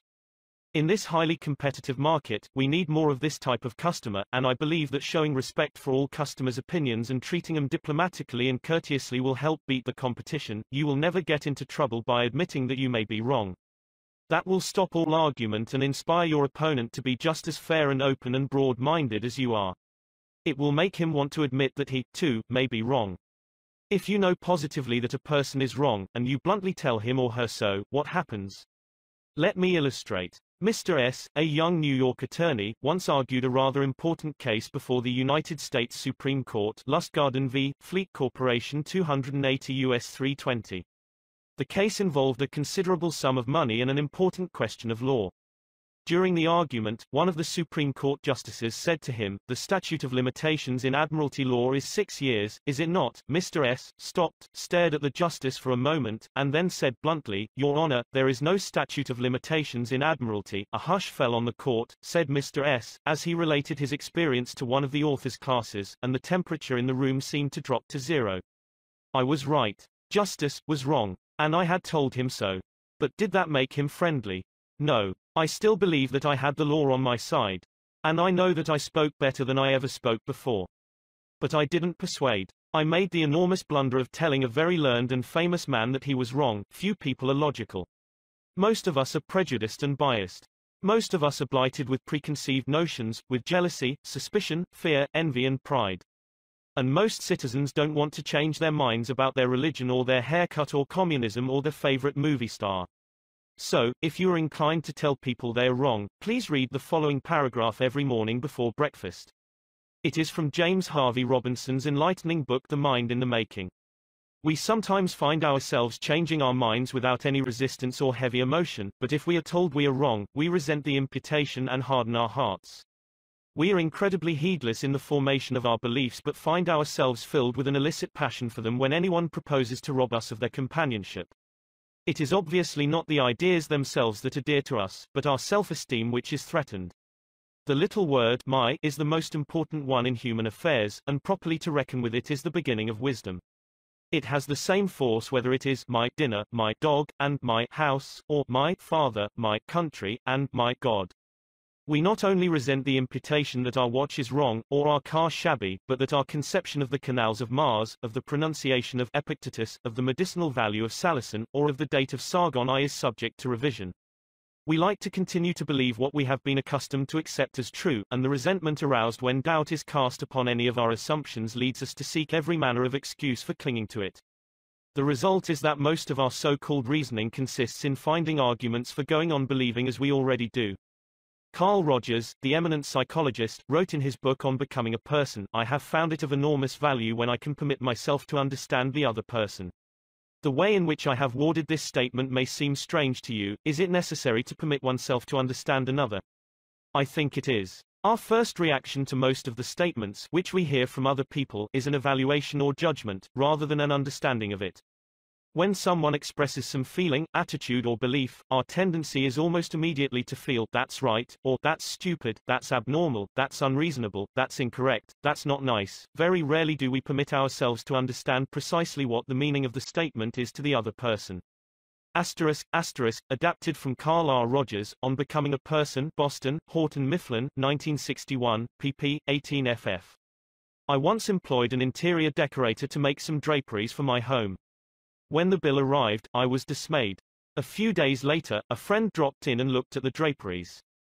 The price was mentioned, and she exclaimed with a note of triumph, What? That's awful. I am afraid he put one over on you. True. Yes, she had told the truth, but few people like to listen to truths that reflect on their judgment. So, being human, I tried to defend myself. I pointed out that the best is eventually the cheapest, that one can't expect to get quality and artistic taste at bargain basement prices, and so on and on. The next day another friend dropped in, admired the draperies, bubbled over with enthusiasm, and expressed a wish that she could afford such exquisite creations for her home. My reaction was totally different. Well, to tell the truth, I said, I can't afford them myself. I paid too much. I'm sorry I ordered them. When we are wrong, we may admit it to ourselves.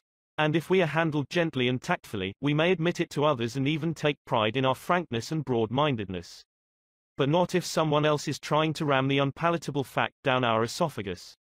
Horace Greeley, the most famous editor in America during the time of the Civil War, disagreed violently with Lincoln's policies. He believed that he could drive Lincoln into agreeing with him by a campaign of argument, ridicule and abuse. He waged this bitter campaign month after month, year after year. In fact, he wrote a brutal, bitter, sarcastic and personal attack on President Lincoln the night Booth shot him. But did all this bitterness make Lincoln agree with Greeley? Not at all. Ridicule and abuse never do. If you want some excellent suggestions about dealing with people and managing yourself and improving your personality, read Benjamin Franklin's autobiography, one of the most fascinating life stories ever written, one of the classics of American literature. Ben Franklin tells how he conquered the iniquitous habit of argument and transformed himself into one of the most able, suave and diplomatic men in American history.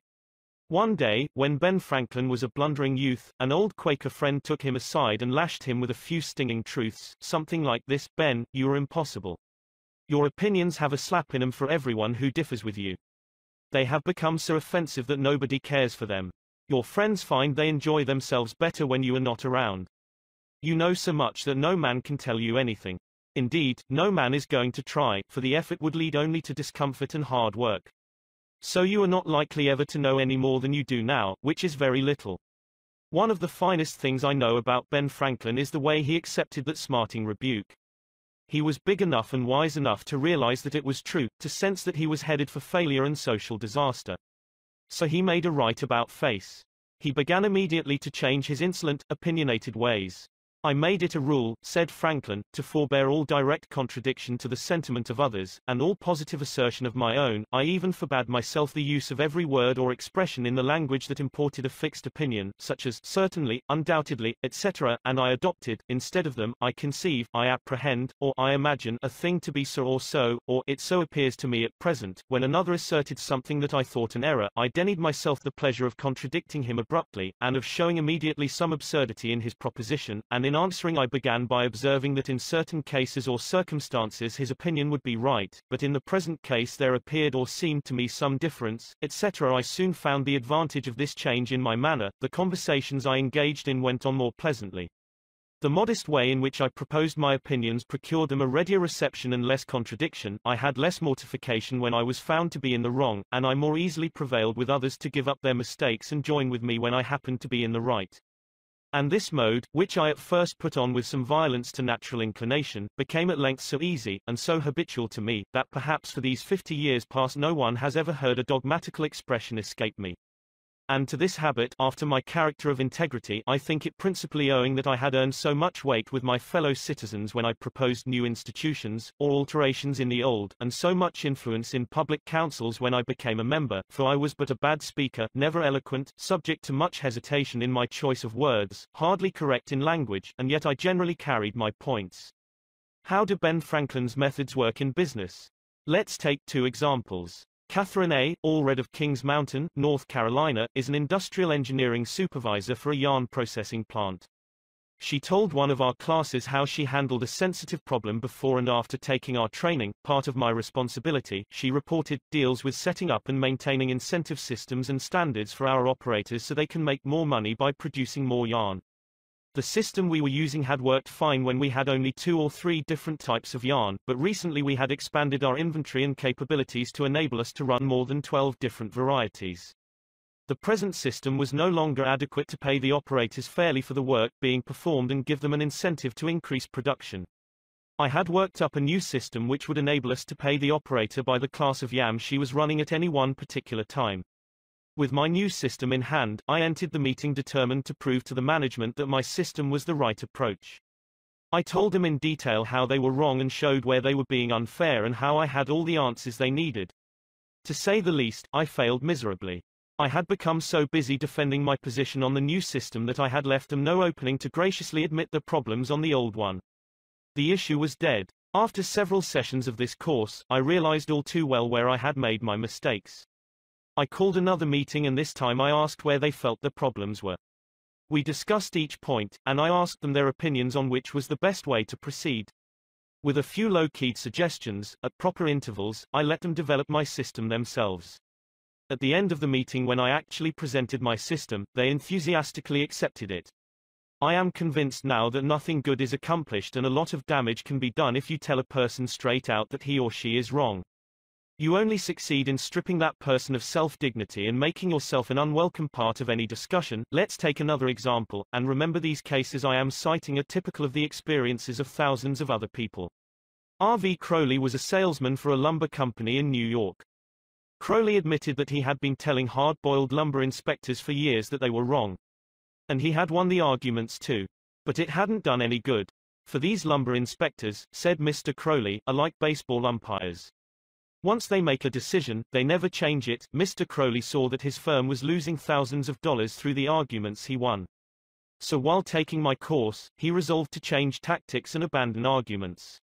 With what results? Here is the story as he told it to the fellow members of his class. One morning the phone rang in my office. A hot and bothered person at the other end proceeded to inform me that a car of lumber we had shipped into his plant was entirely unsatisfactory. His firm had stopped unloading and requested that we make immediate arrangements to remove the stock from their yard. After about one-fourth of the car had been unloaded, their lumber inspector reported that the lumber was running 55% below grade. Under the circumstances, they refused to accept it. I immediately started for his plant and on the way turned over in my mind the best way to handle the situation. Ordinarily, under such circumstances, I should have quoted grading rules and tried, as a result of my own experience and knowledge as a lumber inspector, to convince the other inspector that the lumber was actually up to grade, and that he was misinterpreting the rules in his inspection. However, I thought I would apply the principles learned in this training. When I arrived at the plant, I found the purchasing agent and the lumber inspector in a wicked humor, both set for an argument and a fight. We walked out to the car that was being unloaded, and I requested that they continue to unload so that I could see how things were going. I asked the inspector to go right ahead and lay out the rejects, as he had been doing, and to put the good pieces in another pile. After watching him for a while it began to dawn on me that his inspection actually was much too strict and that he was misinterpreting the rules. This particular lumber was white pine, and I knew the inspector was thoroughly schooled in hardwoods but not a competent, experienced inspector on white pine. White pine happened to be my own strong suit, but did I offer any objection to the way he was grading the lumber? None whatever. I kept on watching and gradually began to ask questions as to why certain pieces were not satisfactory. I didn't for one instant insinuate that the inspector was wrong. I emphasized that my only reason for asking was in order that we could give his firm exactly what they wanted in future shipments, wanted in future shipments. By asking questions in a very friendly, cooperative spirit, and insisting continually that they were right in laying out boards not satisfactory to the purpose, I got him warmed up, and the strained relations between us began to thaw and melt away. An occasional carefully put remark on my part gave birth to the idea in his mind that possibly some of these rejected pieces were actually within the grade that they had bought, and that their requirements demanded a more expensive grade. I was very careful, however, not to let him think I was making an issue of this point. Gradually his whole attitude changed. He finally admitted to me that he was not experienced on white pine and began to ask me questions about each piece as it came out of the car. I would explain why such a piece came within the grade specified, but kept on insisting that we did not want him to take it if it was unsuitable for the purpose. He finally got to the point where he felt guilty every time he put a piece in the rejected pile. And at last he saw that the mistake was on their part for not having specified as good a grade as they needed. The ultimate outcome was that he went through the entire carload again after I left. Accepted the whole lot, and we received a check in full. In that one instance alone, a little tact, and the determination to refrain from telling the other man he was wrong, saved my company a substantial amount of cash, and it would be hard to place a money value on the goodwill that was saved. Martin Luther King was asked how, as a pacifist, he could be an admirer of Air Force General Daniel Chappie James, then the nation's highest-ranking black officer. Dr. King replied, I judge people by their own principles, not by my own. In a similar way, General Robert E. Lee once spoke to the President of the Confederacy, Jefferson Davis, in the most glowing terms about a certain officer under his command. Another officer in attendance was astonished. General, he said, do you not know that the man of whom you speak so highly is one of your bitterest enemies who misses no opportunity to malign you? Yes, replied General Lee, but the president asked my opinion of him, he did not ask for his opinion of me. By the way, I am not revealing anything new in this chapter. 2,000 years ago, Jesus said, See the point of thine adversary quickly, and 2,200 years before Christ was born, King Akhtoi of Egypt gave his son some shrewd advice, advice that is sorely needed today. Be diplomatic, counseled the king. It will help you gain your point. In other words, don't argue with your customer or your spouse or your adversary. Don't tell them they are wrong, don't get them stirred up. Use a little diplomacy. Principle 2 Listen to the other person's opinions. If you're wrong, admit it within a minute's walk of my house there was a wild stretch of virgin timber, where the blackberry thickets foamed white in the springtime, where the squirrels nested and reared their young, and the horseweeds grew as tall as a horse's head. This unspoiled woodland was called Forest Park, and it was a forest, probably not much different in appearance from what it was when Columbus discovered America. I frequently walked in this park with Rex, my little Boston bulldog. He was a friendly, harmless little hound, and since we rarely met anyone in the park, I took Rex along without a leash or a muzzle. One day we encountered a mounted policeman in the park, a policeman itching to show his authority. What do you mean by letting that dog run loose in the park without a muzzle and leash? He reprimanded me. Don't you know it's against the law? Yes, I know it is, I replied softly, but I didn't think he would do any harm out here, you didn't think. You didn't think. The law doesn't give a tinker's damn about what you think. That dog might kill a squirrel or bite a child. Now, I'm going to let you off this time, but if I catch this dog out here again without a muzzle and a leash, you'll have to tell it to the judge, I meekly promised to obey. And I did obey, for a few times. But Rex didn't like the muzzle, and neither did I, so we decided to take a chance. Everything was lovely for a while, and then we struck a snag. Rex and I raced over the brow of a hill one afternoon and there, suddenly, to my dismay, I saw the majesty of the law, astride a bay horse. Rex was out in front, heading straight for the officer. I was in for it. I knew it. So I didn't wait until the policeman started talking. I beat him to it. I said, Officer, you've caught me red-handed. I'm guilty. I have no alibis, no excuses. You warned me last week that if I brought the dog out here again without a muzzle you would fine me. Well, now, the policeman responded in a soft tone. I know it's a temptation to let a little dog like that have a run out here when nobody is around, sure it's a temptation, I replied, but it is against the law. Well, a little dog like that isn't going to harm anybody, the policeman remonstrated. No, but he may kill squirrels, I said. Well now, I think you are taking this a bit too seriously, he told me. I'll tell you what you do. You just let him run over the hill there where I can't see him, and we'll forget all about it. That policeman, being human, wanted a feeling of importance, so when I began to condemn myself, the only way he could nourish his self-esteem was to take the magnanimous attitude of showing mercy. But suppose I had tried to defend myself, well, did you ever argue with a policeman? But instead of breaking lances with him, I admitted that he was absolutely right and I was absolutely wrong, I admitted it quickly, openly, and with enthusiasm. The affair terminated graciously in my taking his side and his taking my side. Lord Chesterfield himself could hardly have been more gracious than this mounted policeman, who, only a week previously, had threatened to have the law on me.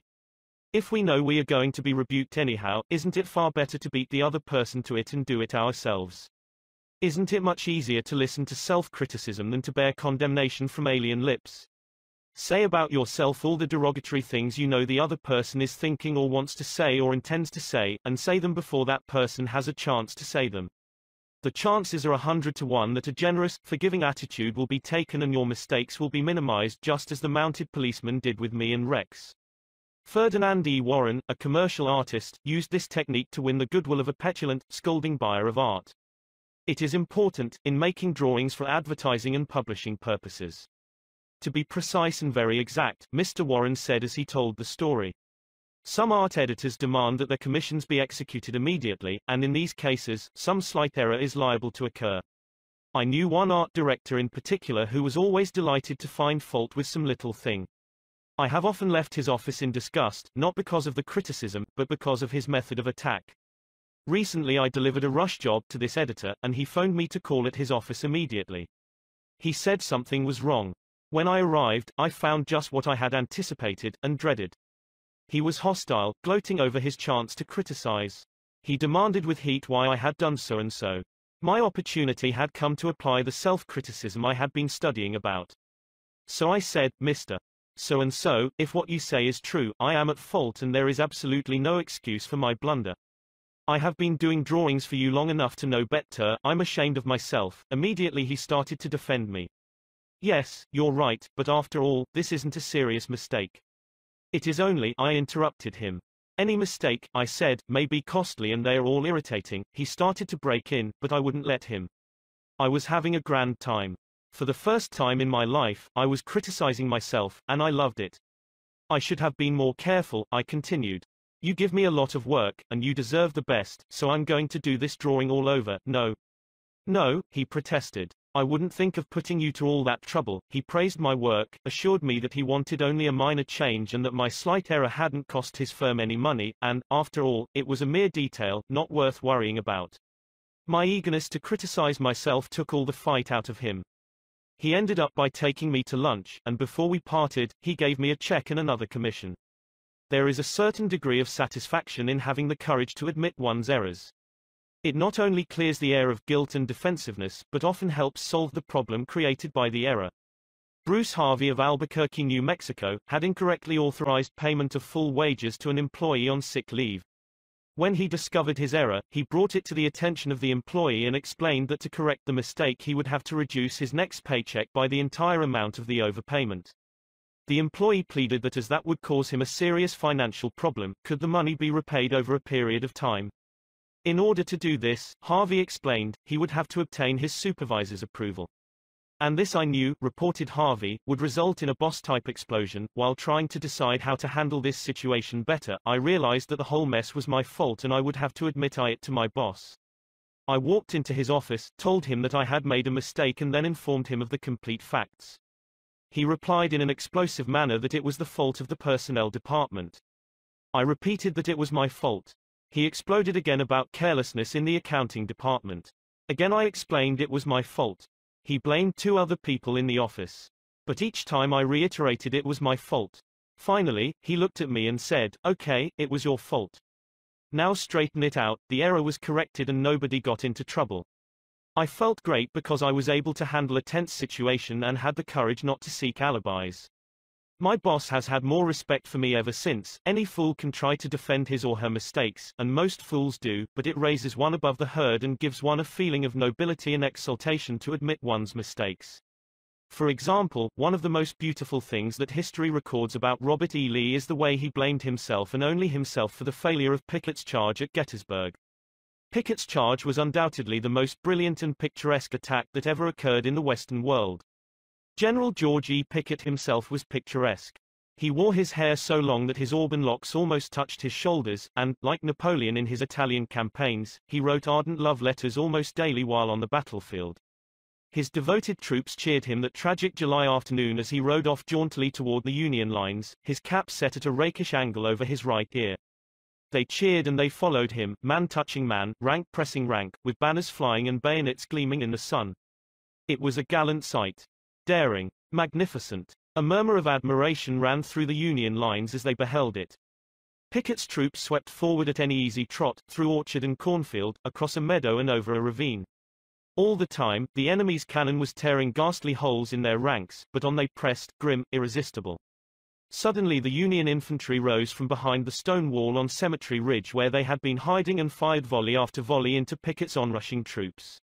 The crest of the hill was a sheet of flame, a slaughterhouse, a blazing volcano. In a few minutes, all of Pickett's brigade commanders except one were down, and four-fifths of his 5,000 men had fallen. General Lewis A. Armistead, leading the troops in the final plunge, ran forward, vaulted over the stone wall, and, waving his cap on the top of his sword, shouted, Give them the steel, boys. They did. They leaped over the wall, bayoneted their enemies, smashed skulls with clubbed muskets, and planted the battle flags of the South on Cemetery Ridge. The banners waved there only for a moment. But that moment, brief as it was, recorded the high water mark of the Confederacy. Pickett's charge, brilliant, heroic, was nevertheless the beginning of the end. Lee had failed. He could not penetrate the North. And he knew it. The South was doomed. Lee was so saddened, so shocked, that he sent in his resignation and asked Jefferson Davis, the President of the Confederacy, to appoint a younger and abler man. If Lee had wanted to blame the disastrous failure of Pickett's charge on someone else, he could have found a score of alibis. Some of his division commanders had failed him. The cavalry hadn't arrived in time to support the infantry attack. This had gone wrong and that had gone awry. But Lee was far too noble to blame others. As Pickett's beaten and bloody troops struggled back to the Confederate lines, Robert E. Lee rode out to meet them all alone and greeted them with a self-condemnation that was little short of sublime. All this has been my fault, he confessed. I and I alone have lost this battle, few generals in all history have had the courage and character to admit that.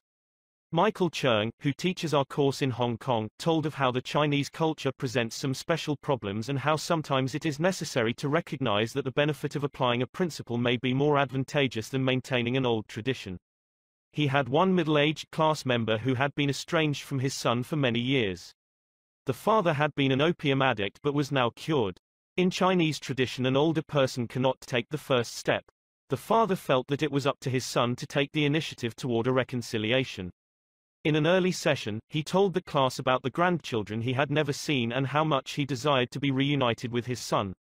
His classmates, all Chinese, understood his conflict between his desire and long-established tradition.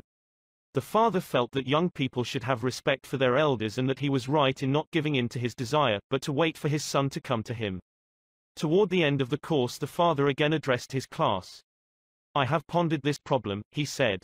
Dale Carnegie says, if you are wrong, admit it quickly and emphatically, it is too late for me to admit it quickly, but I can admit it emphatically.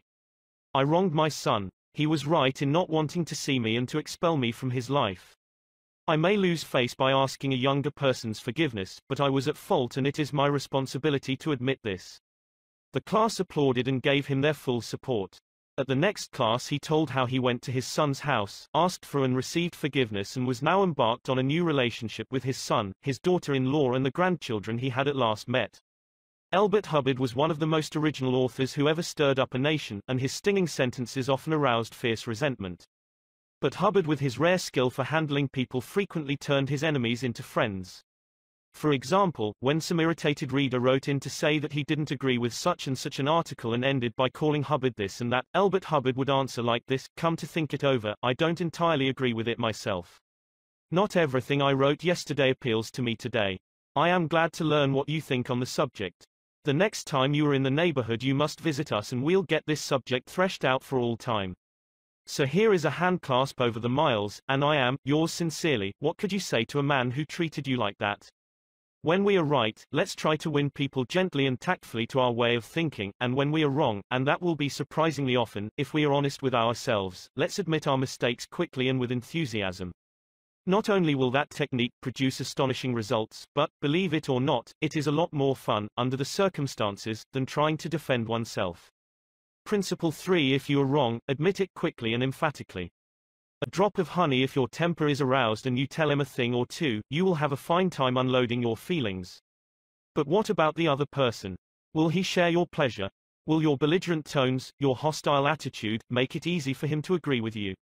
If you come at me with your fists doubled, said Woodrow Wilson, I think I can promise you that mine will double as fast as yours, but if you come to me and say, let us sit down and take counsel together, and, if we differ from each other, understand why it is that we differ, just what the points at issue are, we will presently find that we are not so far apart after all, that the points on which we differ are few and the points on which we agree are many, and that if we only have the patience and the candor and the desire to get together, we will get together. Nobody appreciated the truth of Woodrow Wilson's statement more than John D. Rockefeller Jr. back in 1915. Rockefeller was the most fiercely despised man in Colorado, one of the bloodiest strikes in the history of American industry had been shocking the state for two terrible years. Irate, belligerent miners were demanding higher wages from the Colorado Fuel and Iron Company, Rockefeller controlled that company. Property had been destroyed, troops had been called out. Blood had been shed, strikers had been shot, their bodies riddled with bullets. At a time like that, with the air seething with hatred, Rockefeller wanted to win the strikers to his way of thinking. And he did it. How? Here's the story. After weeks spent in making friends, Rockefeller addressed the representatives of the strikers. This speech, in its entirety, is a masterpiece. It produced astonishing results. It calmed the tempestuous waves of hate that threatened to engulf Rockefeller. It won him a host of admirers. It presented facts in such a friendly manner that the strikers went back to work without saying another word about the increase in wages for which they had fought so violently. The opening of that remarkable speech follows. Note how it fairly glows with friendliness. Rockefeller, remember, was talking to men who, a few days previously, had wanted to hang him by the neck to a sour apple tree, yet he couldn't have been more gracious, more friendly if he had addressed a group of medical missionaries. His speech was radiant with such phrases as I am proud to be here, having visited in your homes, met many of your wives and children, we meet here not as strangers, but as friends, spirit of mutual friendship, our common interests, it is only by your courtesy that I am here. This is a red letter day in my life, Rockefeller began. It is the first time I have ever had the good fortune to meet the representatives of the employees of this great company, its officers and superintendents, together, and I can assure you that I am proud to be here, and that I shall remember this gathering as long as I live. Had this meeting been held two weeks ago, I should have stood here a stranger to most of you, recognizing a few faces. Having had the opportunity last week of visiting all the camps in the southern coal field and of talking individually with practically all of the representatives, except those who were away, having visited in your homes, met many of your wives and children, we meet here not as strangers, but as friends, and it is in that spirit of mutual friendship that I am glad to have this opportunity to discuss with you our common interests. Since this is a meeting of the officers of the company and the representatives of the employees, it is only by your courtesy that I am here, for I am not so fortunate as to be either one or the other, and yet I feel that I am intimately associated with you men, for, in a sense, I represent both the stockholders and the directors, isn't that a superb example of the fine art of making friends out of enemies? Suppose Rockefeller had taken a different tack. Suppose he had argued with those miners and hurled devastating facts in their faces. Suppose he had told them by his tones and insinuations that they were wrong suppose that, by all the rules of logic, he had proved that they were wrong. What would have happened? More anger would have been stirred up, more hatred, more revolt. If a man's heart is rankling with discord and ill feeling toward you, you can't win him to your way of thinking with all the logic in Christendom. Scolding parents and domineering bosses and husbands and nagging wives ought to realize that people don't want to change their minds. They can't be forced or driven to agree with you or me but they may possibly be led to, if we are gentle and friendly, ever so gentle and ever so friendly. Lincoln said that, in effect, over a hundred years ago. Here are his words, it is an old and true maxim that, a drop of honey catches more flies than a gallon of gall, so with men, if you would win a man to you cause, first convince him that you are his sincere friend, therein is a drop of honey that catches his heart, which, say what you will, is the great high road to his reason. Business executives have learned that it pays to be friendly to strikers.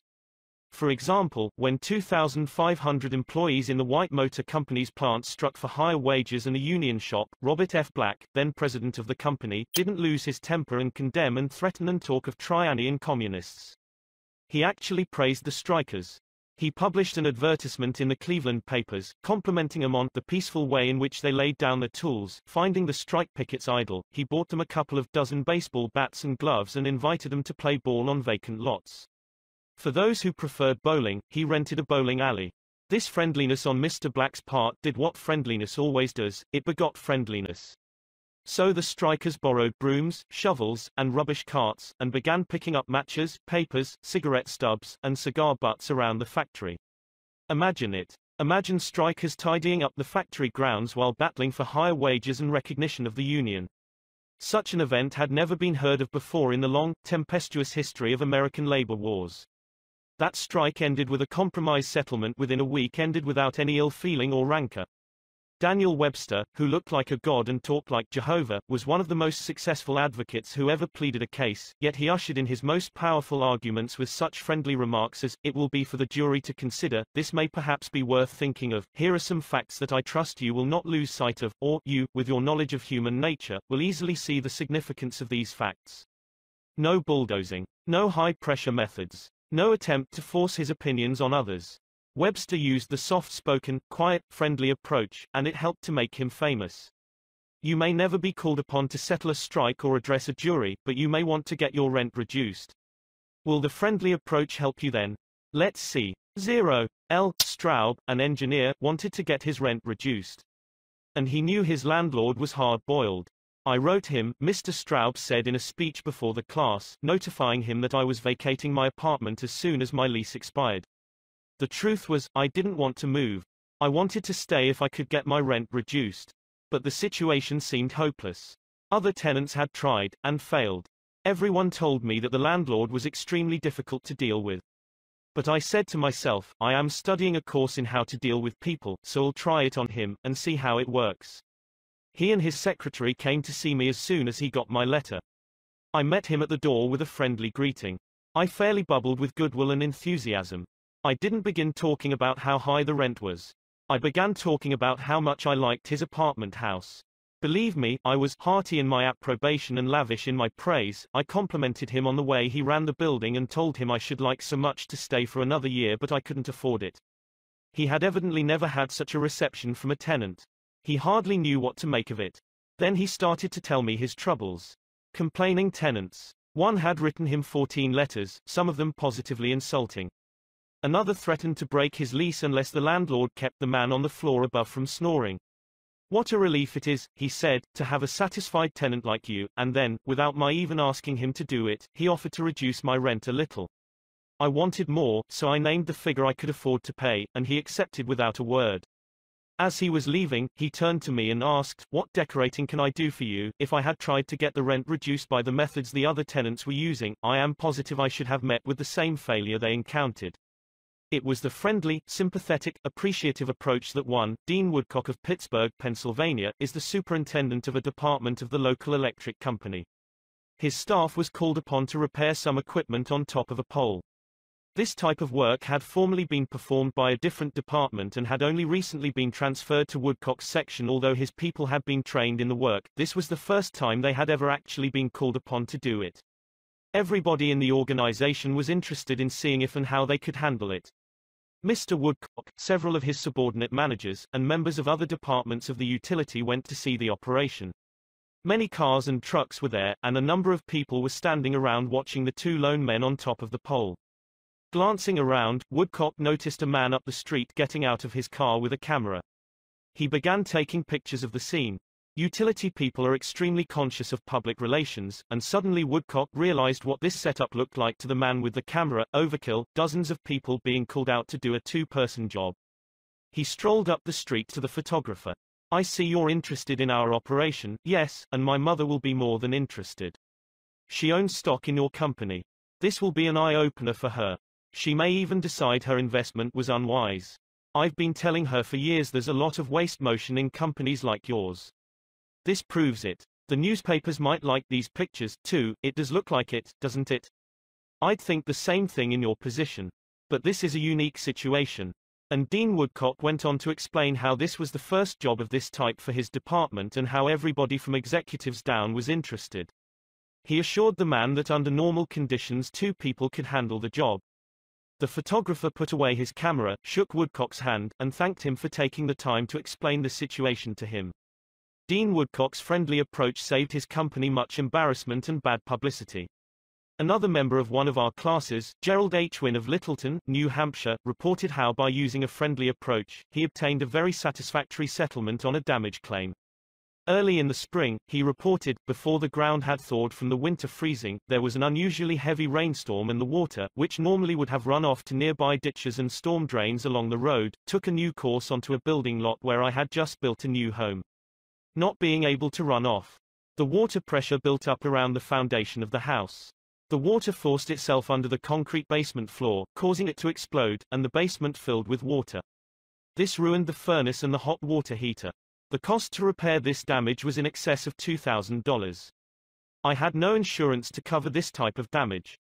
However, I soon found out that the owner of the subdivision had neglected to put in a storm drain near the house which could have prevented this problem I made an appointment to see him.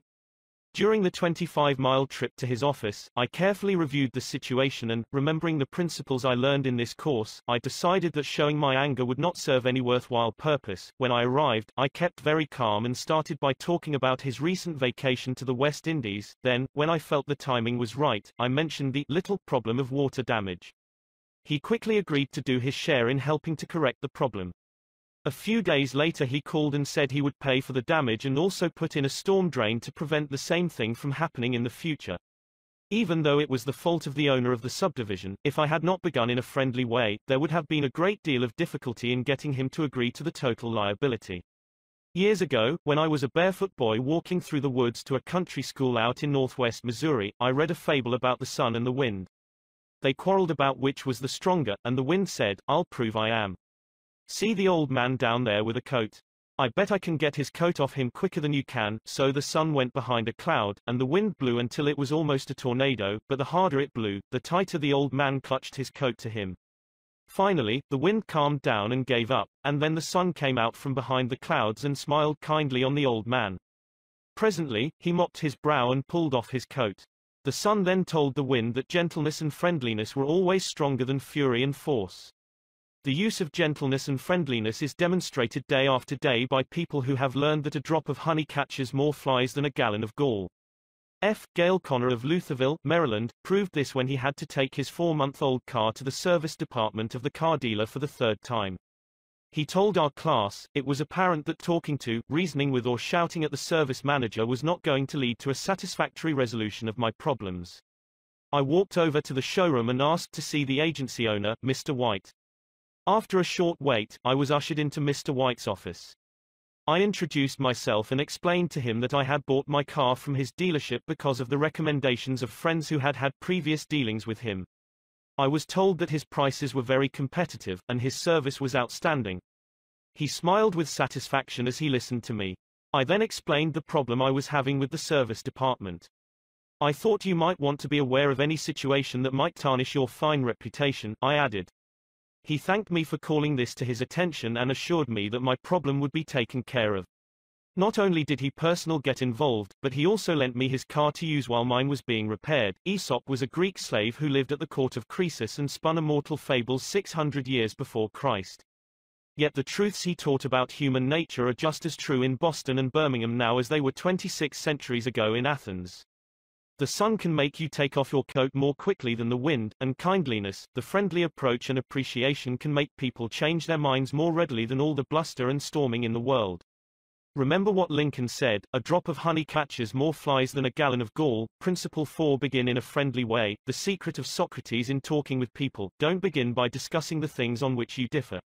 Begin by emphasizing, and keep on emphasizing, the things on which you agree. Keep emphasizing, if possible, that you are both striving for the same end and that your only difference is one of method and not of purpose. Get the other person saying, yes, yes, at the outset. Keep your opponent, if possible, from saying no a no response, according to Professor Overstreet, asterisk, is a most difficult handicap to overcome. When you have said no, all your pride of personality demands that you remain consistent with yourself.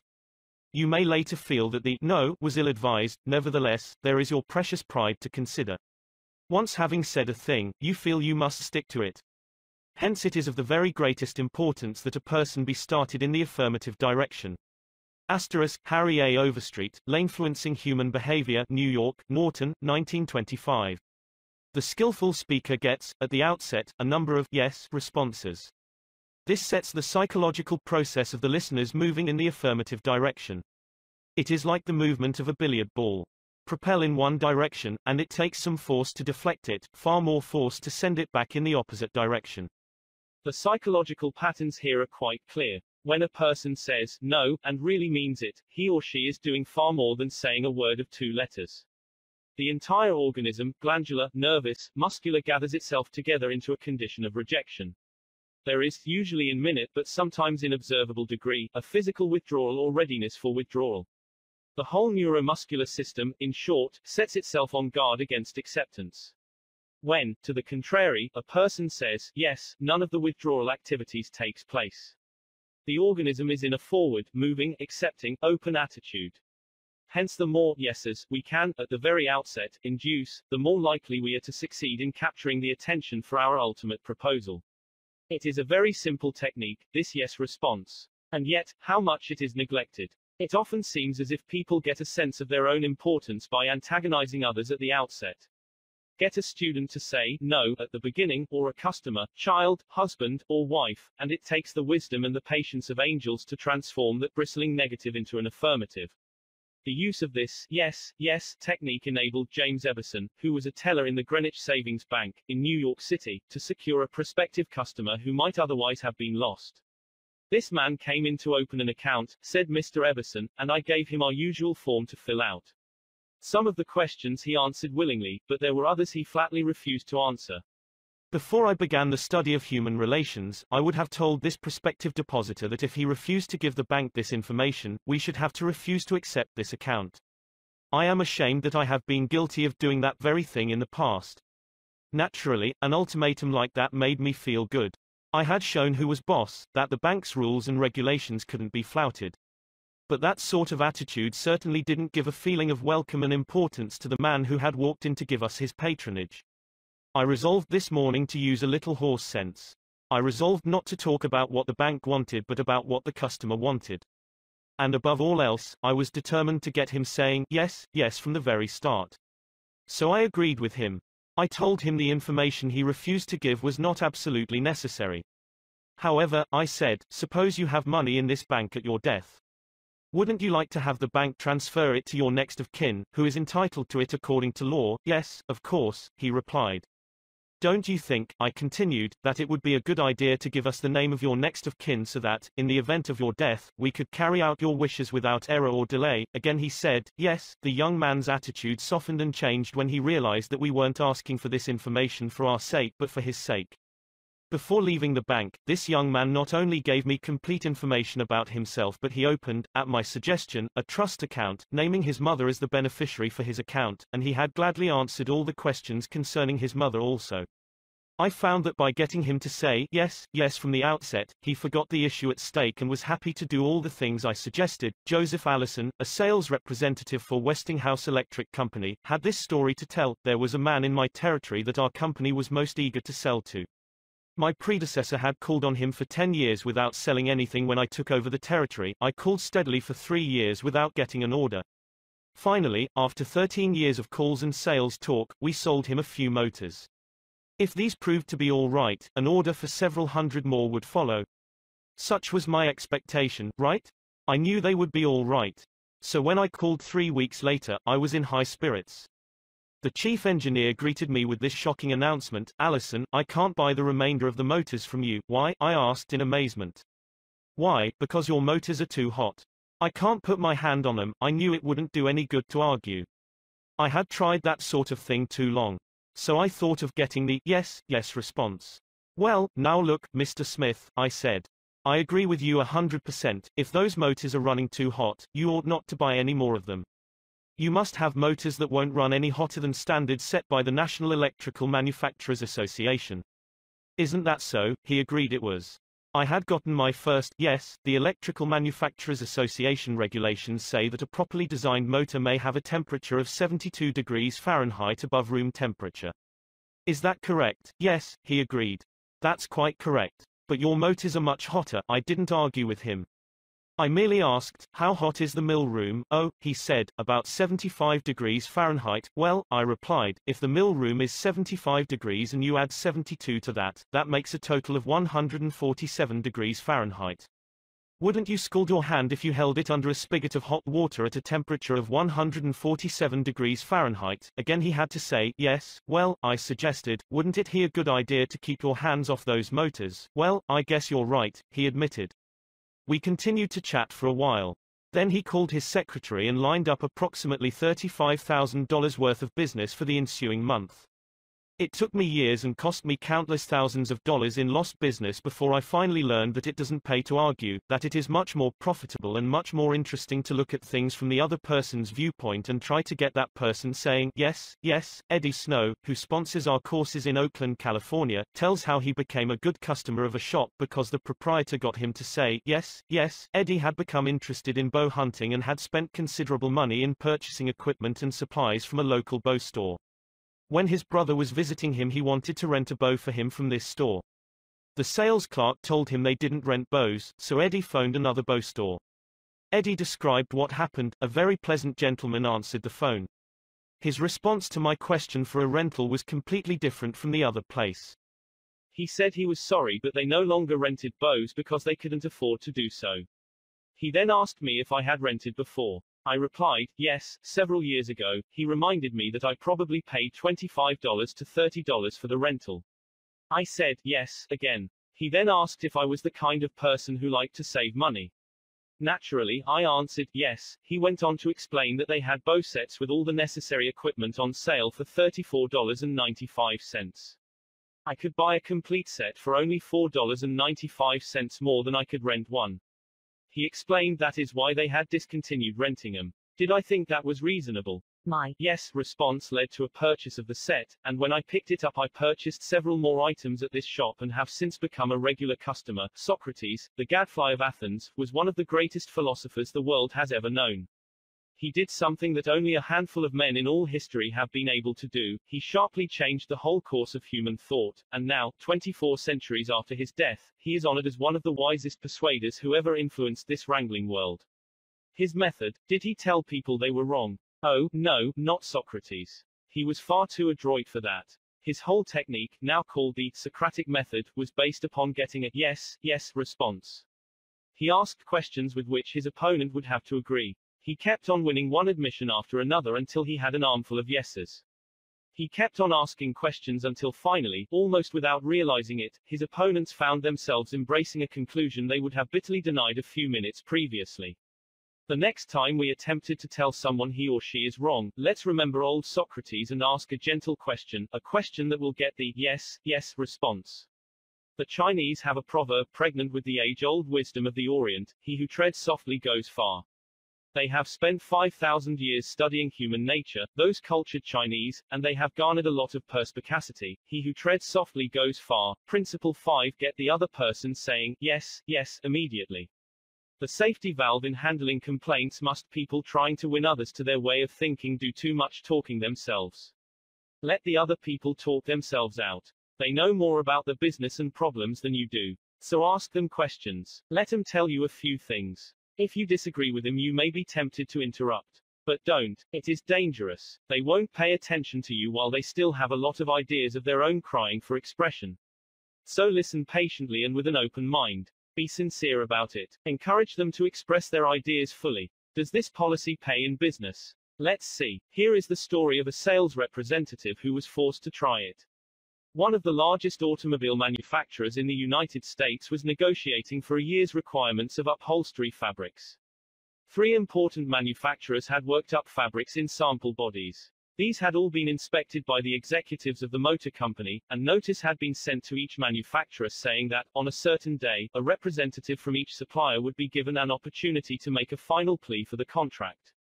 GBR, a representative of one manufacturer, arrived in town with a severe attack of laryngitis. When it came my turn to meet the executives in conference, Mr. R. said as he related the story before one of my classes, I had lost my voice. I could hardly whisper. I was ushered into a room and found myself face to face with the textile engineer, the purchasing agent, the director of sales and the president of the company. I stood up and made a valiant effort to speak, but I couldn't do anything more than squeak. They were all seated around a table, so I wrote on a pad of paper, Gentlemen, I have lost my voice. I am speechless. I'll do the talking for you, the president said.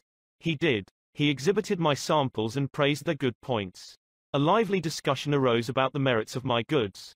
And the president, since he was talking for me, took the position I would have had during the discussion my sole participation consisted of smiles, nods and a few gestures.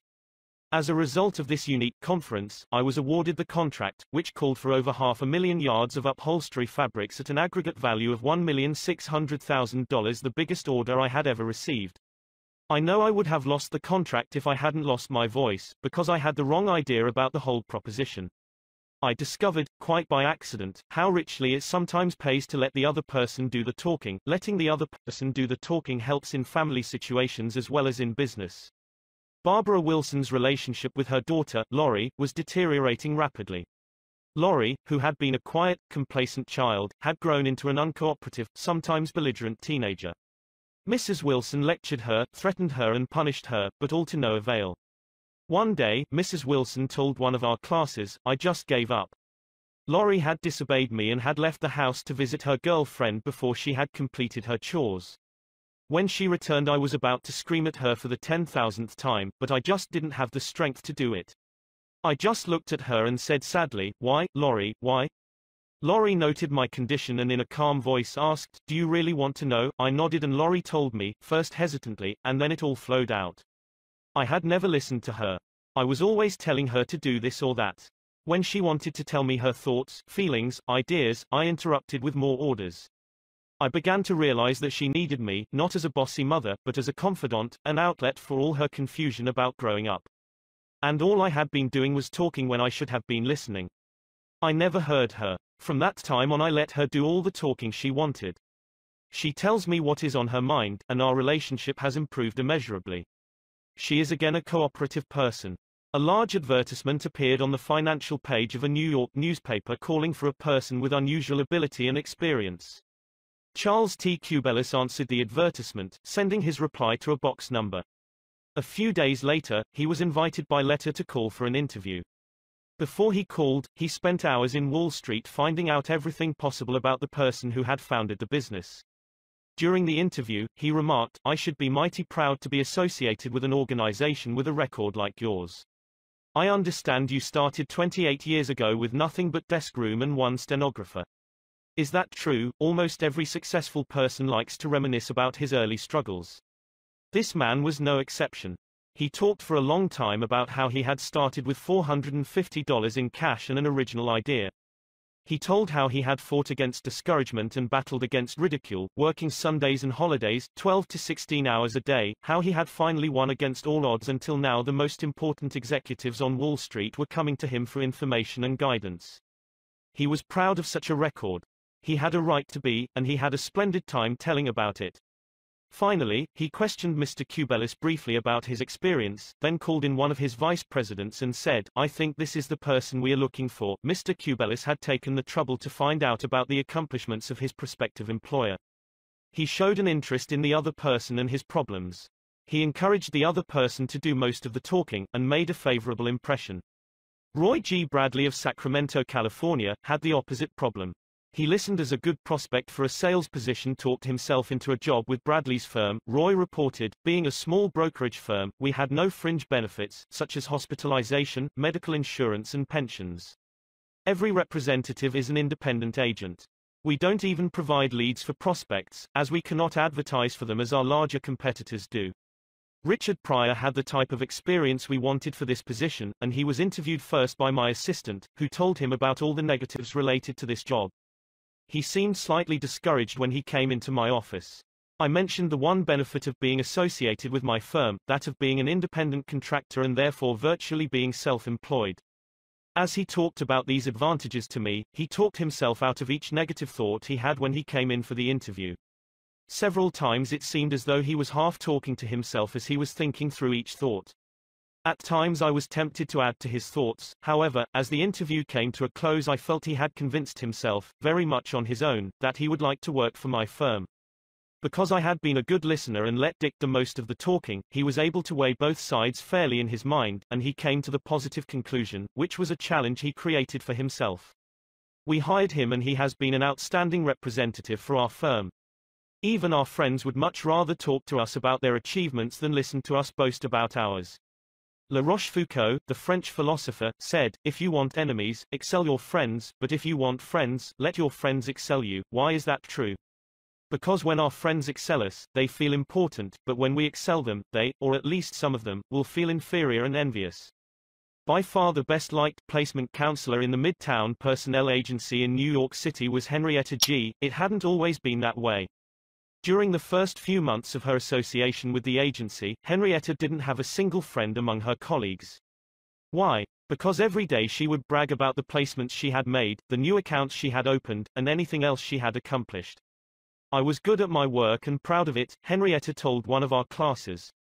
But instead of my colleagues sharing my triumphs, they seemed to resent them. I wanted to be liked by these people. I really wanted them to be my friends. After listening to some of the suggestions made in this course, I started to talk about myself less and listen more to my associates. They also had things to boast about and were more excited about telling me about their accomplishments than about listening to my boasting. Now, when we have some time to chat, I ask them to share their joys with me, and I only mention my achievements when they ask. Principle 6 Let the other person do a great deal of the talking. How to get cooperation Don't you have much more faith in ideas that you discover for yourself than in ideas that are handed to you on a silver platter? If so, isn't it bad judgment to try to ram your opinions down the throats of other people? Isn't it wiser to make suggestions, and let the other person think out the conclusion? Adolph Seltz of Philadelphia, sales manager in an automobile showroom and a student in one of my courses, suddenly found himself confronted with the necessity of injecting enthusiasm into a discouraged and disorganized group of automobile salespeople. Calling a sales meeting, he urged his people to tell him exactly what they expected from him. As they talked, he wrote their ideas on the blackboard. He then said, I'll give you all these qualities you expect from me. Now I want you to tell me what I have a right to expect from you. The replies came quick and fast, loyalty, honesty, initiative, optimism, teamwork, eight hours a day of enthusiastic work. The meeting ended with a new courage, a new inspiration. One salesperson volunteered to work 14 hours a day, and Mr. Seltz reported to me that the increase of sales was phenomenal. The people had made a sort of moral bargain with me, said Mr. Seltz, and as long as I lived up to my part in it, they were determined to live up to theirs. Consulting them about their wishes and desires was just the shot in the arm they needed. No one likes to feel that he or she is being sold something or told to do a thing. We much prefer to feel that we are buying of our own accord or acting on our own ideas. We like to be consulted about our wishes, our wants, our thoughts. Take the case of Eugene Wesson. He lost countless thousands of dollars in commissions before he learned this truth. Mr. Wesson sold sketches for a studio that created designs for stylists and textile manufacturers. Mr. Wesson had called on one of the leading stylists in New York once a week, every week for three years. He never refused to see me, said Mr. Wesson, but he never bought. He always looked over my sketches very carefully and then said, No, Wesson, I guess we don't get together today. After 150 failures, Wesson realized he must be in a mental rut, so he resolved to devote one evening a week to the study of influencing human behavior, to help him develop new ideas and generate new enthusiasm. He decided on this new approach. With half a dozen unfinished artist sketches under his arm, he rushed over to the buyer's office. I want you to do me a little favor, if you will, he said. Here are some uncompleted sketches. Won't you please tell me how we could finish them up in such a way that you could use them? The buyer looked at the sketches for a while without uttering a word. Finally he said, leave these with me for a few days, Wesson, and then come back and see me. Wesson returned three DAVS later, got his suggestions, took the sketches back to the studio and had them finished according to the buyer's ideas. The result? All accepted. After that, this buyer ordered scores of other sketches from Wesson, all drawn according to the buyer's ideas. I realized why I had failed for years to sell him, said Mr. Wesson, I had urged him to buy what I thought he ought to have. Then I changed my approach completely. I urged him to give me his ideas. This made him feel that he was creating the designs. And he was. I didn't have to sell him. He bought, letting the other person feel that the idea is his or hers not only works in business and politics, it works in family life as well. Paul M. Davis of Tulsa, Oklahoma, told his class how he applied this principle. My family and I enjoyed one of the most interesting sightseeing vacation trips we have ever taken. I had long dreamed of visiting such historic sites as the Civil War battlefield in Gettysburg, Independence Hall in Philadelphia, and our nation's capital. Valley Forge, Jamestown and the restored colonial village of Williamsburg were high on the list of things I wanted to see. In March my wife, Nancy, mentioned that she had ideas for our summer vacation which included a tour of the western states, visiting points of interest in New Mexico, Arizona, California and Nevada. She had wanted to make this trip for several years. But we couldn't obviously make both trips. Our daughter, Anne, had just completed a course in U.S. history in junior high school and had become very interested in the events that had shaped our country's growth. I asked her how she would like to visit the places she had learned about on our next vacation. She said she would love to. Two evenings later as we Saturday around the dinner table, Nancy announced that if we all agreed, the summer's vacation would be to the eastern states, that it would be a great trip for Anne and thrilling for all of us. We all concurred. This same psychology was used by an X-ray manufacturer to sell his equipment to one of the largest hospitals in Brooklyn. This hospital was building an addition and preparing to equip it with the finest X-ray department in America. Dr. L, who was in charge of the X-ray department, was overwhelmed with sales representatives, each caroling the praises of his own company's equipment. One manufacturer, however, was more skillful. He knew far more about handling human nature than the others did. He wrote a letter something like this, Our factory has recently completed a new line of X-ray equipment. The first shipment of these machines has just arrived at our office. They are not perfect. We know that, and we want to improve them. So we should be deeply obligated to you if you could find time to look them over and give us your ideas about how they can be made more serviceable to your profession. Knowing how occupied you are, I shall be glad to send my car for you at any hour you specify. I was surprised to get that letter, Dr. L. said as he related the incident before the class. I was both surprised and complimented. I had never had an X-ray manufacturer seeking my advice before. It made me feel important. I was busy every night that week, but I cancelled a dinner appointment in order to look over the equipment. The more I studied it, the more I discovered for myself how much I liked it. Nobody had tried to sell it to me. I felt that the idea of buying that equipment for the hospital was my own. I sold myself on its superior qualities and ordered it installed. Ralph Waldo Emerson in his essay, Self-Reliance, stated, In every work of genius we recognize our own rejected thoughts, they come back to us with a certain alienated majesty. Colonel Edward M. House wielded an enormous influence in national and international affairs while Woodrow Wilson occupied the White House. Wilson leaned upon Colonel House for secret counsel and advice more than he did upon even members of his own cabinet. What method did the colonel use in influencing the president? Fortunately, we know, for House himself revealed it to Arthur D. Howden Smith, and Smith quoted House in an article in the Saturday Evening Post. After I got to know the president, House said, I learned the best way to convert him to an idea was to plant it in his mind casually, but so as to interest him in it, so as to get him thinking about it on his own account. The first time this worked it was an accident. I had been visiting him at the White House and urged a policy on him which he appeared to disapprove. But several days later, at the dinner table, I was amazed to hear him trot out my suggestion as his own. Did House interrupt him and say, that's not your idea? That's mine. Oh, no not House. He was too adroit for that. He didn't care about credit. He wanted results. So he let Wilson continue to feel that the idea was his. House did even more than that. He gave Wilson public credit for these ideas. Let's remember that everyone we come in contact with is just as human as Woodrow Wilson. So let's use Colonel House's technique. A man up in the beautiful Canadian province of New Brunswick used this technique on me and won my patronage. I was planning at the time to do some fishing and canoeing in New Brunswick. So I wrote the Tourist Bureau for information. Evidently my name and address were put on a mailing list, for I was immediately overwhelmed with scores of letters and booklets and printed testimonials from camps and guides. I was bewildered. I didn't know which to choose. Then one camp owner did a clever thing. He sent me the names and telephone numbers of several New York people who had stayed at his camp and he invited me to telephone them and discover for myself what he had to offer. I found to my surprise that I knew one of the men on his list. I telephoned him, found out what his experience had been, and then wired the camp the date of my arrival. The others had been trying to sell me on their service, but one let me sell myself. That organization won. 25 centuries ago, Lao Tzu, a Chinese sage, said some things that readers of this book might use today. The reason why rivers and seas receive the homage of a hundred mountain streams is that they keep below them. Thus they are able to reign over all the mountain streams. So the sage, wishing to be above men, putteth himself below them, wishing to be before them, he putteth himself behind them. Thus, though his place be above men, they do not feel his weight, though his place be before them, they do not count it an injury. Principle 7 Let the other person feel that the idea is his or hers. A formula that will work wonders for you remember that other people may be totally wrong.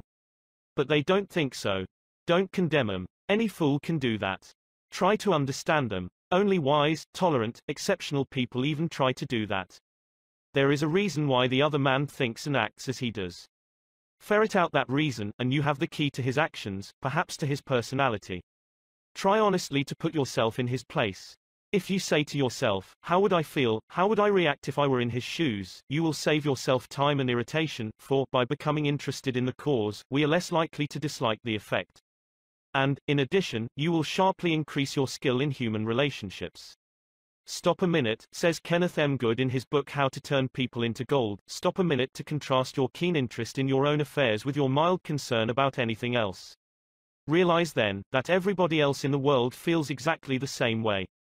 Then, along with Lincoln and Roosevelt, you will have grasped the only solid foundation for interpersonal relationships, namely, that success in dealing with people depends on a sympathetic grasp of the other person's viewpoint. Sam Douglas of Hempstead, New York, used to tell his wife that she spent too much time working on their lawn, pulling weeds, fertilizing, cutting the grass twice a week when the lawn didn't look any better than it had when they moved into their home four years earlier.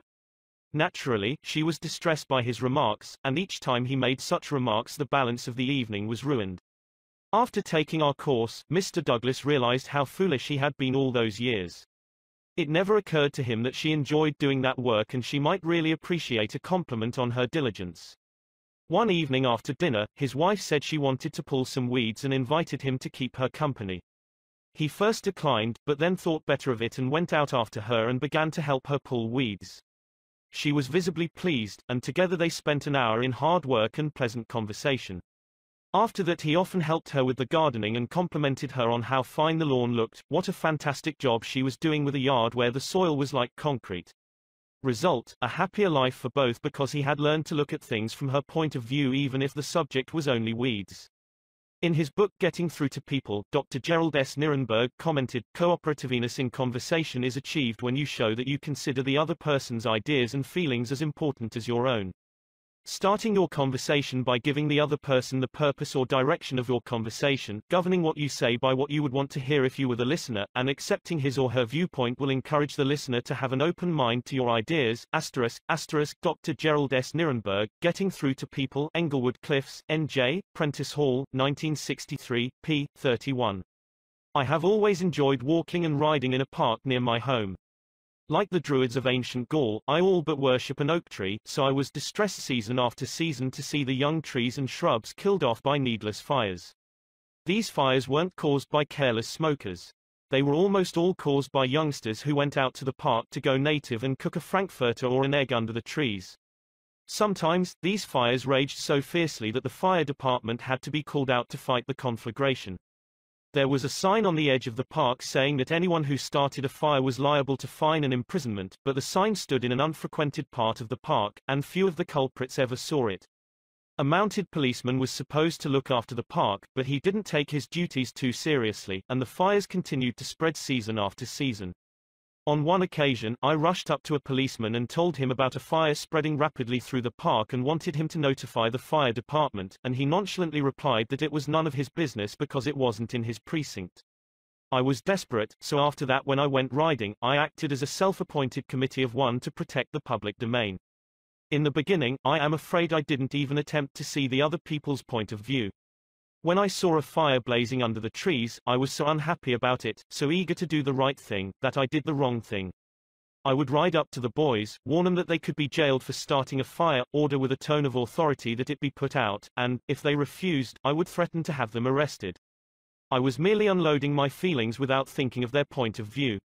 The result? They obeyed, obeyed sullenly and with resentment. After I rode on over the hill, they probably rebuilt the fire and longed to burn up the whole park.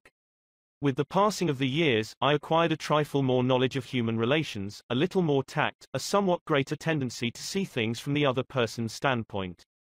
Then, instead of giving orders, I would ride up to a blazing fire and begin something like this, having a good time, boys. What are you going to cook for supper? I loved to build fires myself when I was a boy, and I still love to. But you know they are very dangerous here in the park.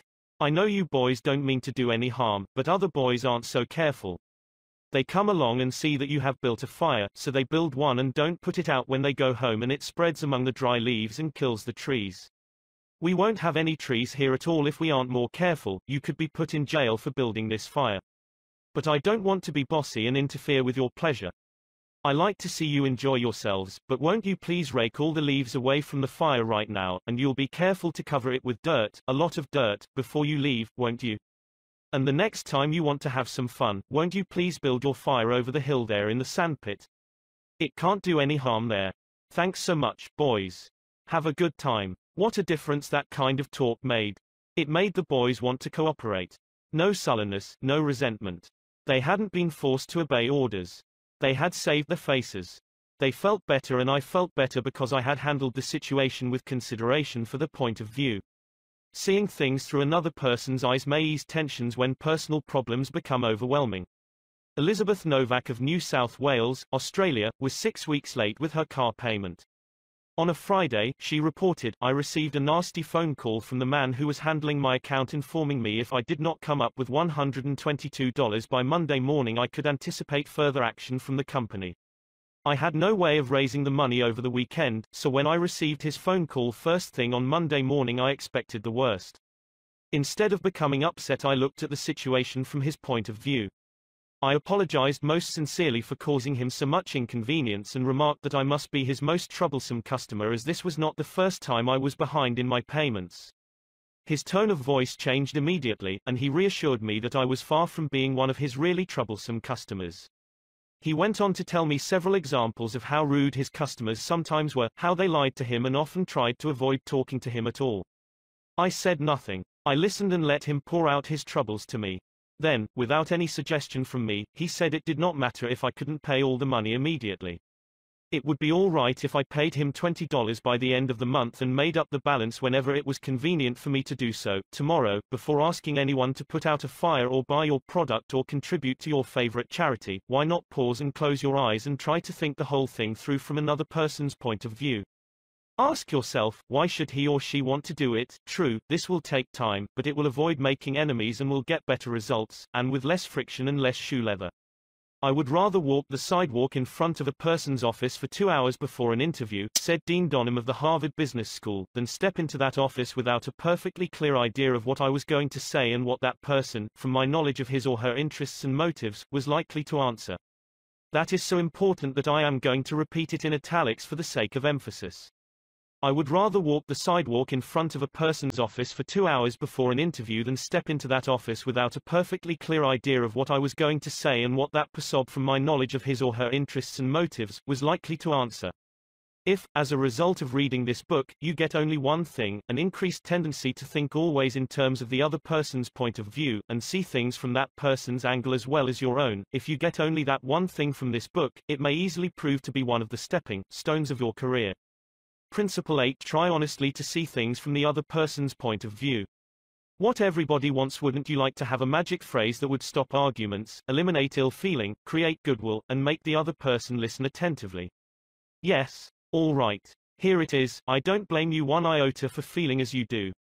If I were you I would undoubtedly feel just as you do, an answer like that will soften the most cantankerous old cuss alive. And you can say that and be 100% sincere, because if you were the other person you, of course, would feel just as he does. Take Al Capone, for example. Suppose you had inherited the same body and temperament and mind that Al Capone had. Suppose you had had his environment and experiences. You would then be precisely what he was, and where he was. For it is those things, and only those things, that made him what he was. The only reason, for example, that you are not a rattlesnake is that your mother and father weren't rattlesnakes. You deserve very little credit for being what you are, and remember, the people who come to you irritated, bigoted, unreasoning, deserve very little discredit for being what they are. Feel sorry for the poor devils. Pity them. Sympathize with them. Say to yourself, there, but for the grace of God, go I, three-fourths of the people you will ever meet are hungering and thirsting for sympathy. Give it to them, and they will love you. I once gave a broadcast about the author of Little Women, Louisa May Alcott. Naturally, I knew she had lived and written her immortal books in Concord, Massachusetts. But, without thinking what I was saying, I spoke of visiting her old home in Concord, New Hampshire. If I had said New Hampshire only once, it might have been forgiven. But, alas and alack. I said it twice, I was deluged with letters and telegrams, stinging messages that swirled around my defenseless head like a swarm of hornets. Many were indignant, a few insulting. One colonial dame, who had been reared in Concord, Massachusetts, and who was then living in Philadelphia, vented her scorching wrath upon me. She couldn't have been much more bitter if I had accused Miss Alcott of being a cannibal from New Guinea. As I read the letter, I said to myself, thank God, I am not married to that woman. I felt like writing and telling her that although I had made a mistake in geography, she had made a far greater mistake in common courtesy. That was to be just my opening sentence. Then I was going to roll up my sleeves and tell her what I really thought. But I didn't. I controlled myself. I realized that any hot-headed fool could do that, and that most fools would do just that. I wanted to be above fools. So I resolved to try to turn her hostility into friendliness. It would be a challenge, a sort of game one could play. I said to myself, after all, if I were she, I would probably feel just as she does, so, I determined to sympathize with her viewpoint. The next time I was in Philadelphia, I called her on the telephone. The conversation went something like this, me, Mrs. So-and-so, you wrote me a letter a few weeks ago, and I want to thank you for it. She, in incisive, cultured, well-bred tones, to whom have I the honor of speaking? Me, I am a stranger to you. My name is Dale Carnegie. You listened to a broadcast I gave about Louisa May Alcott a few Sundays ago, and I made the unforgivable blunder of saying that she had lived in Concord, New Hampshire. It was a stupid blunder, and I want to apologize for it. It was so nice of you to take the time to write me. She, I am sorry, Mr. Carnegie, that I wrote as I did. I lost my temper. I must apologize. Me, no, no. You are not the one to apologize, I am. Any school child would have known better than to have said what I said. I apologized over the air the following Sunday, and I want to apologize to you personally now. She, I was born in Concord, Massachusetts. My family has been prominent in Massachusetts affairs for two centuries, and I am very proud of my native state. I was really quite distressed to hear you say that Miss Alcott had lived in New Hampshire. But I am really ashamed of that letter. Me, I assure you that you were not one-tenth as distressed as I am. My error didn't hurt Massachusetts, but it did hurt me. It is so seldom that people of your standing and culture take the time to write people who speak on the radio, and I do hope you will write me again if you detect an error in my talks. She, you know, I really like very much the way you have accepted my criticism. You must be a very nice person. I should like to know you better. So, because I had apologized and sympathized with her point of view, she began apologizing and sympathizing with my point of view. I had the satisfaction of controlling my temper, the satisfaction of returning kindness for an insult. I got infinitely more real fun out of making her like me than I could ever have gotten out of telling her to go and take a jump in the Schuylkill River. Every man who occupies the White House is faced almost daily with thorny problems in human relations. President Taft was no exception, and he learned from experience the enormous chemical value of sympathy in neutralizing the acid of hard feelings. In his book Ethics in Service, Taft gives rather an amusing illustration of how he softened the ire of a disappointed and ambitious mother. A lady in Washington, wrote Taft, whose husband had some political influence, came and labored with me for six weeks or more to appoint her son to a position. She secured the aid of senators and congressmen in formidable number and came with them to see that they spoke with emphasis. The place was one requiring technical qualification and following the recommendation of the head of the bureau, I appointed somebody else. I then received a letter from the mother, saying that I was most ungrateful. Since I declined to make her a happy woman as I could have done by a turn of my hand. She complained further that she had labored with her state delegation and got all the votes for an administration bill in which I was especially interested and this was the way I had rewarded her. When you get a letter like that, the first thing you do is to think how you can be severe with a person who has committed an impropriety, or even been a little impertinent.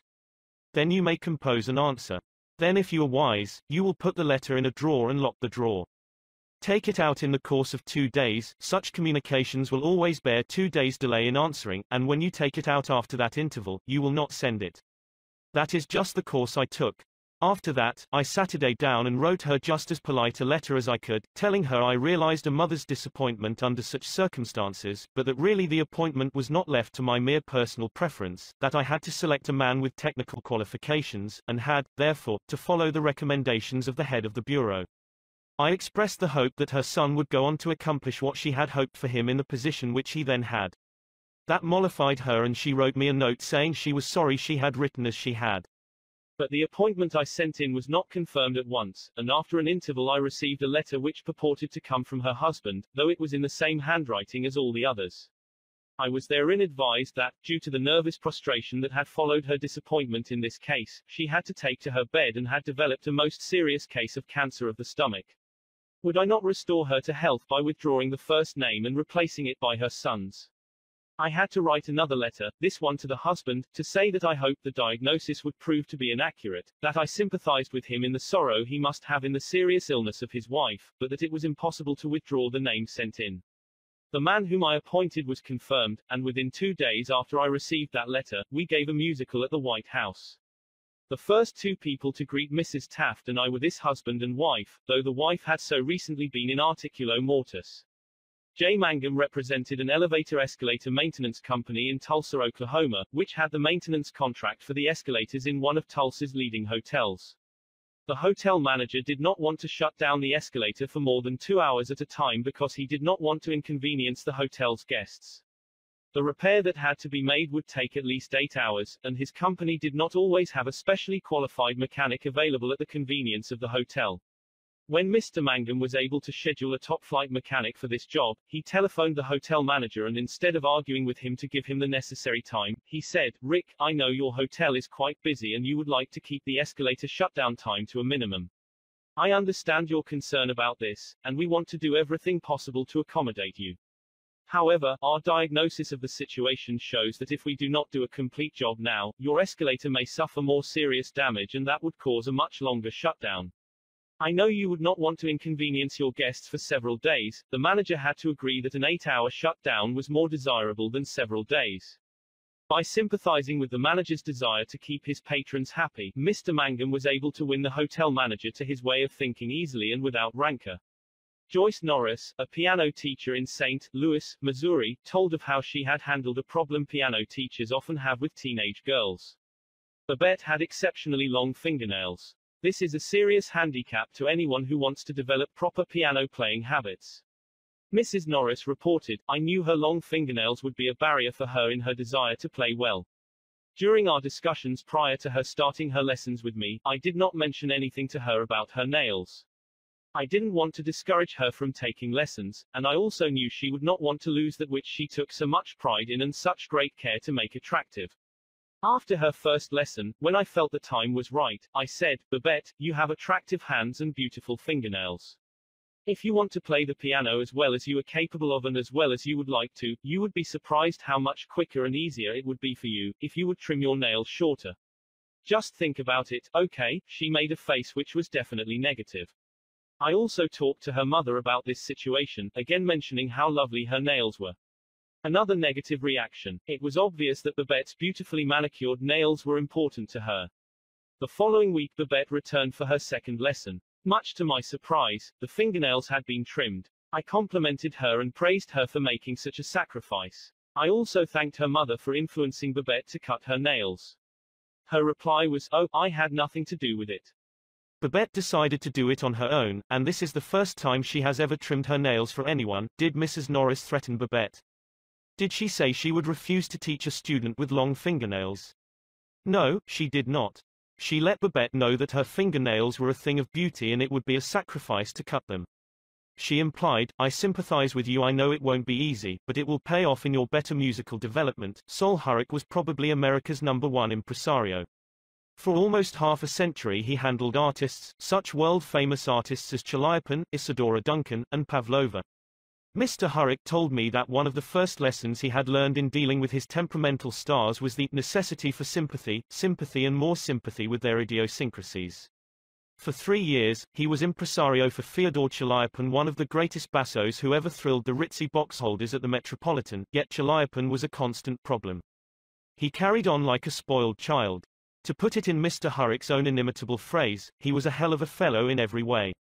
For example, Chaliapin would call up Mr. Hurok about noun of the day he was going to sing and say, Sol, I feel terrible. My throat is like raw hamburger. It is impossible for me to sing tonight, did Mr. Hurok argue with him? Oh, no. He knew that an entrepreneur couldn't handle artists that way. So he would rush over to Chaliapin's hotel, dripping with sympathy. What a pity, he would mourn. What a pity. My poor fellow. Of course, you cannot sing. I will cancel the engagement at once. It will only cost you a couple of thousand dollars, but that is nothing in comparison to your reputation. Then Chaliapin would sigh and say, perhaps you had better come over later in the day. Come at five and see how I feel then. At five o'clock, Mr. Hurok would again rush to his hotel, dripping with sympathy. Again he would insist on cancelling the engagement and again Chaliapin would sigh and say, well, maybe you had better come to see me later. I may be better then. At 7.30 the great basso would consent to sing, only with the understanding that Mr. Hurok would walk out on the stage of the Metropolitan and announce that Chaliapin had a very bad cold and was not in good voice. Mr. Hurok would lie and say he would do it, for he knew that was the only way to get the basso out on the stage. Dr. Arthur I. Gates said in his splendid book Educational Psychology, Sympathy the Human Species Universally Craves. The child eagerly displays his injury, or even inflicts a cut or bruise in order to reap abundant sympathy. For the same purpose adults, show their bruises, relate their accidents, illness, especially details of surgical operations. Self-pity for misfortunes real or imaginary is in some measure, practically a universal practice, so, if you want to win people to your way of thinking, put in practice, Principle 9 Be sympathetic with the other person's ideas and desires. An appeal that everybody likes I was reared on the edge of the Jesse James country out in Missouri, and first visited the James farm at Kearney, Missouri, where the son of Jesse James was then living. His wife told me stories of how Jesse robbed trains and held up banks and then gave money to the neighboring farmers to pay off their mortgages. Jesse James probably regarded himself as an idealist at heart, just as Dutch Schultz, Two Gun, Crowley, Al Capone and many other organized crime godfathers did generations later. The fact is that all people you meet have a high regard for themselves and like to be fine and unselfish in their own estimation. Pierpont Morgan observed, in one of his analytical interludes, that a person usually has two reasons for doing a thing, one that sounds good and a real one. The person himself will think of the real reason. You don't need to emphasize that. But all of us, being idealists at heart, like to think of motives that sound good. So, in order to change people, appeal to the nobler motives. Is that too idealistic to work in business? Let's see. Let's take the case of Hamilton J. Farrell of the Farrell Mitchell Company of Glenolden, Pennsylvania. Mr. Farrell had a disgruntled tenant who threatened to move. The tenant's lease still had four months to run, nevertheless, he served notice that he was vacating immediately, regardless of lease. These people had lived in my house all winter, the most expensive part of the year, Mr. Farrell said as he told the story to the class, and I knew it would be difficult to rent the apartment again before fall. I could see all that rent income going over the hill and believe me, I saw red. Now, ordinarily, I would have waded into that tenant and advised him to read his lease again. I would have pointed out that if he moved, the full balance of his rent would fall due at once, and that I could, and would, move to collect. However, instead of flying off the handle and making a scene, I decided to try other tactics. So I started like this, Mr. Doe, I said. I have listened to your story, and I still don't believe you intend to move. Years in the renting business have taught me something about human nature, and I sized you up in the first place as being a man of your word. In fact, I'm so sure of it that I'm willing to take a gamble. Now, here's my proposition. Lav your decision on the table for a few days and think it over. If you come back to me between now and the first of the month, when your rent is due, and tell me you still intend to move, I give you my word I will accept your decision as final. I will privilege you to move and admit to myself I've been wrong in my judgment. But I still believe you're a man of your word and will live up to your contract. For after all, we are either men or monkeys, and the choice usually lies with ourselves. Well, when the new month came around, this gentleman came to see me and paid his rent in person. He and his wife had talked it over, he said, and decided to stay. They had concluded that the only honorable thing to do was to live up to their lease. When the late Lord Northcliffe found a newspaper using a picture of him which he didn't want published, he wrote the editor a letter. But did he say, please do not publish that picture of me anymore, I don't like it? No, he appealed to a nobler motive. He appealed to the respect and love that all of us have for motherhood. He wrote, please do not publish that picture of me anymore. My mother doesn't like it. When John D. Rockefeller Jr. wished to stop newspaper photographers from snapping pictures of his children, he too appealed to the nobler motives. He didn't say, I don't want the pictures published, no, he appealed to the desire, deep in all of us, to refrain from harming children. He said, you know how it is, boys. You've got children yourselves, some of you. And you know it's not good for youngsters to get too much publicity. When Cyrus H. K. Curtis, the poor boy from Maine, was starting on his meteoric career, which was destined to make him millions as owner of the Saturday Evening Post and the Ladies' Home Journal, he couldn't afford to pay his contributors the prices that other magazines paid. He couldn't afford to hire first-class authors to write for money alone. So he appealed to their nobler motives. For example, he persuaded even Louisa May Alcott, the immortal author of Little Women, to write for him when she was at the flood tide of her fame, and he did it by offering to send a check for a hundred dollars, not to her, but to her favorite charity. Right here the skeptic may say, oh, that stuff is all right for Northcliffe and Rockefeller or a sentimental novelist. But, I'd like to see you make it work with the tough babies I have to collect bills from. You may be right. Nothing will work in all cases, and nothing will work with all people. If you are satisfied with the results you are now getting, why change? If you are not satisfied, why not experiment? At any rate, I think you will enjoy reading this true story told by James L. Thomas, a former student of mine. Six customers of a certain automobile company refused to pay their bills for servicing. None of the customers protested the entire bill, but each claimed that some one charge was wrong. In each case, the customer had signed for the work done, so the company knew it was right, and said so. That was the first mistake. Here are the steps the men in the credit department took to collect these overdue bills. Do you suppose they succeeded? 1. They called on each customer and told him bluntly that they had come to collect a bill that was long past due. 2. They made it very plain that the company was absolutely and unconditionally right, therefore he, the customer, was absolutely and unconditionally wrong. 3. They intimated that they, the company, knew more about automobiles than he could ever hope to know. So what was the argument about?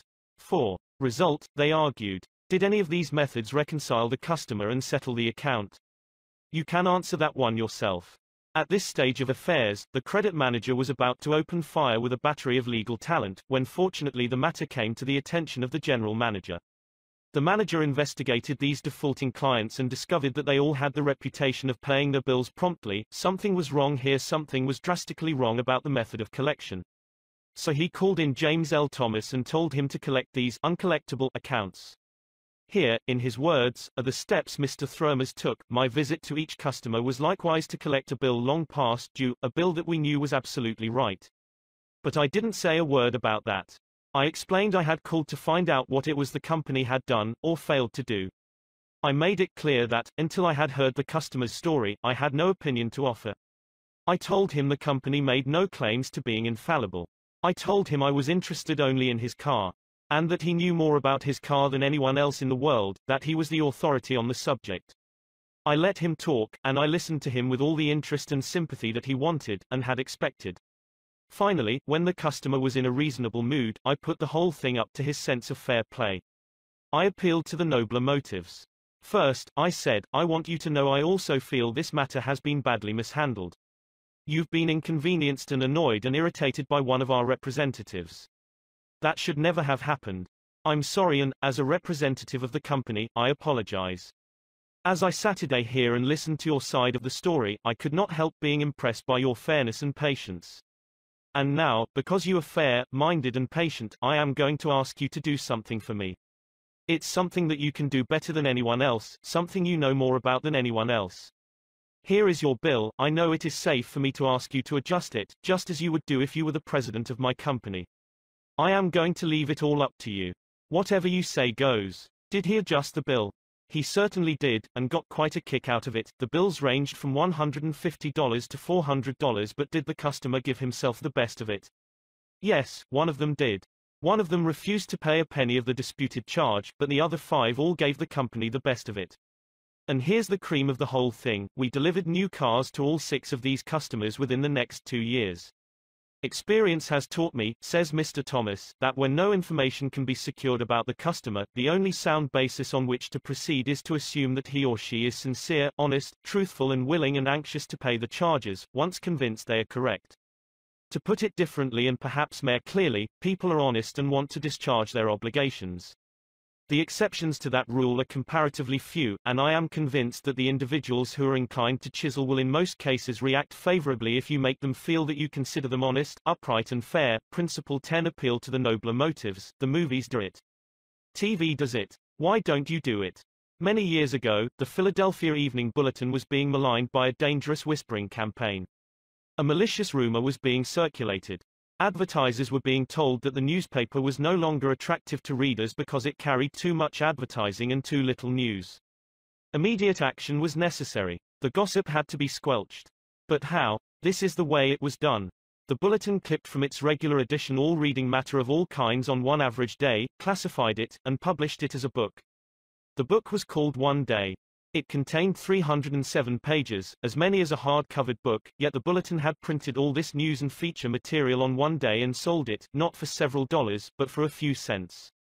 The printing of that book dramatized the fact that the bulletin carried an enormous amount of interesting reading matter. It conveyed the facts more vividly, more interestingly, more impressively, than pages of figures and mere talk could have done. This is the day of dramatization. Merely stating a truth isn't enough. The truth has to be made vivid, interesting, dramatic. You have to use showmanship. The movies do it. Television does it. And you will have to do it if you want attention. Experts in window display know the power of dramatization.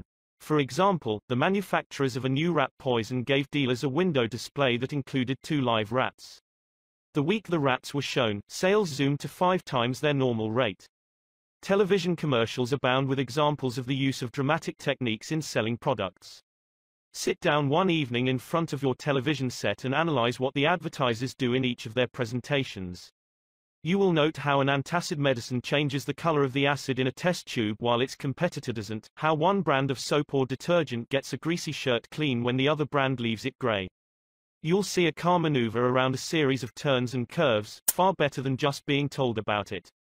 Happy faces will show contentment with a variety of products. All of these dramatize for the viewer the advantages offered by whatever is being sold, and they do get people to buy them. You can dramatize your ideas in business or in any other aspect of your life. It's easy. Jim Yeamans, who sells for the NCR Company National Cash Register in Richmond, Virginia, told how he made a sale by dramatic demonstration. Last week I called on a neighborhood grocer and saw that the cash registers he was using at his checkout counters were very old-fashioned. I approached the owner and told him, you are literally throwing away pennies every time a customer goes through your line. With that I threw a handful of pennies on the floor. He quickly became more attentive. The mere words should have been of interest to him. But the sound of pennies hitting the floor really stopped him. I was able to get an order from him to replace all of his old machines. It works in home life as well. When the old-time lover proposed to his sweetheart, did he just use words of love? No. He went down on his knees. That really showed he meant what he said. We don't propose on our knees anymore, but many suitors still set up a romantic atmosphere before they pop the question. Dramatizing what you want works with children as well. Joe B. Fant Jr. of Birmingham, Alabama, was having difficulty getting his five-year-old boy and three-year-old daughter to pick up their toys, so he invented a train. Joey was the engineer, Captain Casey Jones, on his tricycle. Janet's wagon was attached, and in the evening she loaded all the coal on the caboose, her wagon, and then jumped in while her brother drove her around the room. In this way the room was cleaned up, without lectures, arguments or threats. Mary Catherine Wolf of Mishawaka, Indiana, was having some problems at work and decided that she had to discuss them with the boss. On Monday morning she requested an appointment with him but was told he was very busy and she should arrange with his secretary for an appointment later in the week. The secretary indicated that his schedule was very tight, but she would try to fit her in. Ms. Wolf described what happened, I did not get a reply from her all week long. Whenever I questioned her, she would give me a reason why the boss could not see me. Friday morning came and I had heard nothing definite. I really wanted to see him and discuss my problems before the weekend, so I asked myself how I could get him to see me. What I finally did was this. I wrote him a formal letter. I indicated in the letter that I fully understood how extremely busy he was all week, but it was important that I speak with him. I enclosed a form letter and a self-addressed envelope and asked him to please fill it out or ask his secretary to do it and return it to me. The form letter read as follows, Ms. Wolf, I will be able to see you on at AM, PM. I will give you minutes of my time. I put this letter in his in basket at 11 a.m. At 2 p.m., I checked my mailbox. There was my self-addressed envelope. He had answered my form letter himself and indicated he could see me that afternoon and could give me 10 minutes of his time. I met with him, and we talked for over an hour and resolved my problems. If I had not dramatized to him the fact that I really wanted to see him, I would probably be still waiting for an appointment. James B. Boynton had to present a lengthy market report. His firm had just finished an exhaustive study for a leading brand of cold cream. Data were needed immediately about the competition in this market. The prospective customer was one of the biggest and most formidable men in the advertising business. And his first approach failed almost before he began. The first time I went in, Mr. Boynton explains, I found myself sidetracked into a futile discussion of the methods used in the investigation. He argued and I argued. He told me I was wrong, and I tried to prove that I was right. I finally won my point, to my own satisfaction, but my time was up, the interview was over, and I still hadn't produced results. The second time, I didn't bother with tabulations of figures and data, I went to see this man, I dramatized my facts. As I entered his office, he was busy on the phone. While he finished his conversation, I opened a suitcase and dumped 32 jars of cold cream on top of his desk, all products he knew, all competitors of his cream. On each jar, I had a tag itemizing the results of the trade investigation, and each tag told its story briefly, dramatically. What happened? There was no longer an argument. Here was something new, something different. He picked up first one and then another of the jars of cold cream and read the information on the tag. A friendly conversation developed. He asked additional questions. He was intensely interested. He had originally given me only 10 minutes to present my facts, but 10 minutes passed, 20 minutes, 40 minutes, and at the end of an hour we were still talking. I was presenting the same facts this time that I had presented previously. But this time I was using dramatization, showmanship, and what a difference it made. Principle 11 Dramatize your ideas. When nothing else works, try this. Charles Schwab had a mill manager whose people weren't producing the quota of work. How is it, Schwab asked him, that a manager as capable as you can't make this mill turn out what it should? I don't know, the manager replied. I've coaxed the men, I've pushed them, I've sworn and cussed, I've threatened them with damnation and being fired. But nothing works. They just won't produce. This conversation took place at the end of the day, just before the night shift came on. Schwab asked the manager for a piece of chalk, then, turning to the nearest man, asked, How many heats did your shift make today? Six. Without another word, Schwab chalked a big figure six on the floor, and walked away. When the night shift came in, they saw the six, and asked what it meant. The big boss was in here today, the day people said. He asked us how many heats we made, and we told him six. He chalked it down on the floor. The next morning Schwab walked through the mill again. The night shift had rubbed out six and replaced it with a big seven. When the day shift reported for work the next morning, they saw a big 7 chalked on the floor. So the night shift thought they were better than the day shift, did they? Well, they would show the night shift a thing or two. The crew pitched in with enthusiasm, and when they quit that night, they left behind them an enormous, swaggering 10 things were stepping up. Shortly this mill, which had been lagging way behind in production, was turning out more work than any other mill in the plant. The principle. Let Charles Schwab say it in his own words, the way to get things done, say Schwab, is to stimulate competition. I do not mean in a sordid, money-getting way, but in the desire to excel. The desire to excel. The challenge. Throwing down the gauntlet. An infallible way of appealing to people of spirit. Without a challenge, Theodore Roosevelt would never have been President of the United States. The Rough Rider, just back from Cuba, was picked for governor of New York State. The opposition discovered he was no longer a legal resident of the state, and Roosevelt, frightened, wished to withdraw. Then Thomas Collier Platt, then U.S. Senator from New York, threw down the challenge. Turning suddenly on Theodore Roosevelt, he cried in a ringing voice, Is the hero of San Juan Hill a coward? Roosevelt stayed in the fight, and the rest is history. A challenge not only changed his life, it had a real effect upon the future of his nation. All men have fears, but the brave put down their fears and go forward, sometimes to death, but always to victory, was the motto of the King's Guard in ancient Greece. What greater challenge can be offered than the opportunity to overcome those fears? When Al Smith was governor of New York, he was up against it. Sing Sing, at the time the most notorious penitentiary west of Devil's Island, was without a warden. Scandals had been sweeping through the pristine walls, scandals and ugly rumors. Smith needed a strong man to rule Sing Sing, an iron man. But who? He sent for Lewis E. Lawes of New Hampton. How about going up to take charge of Sing Sing, he said jovially when Lawes stood before him. They need a man up there with experience, Lawes was flabbergasted.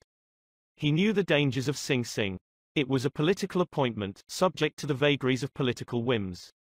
Wardens had come and gone, one had lasted only three weeks. He had a career to consider. Was it worth the risk? Then Smith, who saw his hesitation, leaned back in his chair and smiled. Young fellow, he said, I don't blame you for being scared. It's a tough spot. It'll take a big person to go up there and stay. So Smith was throwing down a challenge, was he? Lawes liked the idea of attempting a job that called for someone big, so he went. And he stayed. He stayed, to become the most famous warden of his time. His book 20,000 Years in Sing Sing sold into the hundred of thousands of copies. His broadcasts on the air and his stories of prison life have inspired dozens of movies. His humanizing of criminals wrought miracles in the way of prison reform. I have never found, said Harvey S. Firestone, founder of the great Firestone Tire and Rubber Company, that pay and pay alone would either bring together or hold good people. I think it was the game itself, Frederick Herzberg, one of the great behavioral scientists, concurred.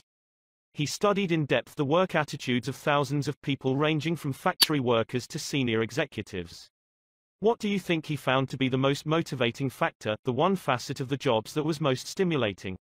Money, good working conditions, fringe benefits? No, not any of those. The one major factor that motivated people was the work itself. If the work was exciting and interesting, the worker looked forward to doing it and was motivated to do a good job. That is what every successful person loves, the game. The chance for self-expression. The chance to prove his or her worth, to excel, to win. That is what makes foot races and hog calling and pie eating contests.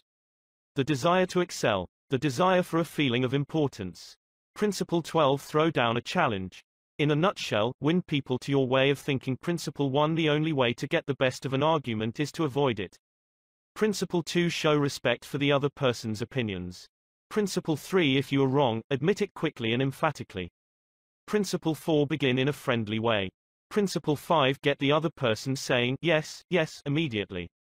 Principle 6 Let the other person do a great deal of the talking. Principle 7 Let the other person feel that the idea is his or hers. Principle 8 Try honestly to see things from the other person's point of view. Principle 9 Be sympathetic with the other person's ideas and desires. Principle 10 Appeal to the nobler motives. Principle 11 Dramatize your ideas. Principle 12 Throw down a challenge. Part 4, Be a leader, how to change people without giving offense or arousing resentment. If you must find fault, this is the way to begin. A friend of mine was a guest at the White House for a weekend during the administration of Calvin Coolidge. Drifting into the president's private office, he heard Coolidge say to one of his secretaries, That's a pretty dress you are wearing this morning, and you are a very attractive young woman. That was probably the most effusive praise Silent Cal had ever bestowed upon a secretary in his life. It was so unusual, so unexpected, that the secretary blushed in confusion. Then Coolidge said, Now, don't get stuck up. I just said that to make you feel good. From now on, I wish you would be a little bit more careful with your punctuation. His method was probably a bit obvious, but the psychology was superb. It is always easier to listen to unpleasant things after we have heard some praise of our good points. A barber lathers a man before he shaves him, and that is precisely what McKinley did back in 1896, when he was running for president. One of the prominent Republicans of that day had written a campaign speech that he felt was just a trifle better than Cicero and Patrick Henry and Daniel Webster all rolled into one. With great glee, this chap read his immortal speech aloud to McKinley. The speech had its fine points, but it just wouldn't do. It would have raised a tornado of criticism. McKinley didn't want to hurt the man's feelings. He must not kill the man's splendid enthusiasm, and yet he had to say, no, note how adroitly he did it. My friend, that is a splendid speech, a magnificent speech, McKinley said. No one could have prepared a better one. There are many occasions on which it would be precisely the right thing to say, but is it quite suitable to this particular occasion? Sound and sober as it is from your standpoint, I must consider its effect from the party's standpoint. Now you go home and write a speech along the lines I indicate, and send me a copy of it. He did just that. McKinley blue penciled and helped him rewrite his second speech, and he became one of the effective speakers of the campaign. Here is the second most famous letter that Abraham Lincoln ever wrote. His most famous one was written to Mrs. Bixby, expressing his sorrow for the death of the five sons she had lost in battle. Lincoln probably dashed this letter off in five minutes, yet it sold at public auction in 1926 for $12,000, and that, by the way, was more money than Lincoln was able to save during half a century of hard work. The letter was written to General Joseph Hooker on April 26, 1863, during the darkest period of the Civil War. For 18 months, Lincoln's generals had been leading the Union Army from one tragic defeat to another. Nothing but futile, stupid human butchery. The nation was appalled. Thousands of soldiers had deserted from the army, and then the Republican members of the Senate had revolted and wanted to force Lincoln out of the White House. We are now on the brink of destruction, Lincoln said. It appears to me that even the Almighty is against us. I can hardly see a ray of hope, such was the black sorrow and chaos out of which this letter came. I am printing the letter here because it shows how Lincoln tried to change an obstreperous general when the very fate of the nation could have depended upon the general's action. This is perhaps the sharpest letter Abe Lincoln wrote after he became president, yet you will note that he praised General Hooker before he spoke of his grave faults. Yes, they were grave faults, but Lincoln didn't call them that. Lincoln was more conservative, more diplomatic. Lincoln wrote, There are some things in regard to which I am not quite satisfied with you. Talk about tact and diplomacy. Here is the letter addressed to General Hooker. I have placed you at the head of the Army of the Potomac. Of course, I have done this upon what appears to me to be sufficient reasons, and yet I think it best for you to know that there are some things in regard to which I am not quite satisfied with you. I believe you to be a brave and skillful soldier, which, of course, I like. I also believe you do not mix politics with your profession, in which you are right. You have confidence in yourself, which is a valuable if not an indispensable quality.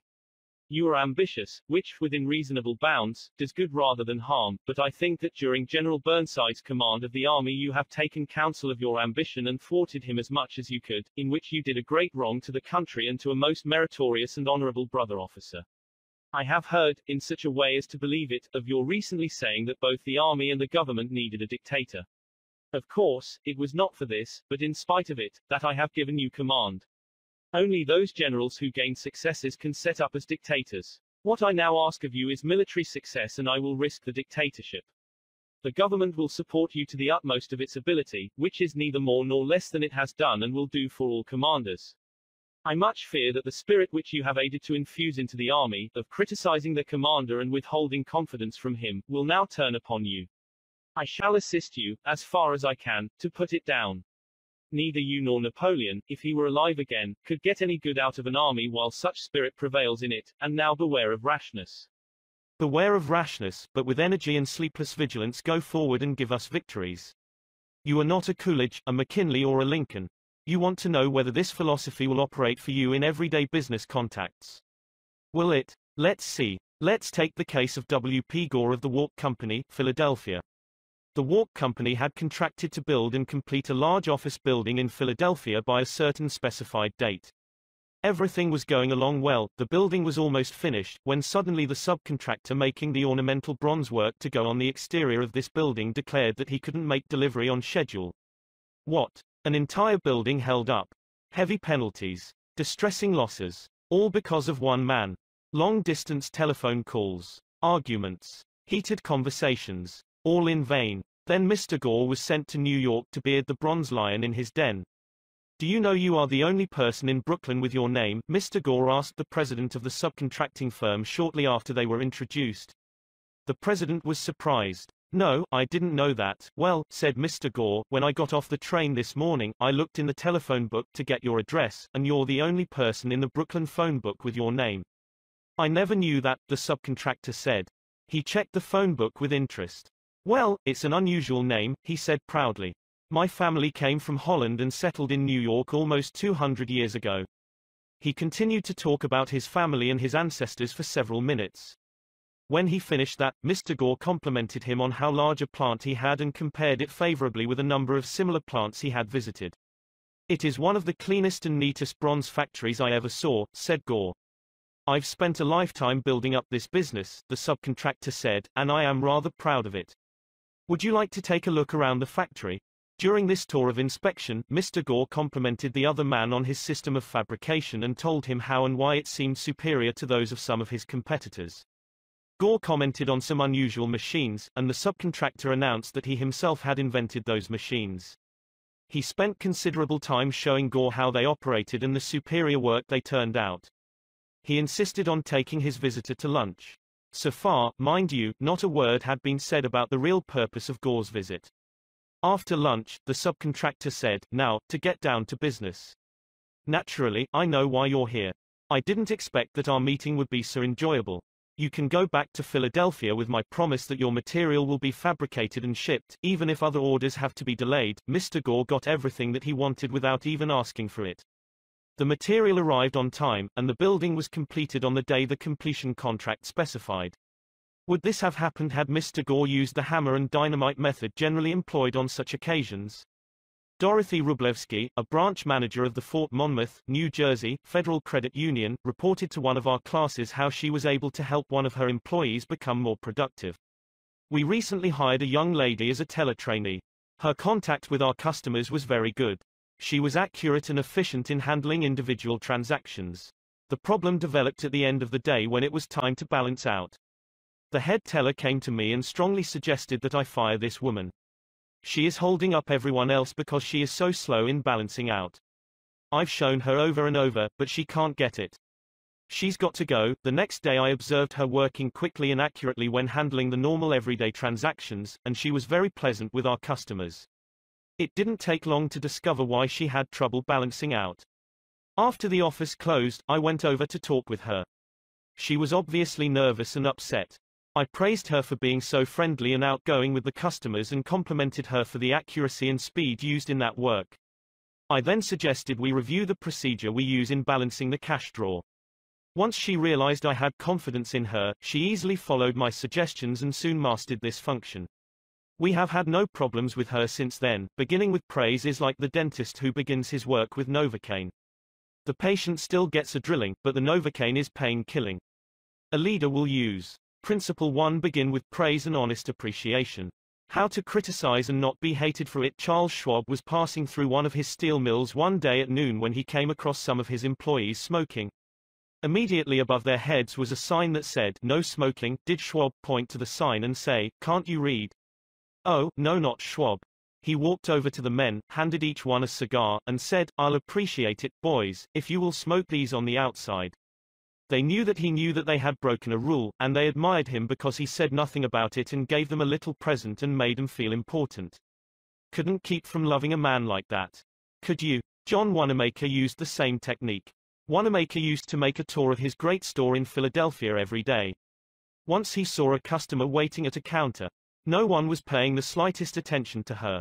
The salespeople. Oh, they were in a huddle at the far end of the counter laughing and talking among themselves. Wanamaker didn't say a word. Quietly slipping behind the counter, he waited on the woman himself and then handed the purchase to the salespeople to be wrapped as he went on his way. Public officials are often criticized for not being accessible to their constituents. They are busy people, and the fault sometimes lies in overprotective assistants who don't want to overburden their bosses with too many visitors. Carl Langford, who has been mayor of Orlando, Florida, the home of Disney World, for many years, frequently admonished his staff to allow people to see him. Claimed he had an open door policy, yet the citizens of his community were blocked by secretaries and administrators when they called. Finally the mayor found the solution. He removed the door from his office. His aides got the message, and the mayor has had a truly open administration since the day his door was symbolically thrown away. Simply changing one three-letter word can often spell the difference between failure and success in changing people without giving offense or arousing resentment. Many people begin their criticism with sincere praise followed by the word but and ending with a critical statement. For example, in trying to change a child's careless attitude toward studies, we might say, we're really proud of you, Johnny, for raising your grades this term. But if you had worked harder on your algebra, the results would have been better. In this case, Johnny might feel encouraged until he heard the word but. He might then question the sincerity of the original praise. To him, the praise seemed only to be a contrived lead into a critical inference of failure credibility would be strained, and we probably would not achieve our objectives of changing Johnny's attitude toward his studies. This could be easily overcome by changing the word but to and we're really proud of you, Johnny, for raising your grades this term, and by continuing the same conscientious efforts next term, your algebra grade can be up with all the others. Now, Johnny would accept the praise because there was no follow-up of an inference of failure. We have called his attention to the behavior we wish to change indirectly and the chances are he will try to live up to our expectations. Calling attention to one's mistakes indirectly works wonders with sensitive people who may resent bitterly any direct criticism. Marge Jacob of Woonsocket, Rhode Island, told one of our classes how she convinced some sloppy construction workers to clean up after themselves when they were building additions to her house. For the first few days of the work, when Mrs. Jacob returned from her job, she noticed that the yard was strewn with the cut ends of lumber. She didn't want to antagonize the builders, because they did excellent work. So after the workers had gone home, she and her children picked up and neatly piled all the lumber debris in a corner. The following morning she called the foreman to one side and said, I'm really pleased with the way the front lawn was left last night, it is nice and clean and does not offend the neighbors. From that day forward the workers picked up and piled the debris to one side, and the foreman came in each day seeking approval of the condition the lawn was left in after a day's work. One of the major areas of controversy between members of the Army Reserves and their regular Army trainers is haircuts. The reservists consider themselves civilians, which they are most of the time, and resent having to cut their hair short. Master Sergeant Harley Kaiser of the 542nd USAR School addressed himself to this problem when he was working with a group of reserve non-commissioned officers. As an old-time regular Army Master Sergeant, he might have been expected to yell at his troops and threaten them. Instead he chose to make his point indirectly. Gentlemen, he started, you are leaders. You will be most effective when you lead by example. You must be the example for your men to follow. You know what the army regulations say about haircuts. I am going to get my hair cut today, although it is still much shorter than some of yours. You look at yourself in the mirror, and if you feel you need a haircut to be a good example, we'll arrange time for you to visit the post barbership. The result was predictable. Several of the candidates did look in the mirror and went to the barbershop that afternoon and received regulation haircuts. Sergeant Kaiser commented the next morning that he already could see the development of leadership qualities in some of the members of the squad. On March 8, 1887, the eloquent Henry Ward Beecher died. The following Sunday, Lyman Abbott was invited to speak in the pulpit left silent by Beecher's passing. Eager to do his best, he wrote, rewrote and polished his sermon with the meticulous care of a Flaubert. Then he read it to his wife. It was poor, as most written speeches are. She might have said, if she had had less judgment, Lyman, that is terrible. That'll never do. You'll put people to sleep. It reads like an encyclopedia. You ought to know better than that after all the years you have been preaching. For heaven's sake, why don't you talk like a human being? Why don't you act natural? You'll disgrace yourself if you ever read that stuff, that's what she might have said. And, if she had, you know what would have happened. And she knew too. So, she merely remarked that it would make an excellent article for the North American Review. In other words, she praised it and at the same time subtly suggested that it wouldn't do as a speech. Lyman Abbott saw the point, tore up his carefully prepared manuscript and preached without even using notes. An effective way to correct others' mistakes is Principle 2 Call attention to people's mistakes indirectly when necessary. Talk about your own mistakes for my niece, Josephine Carnegie, had come to New York to be my secretary. She was 19, had graduated from high school three years previously, and her business experience was a trifle more than zero. She became one of the most proficient secretaries west of Suez, but in the beginning, she was, well, susceptible to improvement. One day when I started to criticize her, I said to myself, just a minute, Dale Carnegie, just a minute. You are twice as old as Josephine. You have had 10,000 times as much business experience. How can you possibly expect her to have your viewpoint, your judgment, your initiative, mediocre though they may be? And just a minute, Dale, what were you doing at 19? Remember the asinine mistakes and blunders you made. Remember the time you did this, and that. After thinking the matter over, honestly and impartially, I concluded that Josephine's batting average at 19 was better than mine had been, and that, I'm sorry to confess, isn't paying Josephine much of a compliment. So, after that, when I wanted to call Josephine's attention to a mistake, I used to begin by saying, You have made a mistake, Josephine, but the Lord knows, it's no worse than many I have made. You were not born with judgment. That comes only with experience, and you are better than I was at your age. I have been guilty of so many stupid, silly things myself, I have very little inclination to criticize you or anyone. But don't you think it would have been wiser if you had done so and so? It isn't nearly so difficult to listen to a recital of your faults if the person criticizing begins by humbly admitting that he, too, is far from impeccable. E. G. Dillistone, an engineer in Brandon, Manitoba, Canada, was having problems with his new secretary. Letters he dictated were coming to his desk for signature with two or three spelling mistakes per page. Mr. Dillistone reported how he handled this, like many engineers, I have not been noted for my excellent English or spelling. For years I have kept a little black thumb, index book for words I had trouble spelling.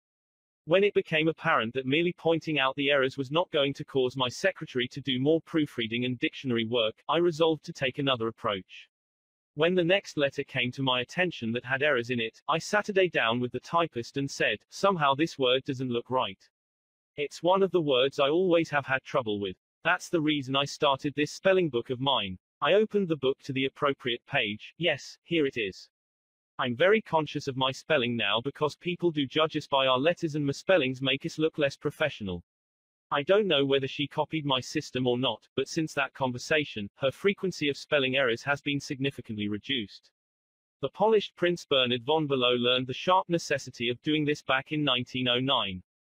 Von Bülow was then the imperial chancellor of Germany, and on the throne Saturday Wilhelm II Wilhelm, the haughty, Wilhelm the arrogant, Wilhelm, the last of the German Kaisers, building an army and navy that he boasted could whip their weight in wildcats then an astonishing thing happened. The Kaiser said things, incredible things, things that rocked the continent and started a series of explosions heard around the world. To make matters infinitely worse, the Kaiser made silly, egotistical, absurd announcements in public. He made them while he was a guest in England, and he gave his royal permission to have them printed in the Daily Telegraph. For example, he declared that he was the only German who felt friendly toward the English, that he was constructing a navy against the menace of Japan, that he, and he alone, had saved England from being humbled in the dust by Russia and France, that it had been his campaign plan that enabled England's Lord Roberts to defeat the Boers in South Africa, and so on and on. No other such amazing words had ever fallen from the lips of a European king in peacetime within a hundred years. The entire continent buzzed with the fury of a hornet's nest. England was incensed. German statesmen were aghast. And in the midst of all this consternation, the Kaiser became panicky and suggested to Prince von Bülow, the imperial chancellor, that he take the blame. Yes, he wanted von Bülow to announce that it was all his responsibility, that he had advised his monarch to say these incredible things. But your majesty, von Bülow protested, it seems to me utterly impossible that anybody either in Germany or England could suppose me capable of having advised your majesty to say any such thing. The moment those words were out of von Bülow's mouth, he realized he had made a grave mistake. The Kaiser blew up. You consider me a donkey, he shouted, capable of blunders you yourself could never have committed. Von Bülows knew that he ought to have praised before he condemned, but since that was too late, he did the next best thing. He praised after he had criticized. And it worked a miracle. I'm far from suggesting that, he answered respectfully. Your Majesty surpasses me in MANV respects, not only of course, in naval and military knowledge but above all, in natural science. I have often listened in admiration when Your Majesty explained the barometer, or wireless telegraphy, or the Röntgen rays. I am shamefully ignorant of all branches of natural science, have no notion of chemistry or physics, and am quite incapable of explaining the simplest of natural phenomena. But, von Bülow continued, in compensation, I possess some historical knowledge and perhaps certain qualities useful in politics, especially in diplomacy. The Kaiser beamed. Von Bülow had praised him. Von Bülow had exalted him and humbled himself. The Kaiser could forgive anything after that. Haven't I always told you, he exclaimed with enthusiasm, that we complete one another famously. We should stick together, and we will. He shook hands with von Bülow, not once, but several times. And later in the day he waxed so enthusiastic that he exclaimed with doubled fists, If anyone says anything to me against Prince von Bülow, I shall punch him in the nose. Von Bülow saved himself in time, but, canny diplomat that he was, he nevertheless had made one error, he should have begun by talking about his own shortcomings and Wilhelm's superiority, not by intimating that the Kaiser was a half-wit in need of a guardian. If a few sentences humbling oneself and praising the other party can turn a haughty, insulted Kaiser into a staunch friend, imagine what humility and praise can do for you and me in our daily contacts. Rightfully used, they will work veritable miracles in human relations. Admitting one's own mistakes, even when one hasn't corrected them, can help convince somebody to change his behavior. This was illustrated more recently by Clarence Zerhusen of Timonium, Maryland, when he discovered his 15-year-old son was experimenting with cigarettes. Naturally, I didn't want David to smoke, Mr. Zerhusen told us, but his mother and I smoked cigarettes, we were giving him a bad example all the time. I explained to Dave how I started smoking at about his age and how the nicotine had gotten the best of me and now it was nearly impossible for me to stop. I reminded him how irritating my cough was and how he had been after me to give up cigarettes not many years before. I didn't exhort him to stop or make threats or warn him about the dangers. All I did was point out how I was hooked on cigarettes and what it had meant to me. He thought about it for a while and decided he wouldn't smoke until he had graduated from high school. As the years went by David never did start smoking and has no intention of ever doing so. As a result of that conversation I made the decision to stop smoking cigarettes myself, and with the support of my family, I have succeeded. A good leader follows this principle. Principle 3 Talk about your own mistakes before criticizing the other person. No one likes to take orders. I once had the pleasure of dining with Miss Ida Tarbell, the Dean of American Biographers. When I told her I was writing this book, we began discussing this all-important subject of getting along with people, and she told me that while she was writing her biography of Owen D. Young, she interviewed a man who had Saturday for three years in the same office with Mr. Young. This man declared that during all that time he had never heard Owen D. Young give a direct order to anyone. He always gave suggestions, not orders. Owen D. Young never said, for example, do this or do that, or don't do this or don't do that. He would say, you might consider this, or, do you think that would work? Frequently he would say, after he had dictated a letter, what do you think of this? In looking over a letter of one of his assistants, he would say, maybe if we were to phrase it this way it would be better. He always gave people the opportunity to do things themselves. He never told his assistants to do things. He let them do them, let them learn from their mistakes. A technique like that makes it easy for a person to correct errors. A technique like that saves a person's pride and gives him or her a feeling of importance. It encourages cooperation instead of rebellion. Resentment caused by a brash order may last a long time even if the order was given to correct an obviously bad situation. Dan Santarelli, a teacher at a vocational school in Wyoming, Pennsylvania, told one of our classes how one of his students had blocked the entranceway to one of the school's shops by illegally parking his car in it. One of the other instructors stormed into the classroom and asked in an arrogant tone, whose car is blocking the driveway? When the student who owned the car responded, the instructor screamed, move that car and move it right now, or I'll wrap a chain around it and drag it out of there. Now that student was wrong. The car should not have been parked there. But from that day on, not only did that student resent the instructor's action, but all the students in the class did everything they could to give the instructor a hard time and make his job unpleasant. How could he have handled it differently? If he had asked in a friendly way, whose car is in the driveway, and then suggested that if it were moved, other cars could get in and out. The student would have gladly moved it and neither he nor his classmates would have been upset and resentful. Asking questions not only makes an order more palatable, it often stimulates the creativity of the persons whom you ask. People are more likely to accept an order if they have had a part in the decision that caused the order to be issued. When Ian MacDonald of Johannesburg, South Africa, the general manager of a small manufacturing plant specializing in precision machine parts, had the opportunity to accept a very large order, he was convinced that he would not meet the promised delivery date. The work already scheduled in the shop and the short completion time needed for this order made it seem impossible for him to accept the order. Instead of pushing his people to accelerate their work and rush the order through, he called everybody together, explained the situation to them, and told them how much it would mean to the company and to them if they could make it possible to produce the order on time. Then he started asking questions. Is there anything we can do to handle this order? Can anyone think of different ways to process it through the shop that will make it possible to take the order? Is there any way to adjust our hours or personnel assignments that would help? The employees came up with many ideas and insisted that he take the order. They approached it with a we can do it attitude, and the order was accepted, produced and delivered on time. An effective leader will use Principle 4 Ask questions instead of giving direct orders. Let the other person save face years ago the General Electric Company was faced with the delicate task of removing Charles Steinmetz from the head of a department. Steinmetz, a genius of the first magnitude when it came to electricity, was a failure as the head of the calculating department.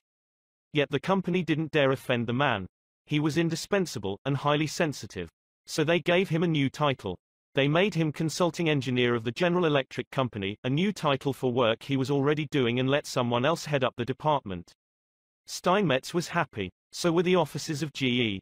They had gently maneuvered their most temperamental star, and they had done it without a storm, by letting him save face. Letting one save face. How important, how vitally important that is. And how few of us ever stop to think of it. We ride roughshod over the feelings of others, getting our own way, finding fault, issuing threats, criticizing a child or an employee in front of others, without even considering the hurt to the other person's pride. Whereas a few minutes thought, a considerate word or two, a genuine understanding of the other person's attitude, would go so far toward alleviating the sting. Let's remember that the next time we are faced with the distasteful necessity of discharging or reprimanding an employee. Firing employees is not much fun. Getting fired is even less fun. I'm quoting now from a letter written me by Marshall A. Granger, a certified public accountant. Our business is mostly seasonal. Therefore we have to let a lot of people go after the income tax rush is over. It's a byword in our profession that no one enjoys wielding the axe. Consequently, the custom has developed of getting it over as soon as possible, and usually in the following way, sit down, Mr. Smith. The season's over, and we don't seem to see any more assignments for you. Of course, you understood you were only employed for the busy season anyhow, etc., etc. The effect on these people is one of disappointment and a feeling of being let down. Most of them are in the accounting field for life, and they retain no particular love for the firm that drops them so casually. I recently decided to let our seasonal personnel go with a little more tact and consideration. So I call each one in only after carefully thinking over his or her work during the winter. And I've said something like this, Mr. Smith, you've done a fine job, if he has. That time we sent you to Newark, you had a tough assignment. You were on the spot, but you came through with flying colors, and we want you to know the firm is proud of you. You've got the stuff, you're going a long way, wherever you're working. This firm believes in you, and is rooting for you, and we don't want you to forget it, effect. The people go away feeling a lot better about being fired. They don't feel let down, they know if we had work for them, we'd keep them on. And when we need them again, they come to us with a keen personal affection. At one session of our course, two class members discussed the negative effects of fault finding versus the positive effects of letting the other person save face. Fred Clark of Harrisburg, Pennsylvania, told of an incident that occurred in his company. At one of our production meetings, a vice president was asking very pointed questions of one of our production supervisors regarding a production process. His tone of voice was aggressive and aimed at pointing out faulty performance on the part of the supervisor. Not wanting to be embarrassed in front of his peers, the supervisor was evasive in his responses. This caused the vice president to lose his temper, berate the supervisor and accuse him of lying. Any working relationship that might have existed prior to this encounter was destroyed in a few brief moments. This supervisor, who was basically a good worker, was useless to our company from that time on. A few months later he left our firm and went to work for a competitor, where I understand he is doing a fine job. Another class member, Anna Mazzone, related how a similar incident had occurred at her job, but what a difference in approach and results. Ms. Mazzone, a marketing specialist for a food packer, was given her first major assignment, the test marketing of a new product. She told the class, when the results of the test came in, I was devastated. I had made a serious error in my planning, and the entire test had to be done all over again. To make this worse, I had no time to discuss it with my boss before the meeting in which I was to make my report on the project. When I was called on to give the report, I was shaking with fright. I had all I could do to keep from breaking down, but I resolved I would not cry and have all those men make remarks about women not being able to handle a management job because they are too emotional. I made my report briefly and stated that due to an error I would repeat the study before the next meeting. I Saturday down, expecting my boss to blow up. Instead, he thanked me for my work and remarked that it was not unusual for a person to make an error on a new project and that he had confidence that the repeat survey would be accurate and meaningful to the company. He assured me, in front of all my colleagues, that he had faith in me and I knew I had done my best, and that my lack of experience, not my lack of ability, was the reason for the failure. I left that meeting with my head in the air and with the determination that I would never let that boss of mine down again, even if we are right and the other person is definitely wrong. We only destroy ego by causing someone to lose face. The legendary French aviation pioneer and author Antoine de Saint-Exupéry wrote, I have no right to say or do anything that diminishes a man in his own eyes. What matters is not what I think of him, but what he thinks of himself. Hurting a man in his dignity is a crime. A real leader will always follow. Principle 5 Let the other person save face. How to spur people on to success Pete Barlow was an old friend of mine. He had a dog and pony act and spent his life traveling with circuses and vaudeville shows. I loved to watch Pete train new dogs for his act. I noticed that the moment a dog showed the slightest improvement, Pete patted and praised him and gave him meat and made a great to-do about it. That's nothing new. Animal trainers have been using that same technique for centuries. Why, I wonder, don't we use the same common sense when trying to change people that we use when trying to change dogs? Why don't we use meat instead of a whip? Why don't we use praise instead of condemnation? Let us praise even the slightest improvement. That inspires the other person to keep on improving. In his book I Ain't Much, Baby But I'm All I Got, the psychologist Jess Lair comments, praise is like sunlight to the warm human spirit, we cannot flower and grow without it. And yet, while most of us are only too ready to apply to others the cold wind of criticism, we are somehow reluctant to give our fellow the warm sunshine of praise. Asterisk, asterisk, Jess Lair, I ain't much, baby, but I'm all I got. Greenwich, Con, Fawcett, 1976, p.248. I can look back at my own life and see where a few words of praise have sharply changed my entire future. Can't you say the same thing about your life? History is replete with striking illustrations of the sheer witchery rays. For example, many years ago a boy of 10 was working in a factory in Naples, he longed to be a singer, but his first teacher discouraged him. You can't sing, he said. You haven't any voice at all. It sounds like the wind in the shutters. But his mother, a poor peasant woman, put her arms about him and praised him and told him she knew he could sing, she could already see an improvement, and she went barefoot in order to save money to pay for his music lessons. That peasant mother's praise and encouragement changed that boy's life. His name was Enrico Caruso, and he became the greatest and most famous opera singer of his age. In the early 19th century, a young man in London aspired to be a writer. But everything seemed to be against him. He had never been able to attend school more than four years. His father had been flung in jail because he couldn't pay his debts, and this young man often knew the pangs of hunger.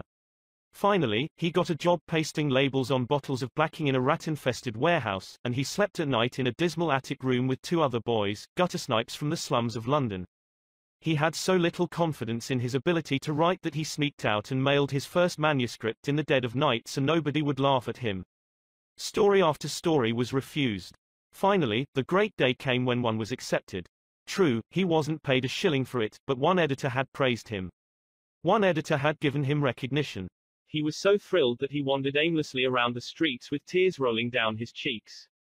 The praise, the recognition, that he received through getting one story in print, changed his whole life, for if it hadn't been for that encouragement, he might have spent his entire life working in rat-infested factories. You may have heard of that boy. His name was Charles Dickens. Another boy in London made his living as a clerk in a dry goods store. He had to get up at 5 o'clock, sweep out the store, and slave for 14 hours a day. It was sheer drudgery and he despised it. After two years, he could stand it no longer, so he got up one morning and, without waiting for breakfast, tramped 15 miles to talk to his mother, who was working as a housekeeper. He was frantic. He pleaded with her. He wept. He swore he would kill himself if he had to remain in the shop any longer. Then he wrote a long, pathetic letter to his old schoolmaster, declaring that he was heartbroken, that he no longer wanted to live. His old schoolmaster gave him a little praise and assured him that he really was very intelligent and fitted for finer things and offered him a job as a teacher. That praise changed the future of that boy and made a lasting impression on the history of English literature. For that boy went on to write innumerable best-selling books and made over a million dollars with his pen. You've probably heard of him. His name, H.G. Wells. Use of praise instead of criticism is the basic concept of B.F. Skinner's teachings. This great contemporary psychologist has shown by experiments with animals and with humans that when criticism is minimized and praise emphasized, the good things people do will be reinforced and the poorer things will atrophy for lack of attention. John Ringelspaugh of Rocky Mount, North Carolina, used this in dealing with his children. It seemed that, as in so many families, mother and dad's chief form of communication with the children was yelling at them. And, as in so many cases, the children became a little worse rather than better after each such session, and so did the parents. There seemed to be no end in sight for this problem. Mr. Ringelspaugh determined to use some of the principles he was learning in our course to solve this situation. He reported, we decided to try praise instead of harping on their faults. It wasn't easy when all we could see were the negative things they were doing, it was really tough to find things to praise. We managed to find something, and within the first day or two some of the really upsetting things they were doing quit happening. Then some of their other faults began to disappear. They began capitalizing on the praise we were giving them. They even began going out of their way to do things right. Neither of us could believe it. Of course, it didn't last forever, but the norm reached after things leveled off was so much better. It was no longer necessary to react the way we used to. The children were doing far more right things than wrong ones, all of this was a result of praising the slightest improvement in the children rather than condemning everything they did wrong. This works on the job too.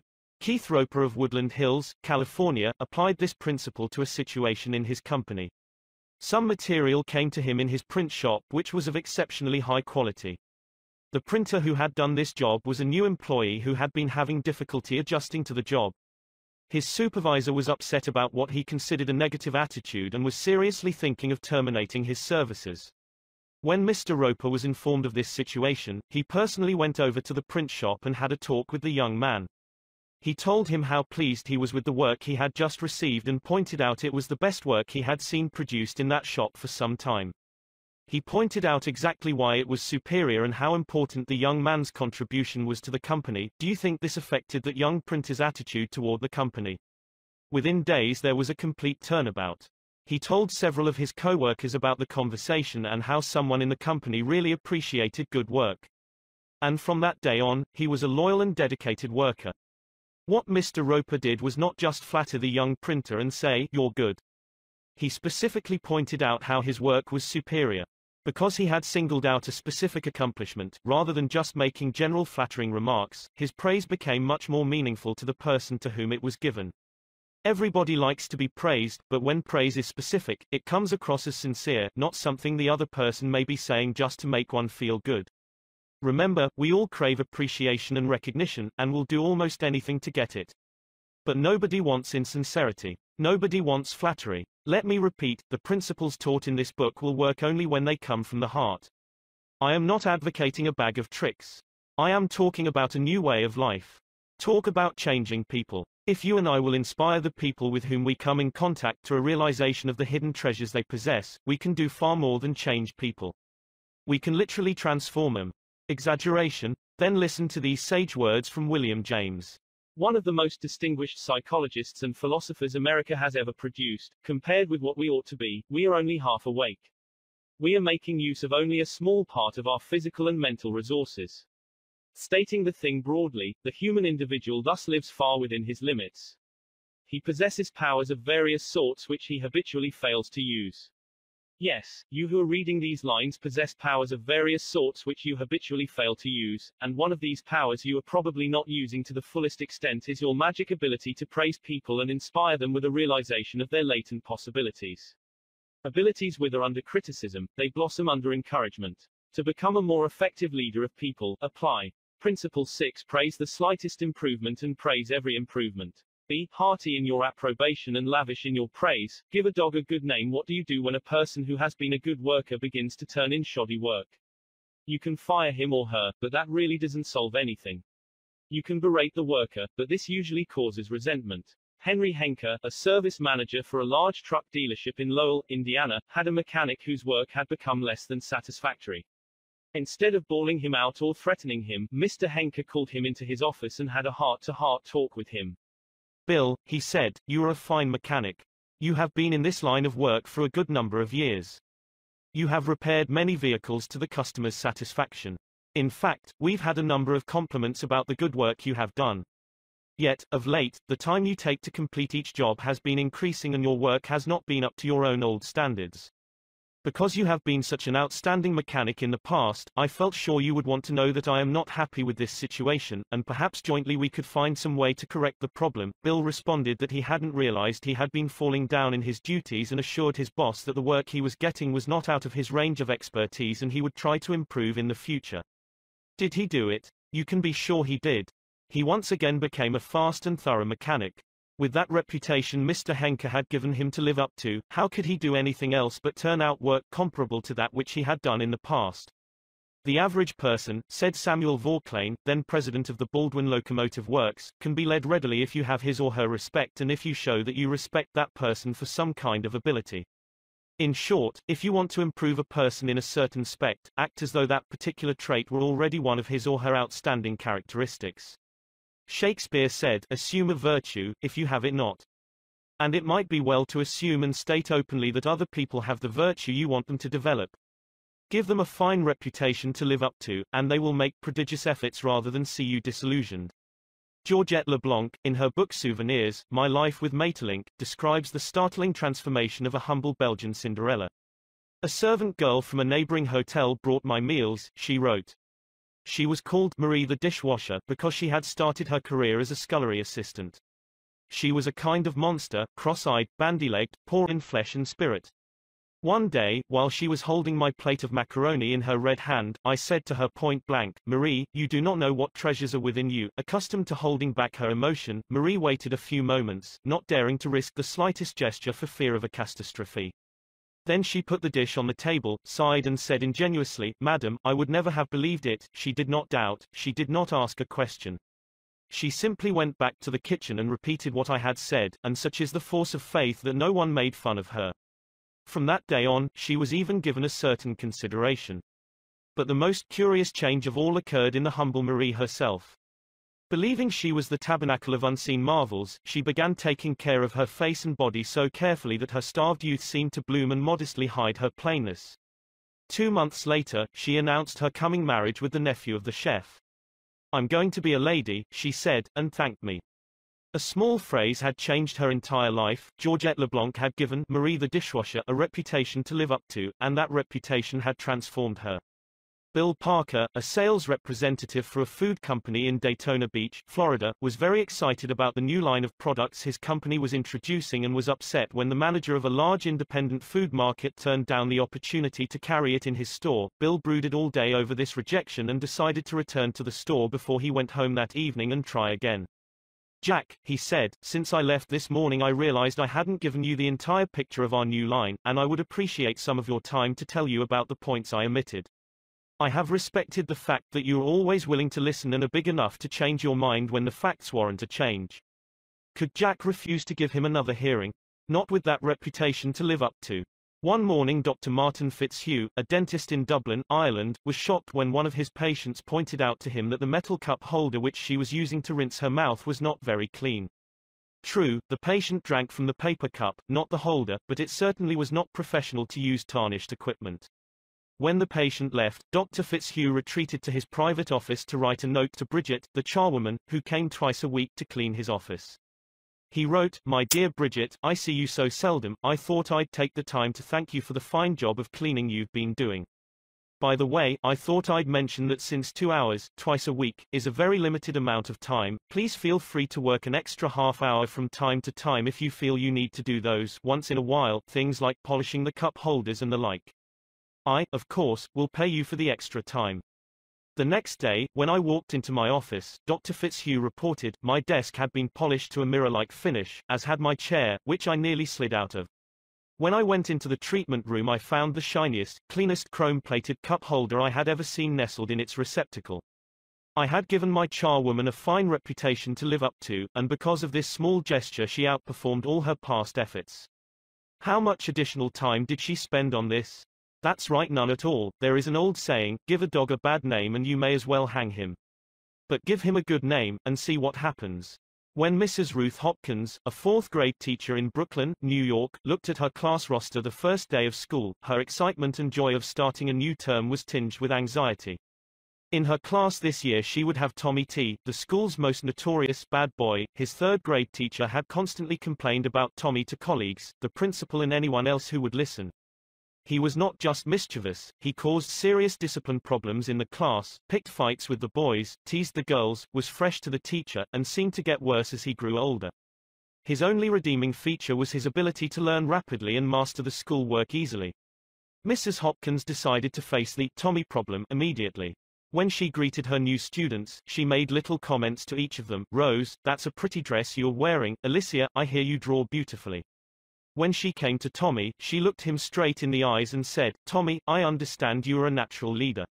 I'm going to depend on you to help me make this class the best class in the fourth grade this year. She reinforced this over the first few days by complimenting Tommy on everything he did and commenting on how this showed what a good student he was. With that reputation to live up to, even a nine-year-old couldn't let her down, and he didn't.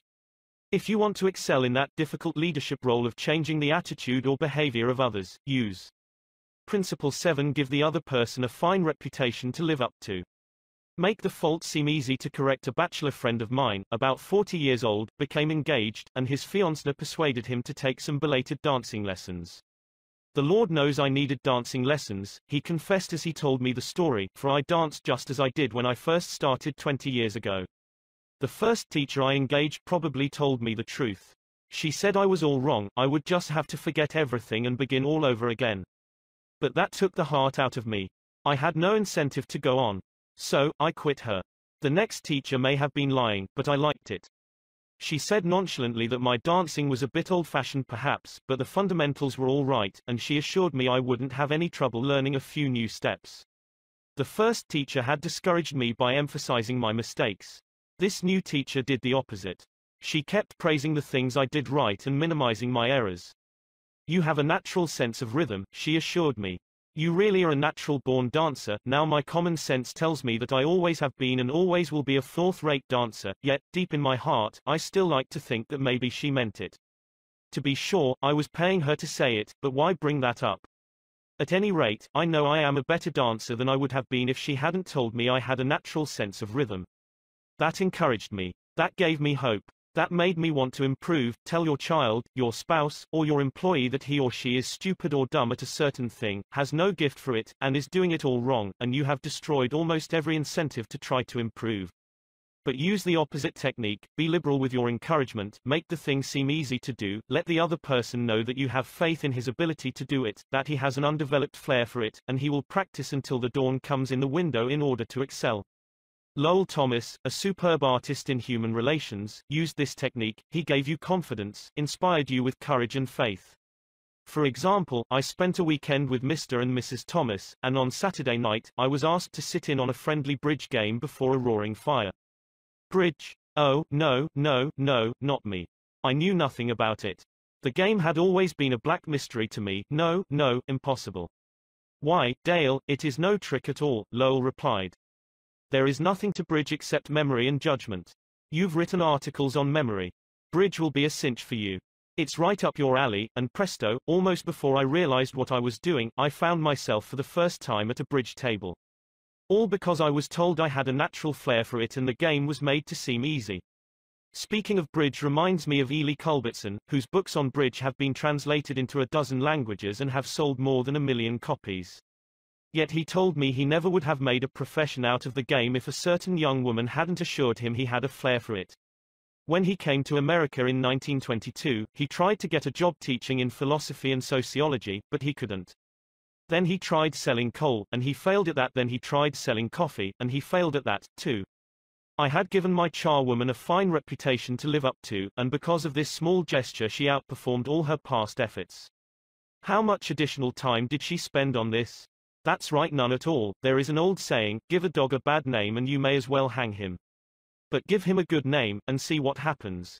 When Mrs. Ruth Hopkins, a fourth grade teacher in Brooklyn, New York, looked at her class roster the first day of school, her excitement and joy of starting a new term was tinged with anxiety. In her class this year she would have Tommy T, the school's most notorious bad boy. His third grade teacher had constantly complained about Tommy to colleagues, the principal and anyone else who would listen. He was not just mischievous, he caused serious discipline problems in the class, picked fights with the boys, teased the girls, was fresh to the teacher, and seemed to get worse as he grew older. His only redeeming feature was his ability to learn rapidly and master the school work easily. Mrs. Hopkins decided to face the Tommy problem immediately. When she greeted her new students, she made little comments to each of them. Rose, that's a pretty dress you're wearing. Alicia, I hear you draw beautifully. When she came to Tommy, she looked him straight in the eyes and said, Tommy, I understand you are a natural leader. I'm going to depend on you to help me make this class the best class in the fourth grade this year. She reinforced this over the first few days by complimenting Tommy on everything he did and commenting on how this showed what a good student he was. With that reputation to live up to, even a nine-year-old couldn't let her down, and he didn't. If you want to excel in that difficult leadership role of changing the attitude or behavior of others, use Principle 7 Give the other person a fine reputation to live up to. Make the fault seem easy to correct a bachelor friend of mine, about 40 years old, became engaged, and his fiancée persuaded him to take some belated dancing lessons.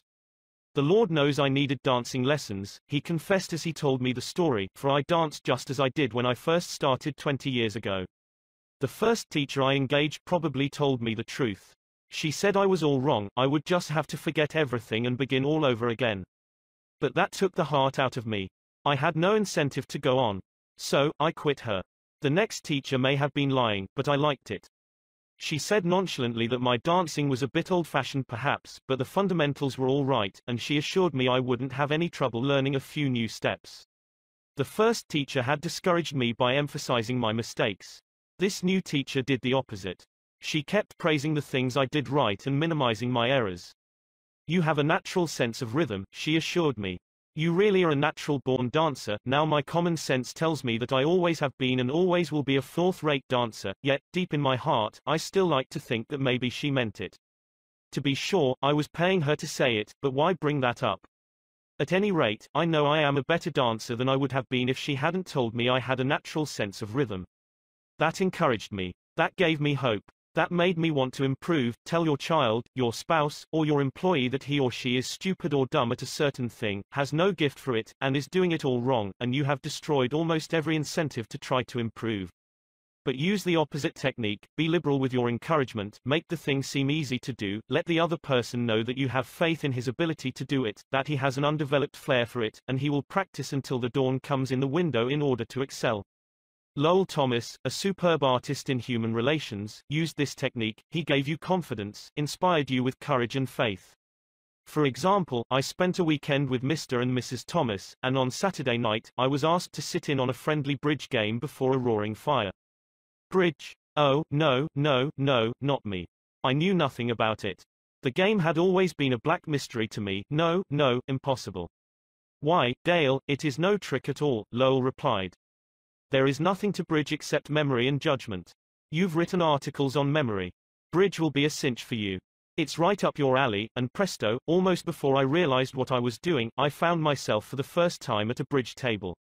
All because I was told I had a natural flair for it and the game was made to seem easy. Speaking of bridge reminds me of Ely Culbertson, whose books on bridge have been translated into a dozen languages and have sold more than a million copies.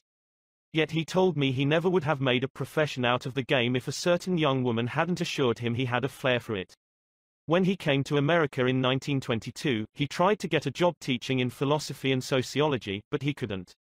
Then he tried selling coal, and he failed at that then he tried selling coffee, and he failed at that, too. He had played some bridge, but it had never occurred to him in those days that someday he would teach it. He was not only a poor card player, but he was also very stubborn. He asked so many questions and held so many post-mortem examinations that no one wanted to play with him.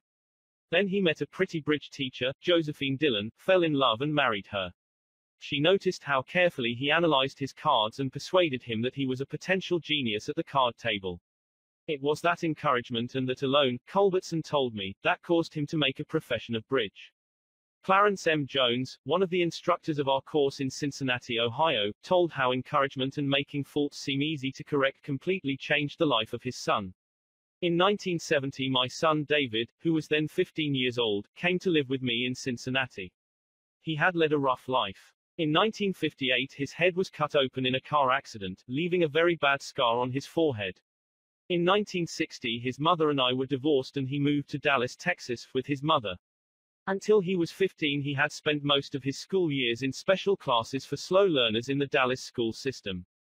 Possibly because of the scar, school administrators had decided he was brain injured and could not function at a normal level.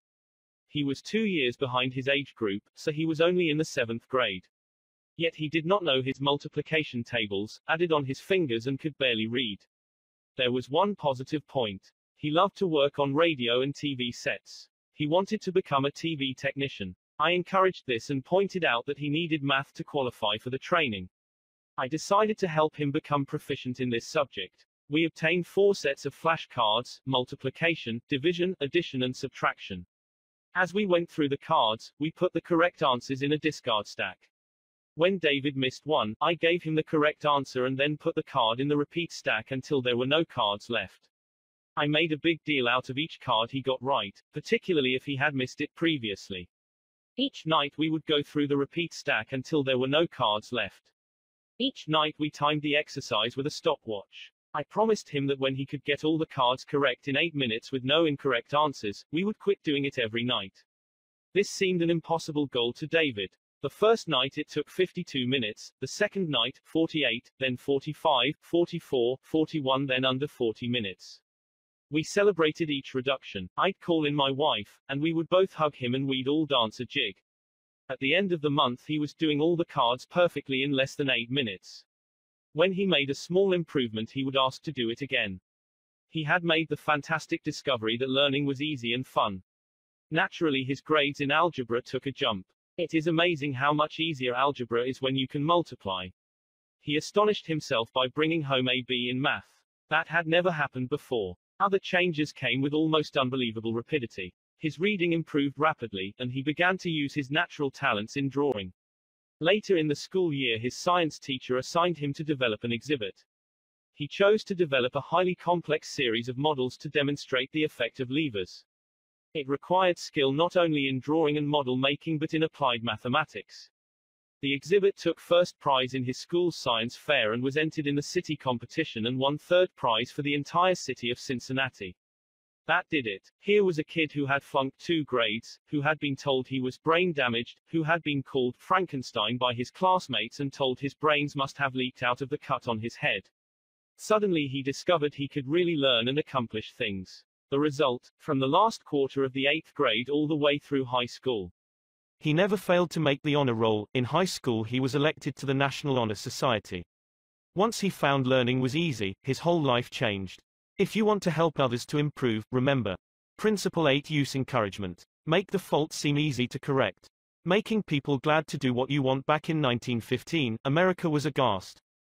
For more than a year, the nations of Europe had been slaughtering one another on a scale never before dreamed of in all the bloody annals of mankind. Could peace be brought about? No one knew. But Woodrow Wilson was determined to try. He would send a personal representative, a peace emissary, to counsel with the warlords of Europe.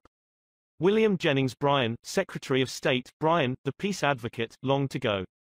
He saw a chance to perform a great service and make his name immortal. But Wilson appointed another man, his intimate friend and advisor Colonel Edward M. House, and it was House's thorny task to break the unwelcome news to Bryan without giving him offense. Bryan was distinctly disappointed when he heard I was to go to Europe as the peace emissary, Colonel House records in his diary. He said he had planned to do this himself. I replied that the president thought it would be unwise for anyone to do this officially, and that his going would attract a great deal of attention and people would wonder why he was there. Dot dot dot quote. You see the intimation. House practically told Bryan that he was too important for the job, and Bryan was satisfied. Colonel House, adroit, experienced in the ways of the world, was following one of the important rules of human relations, always make the other person happy about doing the thing you suggest. Woodrow Wilson followed that policy even when inviting William Gibbs McAdoo to become a member of his cabinet. That was the highest honor he could confer upon anyone, and yet Wilson extended the invitation in such a way as to make McAdoo feel doubly important. Here is the story in McAdoo's own words. He, Wilson, said that he was making up his cabinet and that he would be very glad if I would accept a place in it as Secretary of the Treasury. He had a delightful way of putting things, he created the impression that by accepting this great honor I would be doing him a favor. Unfortunately, Wilson didn't always employ such taught. If he had, history might have been different. For example, Wilson didn't make the Senate and the Republican Party happy by entering the United States in the League of Nations. Wilson refused to take such prominent Republican leaders as Elihu Root or Charles Evans Hughes or Henry Cabot Lodge to the peace conference with him. Instead, he took along unknown men from his own party. He snubbed the Republicans, refused to let them feel that the League was their idea as well as his, refused to let them have a finger in the pie, and, as a result of this crude handling of human relations, wrecked his own career, ruined his health, shortened his life, caused America to stay out of the League, and altered the history of the world. Statesmen and diplomats aren't the only ones who use this make a person happy yo do things you want them to do approach. Dale O. Ferrier of Fort Wayne, Indiana, told how he encouraged one of his young children to willingly do the chore he was assigned. One of Jeff's chores was to pick up pears from under the pear tree so the person who was mowing underneath wouldn't have to stop to pick them up. He didn't like this chore, and frequently it was either not done at all or it was done so poorly that the mower had to stop and pick up several pears that he had missed. Rather than have an eyeball-to-eyeball -eyeball confrontation about it, one day I said to him, Jeff, I'll make a deal with you. For every bushel basket full of pears you pick up, I'll pay you one dollar. But after you are finished, for every pair I find left in the yard, I'll take away a dollar. How does that sound? As you would expect, he not only picked up all of the pears, but I had to keep an eye on him to see that he didn't pull a few off the trees to fill up some of the baskets. I knew a man who had to refuse many invitations to speak, invitations extended by friends, invitations coming from people to whom he was obligated, and yet he did it so adroitly that the other person was at least contented with his refusal. How did he do it? Not by merely talking about the fact that he was too busy and too this and too that. No, after expressing his appreciation of the invitation and regretting his inability to accept it, he suggested a substitute speaker. In other words, he didn't give the other person any time to feel unhappy about the refusal, he immediately changed the other person's thoughts to some other speaker who could accept the invitation. Gunter Schmidt, who took our course in West Germany, told of an employee in the food store he managed who was negligent about putting the proper price tags on the shelves where the items were displayed. This caused confusion and customer complaints. Reminders, admonitions, confrontations with her about this did not do much good. Finally, Mr. Schmidt called her into his office and told her he was appointing her supervisor of price tag posting for the entire store and she would be responsible for keeping all of the shelves properly tagged. This new responsibility and title changed her attitude completely, and she fulfilled her duties satisfactorily from then on. Childish? Perhaps. But that is what they said to Napoleon when he created the Legion of Honor and distributed 15,000 crosses to his soldiers and made 18 of his generals marshals of France and called his troops the Grand Army. Napoleon was criticized for giving toys to war-hardened veterans, and Napoleon replied, men are ruled by toys. This technique of giving titles and authority worked for Napoleon and it will work for you. For example, a friend of mine, Mrs. Ernest Gent of Scarsdale, New York, was troubled by boys running across and destroying her lawn. She tried criticism. She tried coaxing. Neither worked. Then she tried giving the worst sinner in the gang a title and a feeling of authority. She made him her detective and put him in charge of keeping all trespassers off her lawn. That solved her problem. Her detective built a bonfire in the backyard, heated an iron red hot, and threatened to brand any boy who stepped on the lawn. The effective leader should keep the following guidelines in mind when it is necessary to change attitudes or behavior. 1. Be sincere. Do not promise anything that you cannot deliver. Forget about the benefits to yourself and concentrate on the benefits to the other person. 2. Know exactly what it is you want the other person to do. 3. Be empathetic. Ask yourself what is it the other person really wants. 4. Consider the benefits that person will receive from doing what you suggest. 5. Match those benefits to the other person's wants. 6. When you make your request, put it in a form that will convey to the other person the idea that he personally will benefit. We could give a curt order like this. John, we have customers coming in tomorrow and I need the stockroom cleaned out. So sweep it out, put the stock in neat piles on the shelves and polish the counter, or we could express the same idea by showing John the benefits he will get from doing the task. John, we have a job that should be completed right away. If it is done now, we won't be faced with it later. I am bringing some customers in tomorrow to show our facilities. I would like to show them the stockroom, but it is in poor shape. If you could sweep it out, put the stock in neat piles on the shelves, and polish the counter, it would make us look efficient and you will have done your part to provide a good company image. Will John be happy about doing what you suggest? Probably not very happy, but happier than if you had not pointed out the benefits. Assuming you know that John has pride in the way his stockroom looks and is interested in contributing to the company image, he will be more likely to be cooperative. It also will have been pointed out to John that the job would have to be done eventually and by doing it now, he won't be faced with it later. It is Namve to believe you will always get a favorable reaction from other persons when you use these approaches, but the experience of most people shows that you are more likely to change attitudes this way than by not using these principles, and if you increase your successes by even a mere 10%, you have become 10% more effective as a leader than you were before, and that is your benefit. People are more likely to do what you would like them to do when you use Principle 9 Make the other person happy about doing the thing you suggest. In a nutshell be a leader A leader's job often includes changing your people's attitudes and behavior. Some suggestions to accomplish this, Principle 1 begin with praise and honest appreciation. Principle 2 call attention to people's mistakes indirectly. Principle 3 talk about your own mistakes before criticizing the other person. Principle 4 Ask questions instead of giving direct orders. Principle 5 Let the other person save face. Principle 6 Praise the slightest improvement and praise every improvement. Be hearty in your approbation and lavish in your praise. Principle 7 Give the other person a fine reputation to live up to. Principle 8 Use encouragement. Make the fault seem easy to correct. Principle 9 Make the other person happy about doing the thing you suggest. Part 5 Letters that produced miraculous results I'll bet I know what you are thinking now.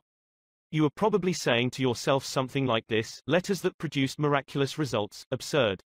Smacks of patent medicine advertising. It you are thinking that, I don't blame you. I would probably have thought that myself if I had picked up a book like this 15 years ago.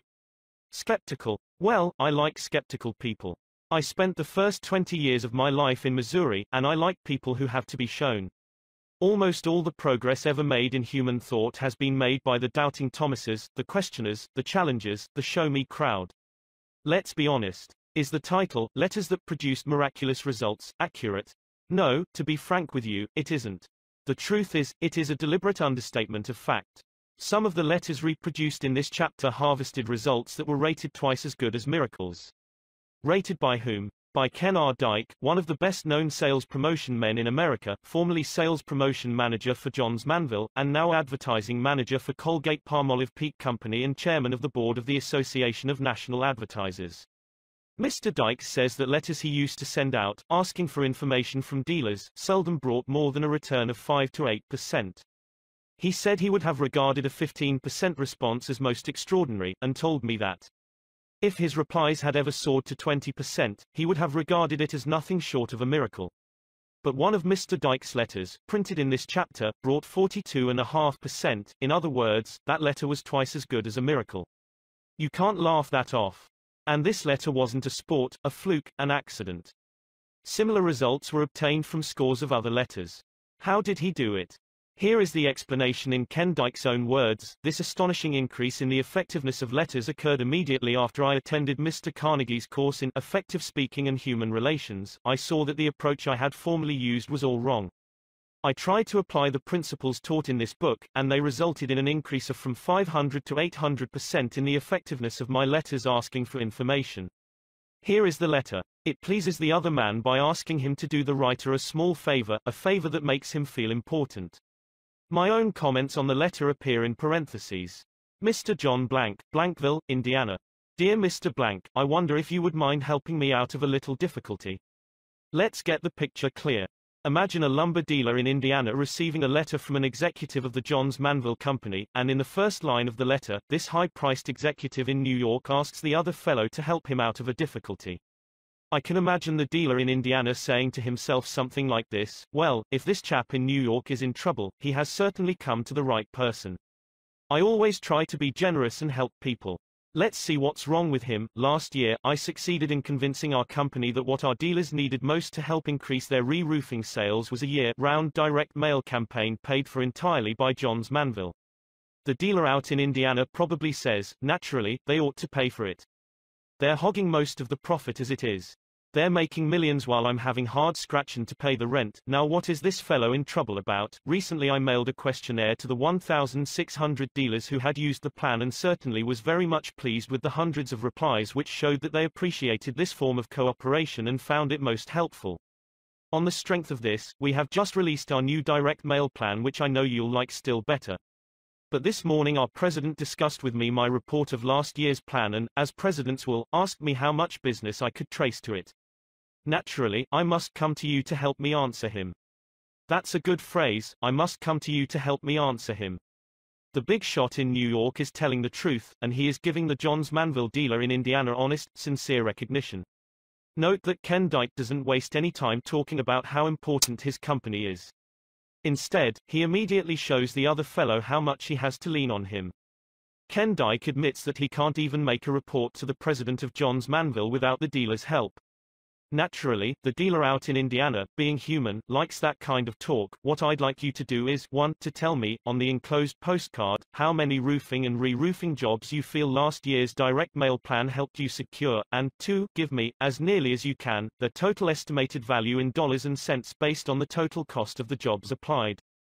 If you'll do this, I'll surely appreciate it and thank you for your kindness in giving me this information. Sincerely, Ken R. Dyke, Sales Promotion Manager. Note how, in the last paragraph, he whispers I and shouts you. Note how generous he is in his praise. Surely appreciate, thank you, your kindness. Simple letter, isn't it? But it produced miracles by asking the other person to do a small favor, the performing of which gave him a feeling of importance. That psychology will work, regardless of whether you are selling asbestos roofs or touring Europe in a Ford. To illustrate, Homer Croy and I once lost our way while motoring through the interior of France. Halting our old Model T, we asked a group of peasants how we could get to the next big town. The effect of the question was electrical. These peasants, wearing wooden shoes, regarded all Americans as rich. And automobiles were rare in those regions, extremely rare. Americans touring through France in a car. Surely we must be millionaires. Maybe cousins of Henry Ford. But they knew something we didn't know. We had more money than they had, but we had to come to them hat in hand to find out how to get to the next town. And that gave them a feeling of importance. They all started talking at once. One chap, thrilled at this rare opportunity, commanded the others to keep quiet. He wanted to enjoy all alone the thrill of directing us. Try this yourself. The next time you are in a strange city, stop someone who is below you in the economic and social scale and say, I wonder if you would mind helping me out of a little difficulty. Won't you please tell me how to get to such and such a place? Benjamin Franklin used this technique to turn a caustic enemy into a lifelong friend. Franklin, a young man at the time, had all his savings invested in a small printing business. He managed to get himself elected clerk of the General Assembly in Philadelphia. That position gave him the job of doing the official printing. There was good profit in this job, and Ben was eager to keep it. But a menace loomed ahead. One of the richest and ablest men in the assembly disliked Franklin bitterly. He not only disliked Franklin, but he denounced him in a public talk. That was dangerous, very dangerous. Sir Franklin resolved to make the man like him. But how? That was a problem. By doing a favor for his enemy? No, that would have aroused his suspicions, maybe his contempt. Franklin was too wise, too adroit to be caught in such a trap. So he did the very opposite. He asked his enemy to do him a favor. Franklin didn't ask for a loan of $10. No. No. Franklin asked a favor that pleased the other man, a favor that touched his vanity, a favor that gave him recognition, a favor that subtly expressed Franklin's admiration for his knowledge and achievements. Here is the balance of the story in Franklin's own words. Having heard that he had in his library a certain very scarce and curious book, I wrote a note to him, expressing my desire of perusing that book and requesting that he would do me the favor of lending it to me for a few days. He sent it immediately, and I returned it in about a week with another note expressing strongly my sense of the favor. When next we met in the house, he spoke to me, which he had never done before, and with great civility and he ever afterward manifested a readiness to serve me on all occasions, so that we became great friends and our friendship continued to his death. Ben Franklin has been dead now for 150 years, but the psychology that he used, the psychology of asking the other man to do you a favor, goes marching right on. For example, it was used with remarkable success by one of my students, Albert B. Amsel. For years, Mr. Amsel, a salesman of plumbing and heating materials, had been trying to get the trade of a certain plumber in Brooklyn. This plumber's business was exceptionally large and his credit unusually good. But Amsel was licked from the beginning. The plumber was one of those disconcerting individuals who pride themselves on being rough, tough, and nasty. Sitting behind his desk with a big cigar tilted in the corner of his mouth, he snarled at Amsel every time he opened the door, don't need a thing today. Don't waste my time and yours. Keep moving. Then one day Mr. Amsel tried a new technique, a technique that split the account wide open, made a friend, and brought many fine orders. Amsel's firm was negotiating for the purchase of a new branch store in Queens Village on Long Island. It was a neighborhood the plumber knew well, and one where he did a great deal of business. So this time, when Mr. Amsel called, he said, Mr. C, I'm not here to sell you anything today. I've got to ask you to do me a favor, if you will. Can you spare me just a minute of your time? Hem, well, said the plumber, shifting his cigar. What's on your mind? Shoot, my firm is thinking of opening up a branch store over in Queens Village, Mr. Amsel said. Now, you know that locality as well as anyone living. So I've come to you to ask what you think about it. Is it a wise move, or not? Here was a new situation. For years this plumber had been getting his feeling of importance out of snarling at salesmen and ordering him to keep moving. But here was a salesman begging him for advice, yes, a salesman from a big concern wanting his opinion as to what they should do. Sit down, he said, pulling forward a chair. And for the next hour, he expatiated on the peculiar advantages and virtues of the plumbing market in Queens Village. He not only approved the location of the store, but he focused his intellect on outlining a complete course of action for the purchase of the property, the stocking of supplies, and the opening of trade. He got a feeling of importance by telling a wholesale plumbing concern how to run its business. From there, he expanded into personal grounds. He became friendly, and told Mr. Amsel of his intimate domestic difficulties and household wars.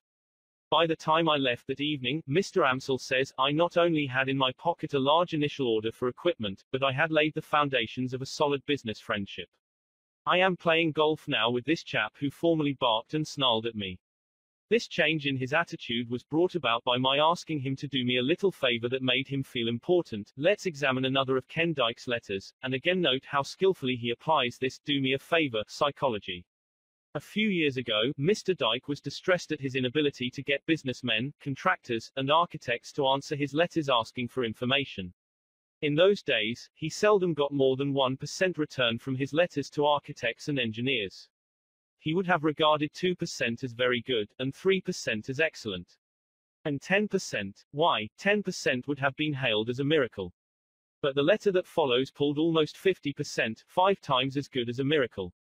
And what replies? Letters of two and three pages. Letters glowing with friendly advice and cooperation. Here is the letter. You will observe that in the psychology used, even in the phraseology in some places, the letter is almost identical with that quoted on pages 188 to 89. As you peruse this letter, read between the lines, try to analyze the feeling of the man who got it. Find out why it produced results five times as good as a miracle. Johns Manville 22 East 40th Street, New York City Mr. John Doe, 617 Doe Street, Doeville, New Jersey. Dear Mr. Doe, I wonder if you'll help me out of a little difficulty. About a year ago I persuaded our company that one of the things architects most needed was a catalog which would give them the whole story of all JM building materials and their part in repairing and remodeling homes. The attached catalog resulted, the first of its kind, but now our stock is getting low, and when I mentioned it to our president he said, as presidents will, that he would have no objection to another edition provided, furnished satisfactory evidence that the catalogue had done the job for which it was designed. Naturally, I must come to you for help, and 7 am therefore taking the liberty of asking you and 49 other architects in various parts of the country to be the jury. To make it quite easy for you, I have written a few simple questions on the back of this letter. And I'll certainly regard it as a personal favor if you'll check the answers, add any comments that you may wish to make, and then slip this letter into the enclosed stamped envelope. Needless to say, this won't obligate you in any way, and I now leave it to you to say whether the catalogue shall be discontinued or reprinted with improvements based on your experience and advice. In any event, rest assured that I shall appreciate your cooperation very much. Thank you. Sincerely yours, Ken R. Dyke, Sales Promotion Manager. Another word of warning. I know from experience that some men, reading this letter, will try to use the same psychology mechanically. They will try to boost the other man's ego, not through genuine, real appreciation, but through flattery and insincerity. And their technique won't work. Remember, we all crave appreciation and recognition, and will do almost anything to get it. But nobody wants insincerity. Nobody wants flattery. Let me repeat, the principles taught in this book will work only when they come from the heart. I am not advocating a bag of tricks.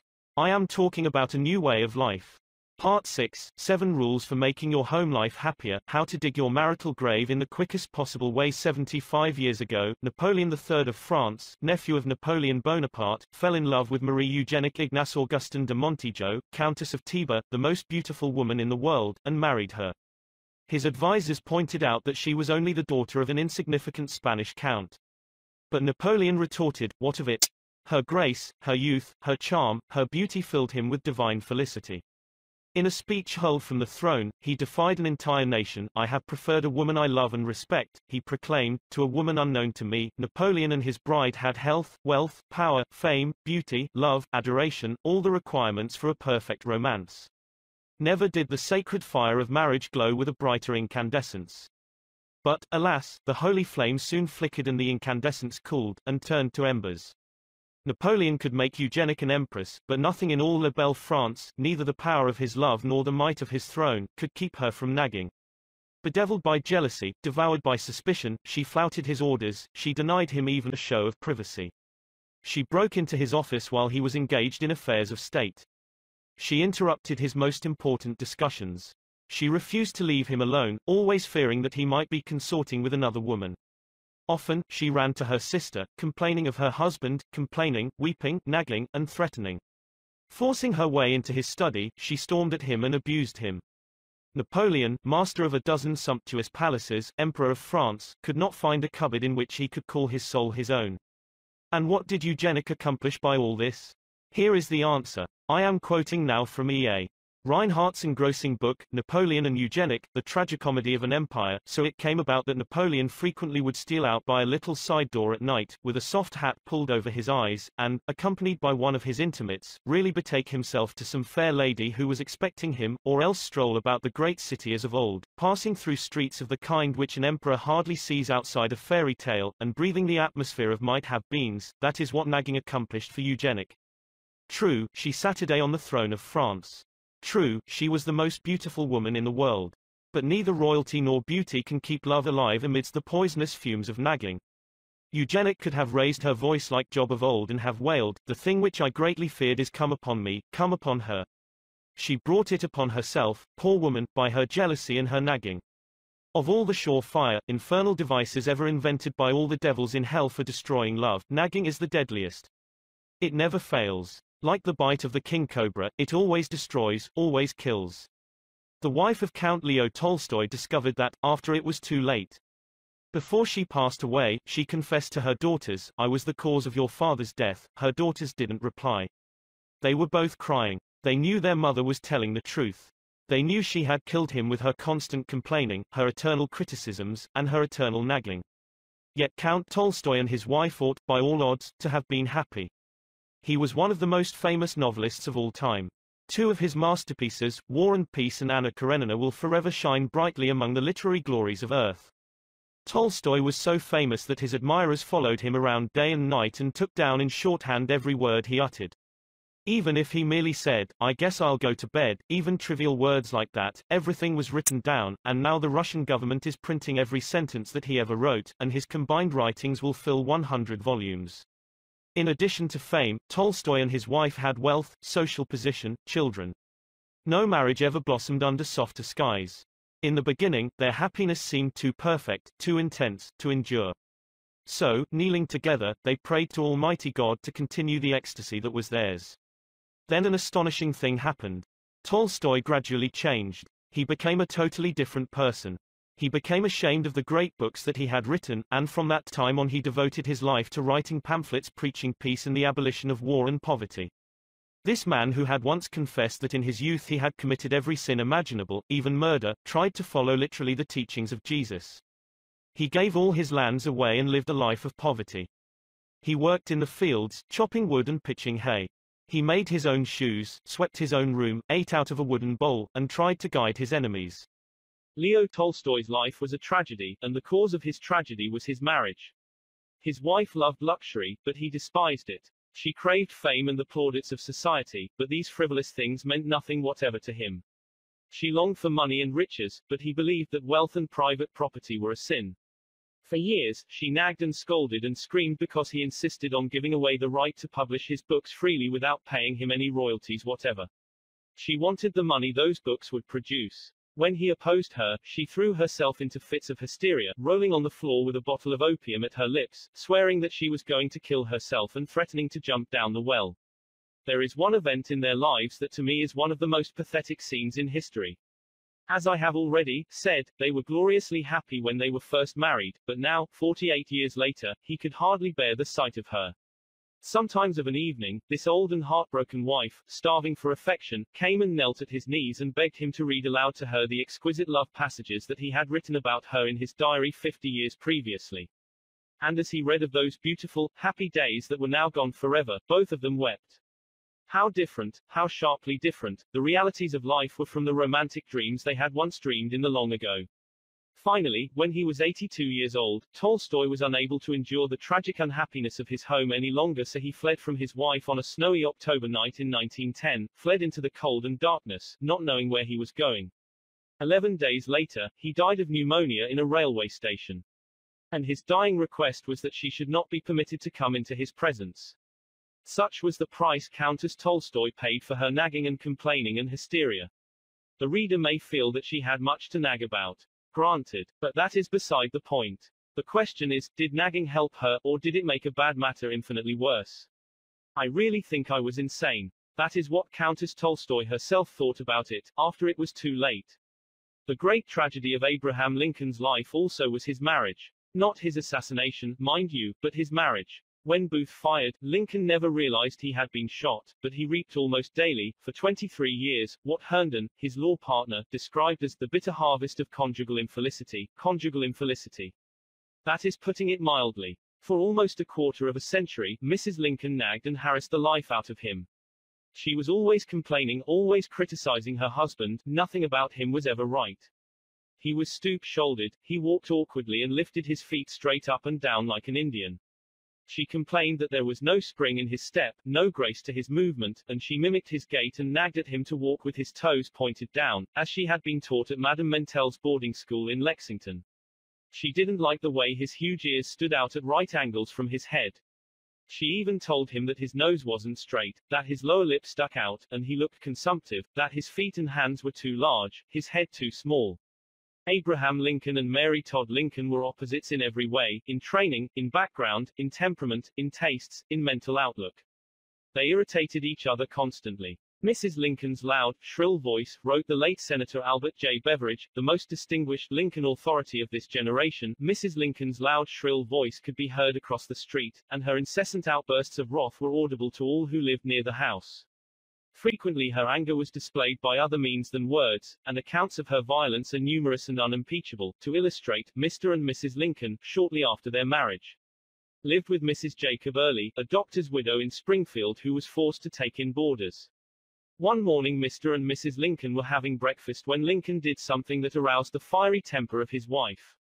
What, no one remembers now. But Mrs. Lincoln, in a rage, dashed a cup of hot coffee into her husband's face.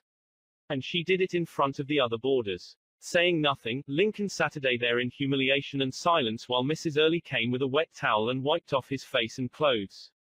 Mrs. Lincoln's jealousy was so foolish, so fierce, so incredible, that merely to read about some of the pathetic and disgraceful scenes she created in public, merely reading about them 75 years later makes one gasp with astonishment. She finally went insane, and perhaps the most charitable thing one can say about her is that her disposition was probably always affected by incipient insanity. Did all this nagging and scolding and raging change Lincoln? In one way, yes. It certainly changed his attitude toward her. It made him regret his unfortunate marriage, and it made him avoid her presence as much as possible. Springfield had 11 attorneys, and they couldn't all make a living there, so they used to ride horseback from one county seat to another, following Judge David Davis while he was holding court in various places. In that way, they managed to pick up business from all the county seat towns throughout the 8th Judicial District. The other attorneys always managed to get back to Springfield each Saturday and spend the weekend with their families. But Lincoln didn't. He dreaded to go home, and for three months in the spring, and again for three months in the autumn, he remained out on the circuit and never went near Springfield. He kept this up year after year. Living conditions in the country hotels were often wretched, but, wretched as they were, he preferred them to his own home and Mrs. Lincoln's constant nagging and wild outbursts of temper. Such are the results that Mrs. Lincoln, the Empress Eugénie, and Countess Tolstoy obtained by their nagging. They brought nothing but tragedy into their lives. They destroyed all that they cherished most. Bessie Hamburger, who has spent 11 years in the domestic relations court in New York City, and has reviewed thousands of cases of desertion, says that one of the chief reasons men leave home is because their wives nag. Or, as the Boston Post puts it, many a wife has made her own marital grave with a series of little digs. So, if you want to keep your home life happy, rule one is, don't, don't nag. Love and let live, I may commit many follies in life, Disraeli said, but I never intend to marry for love, and he didn't. He stayed single until he was 35, and then he proposed to a rich widow, a widow 15 years his senior, a widow whose hair was white with the passing of 50 winters.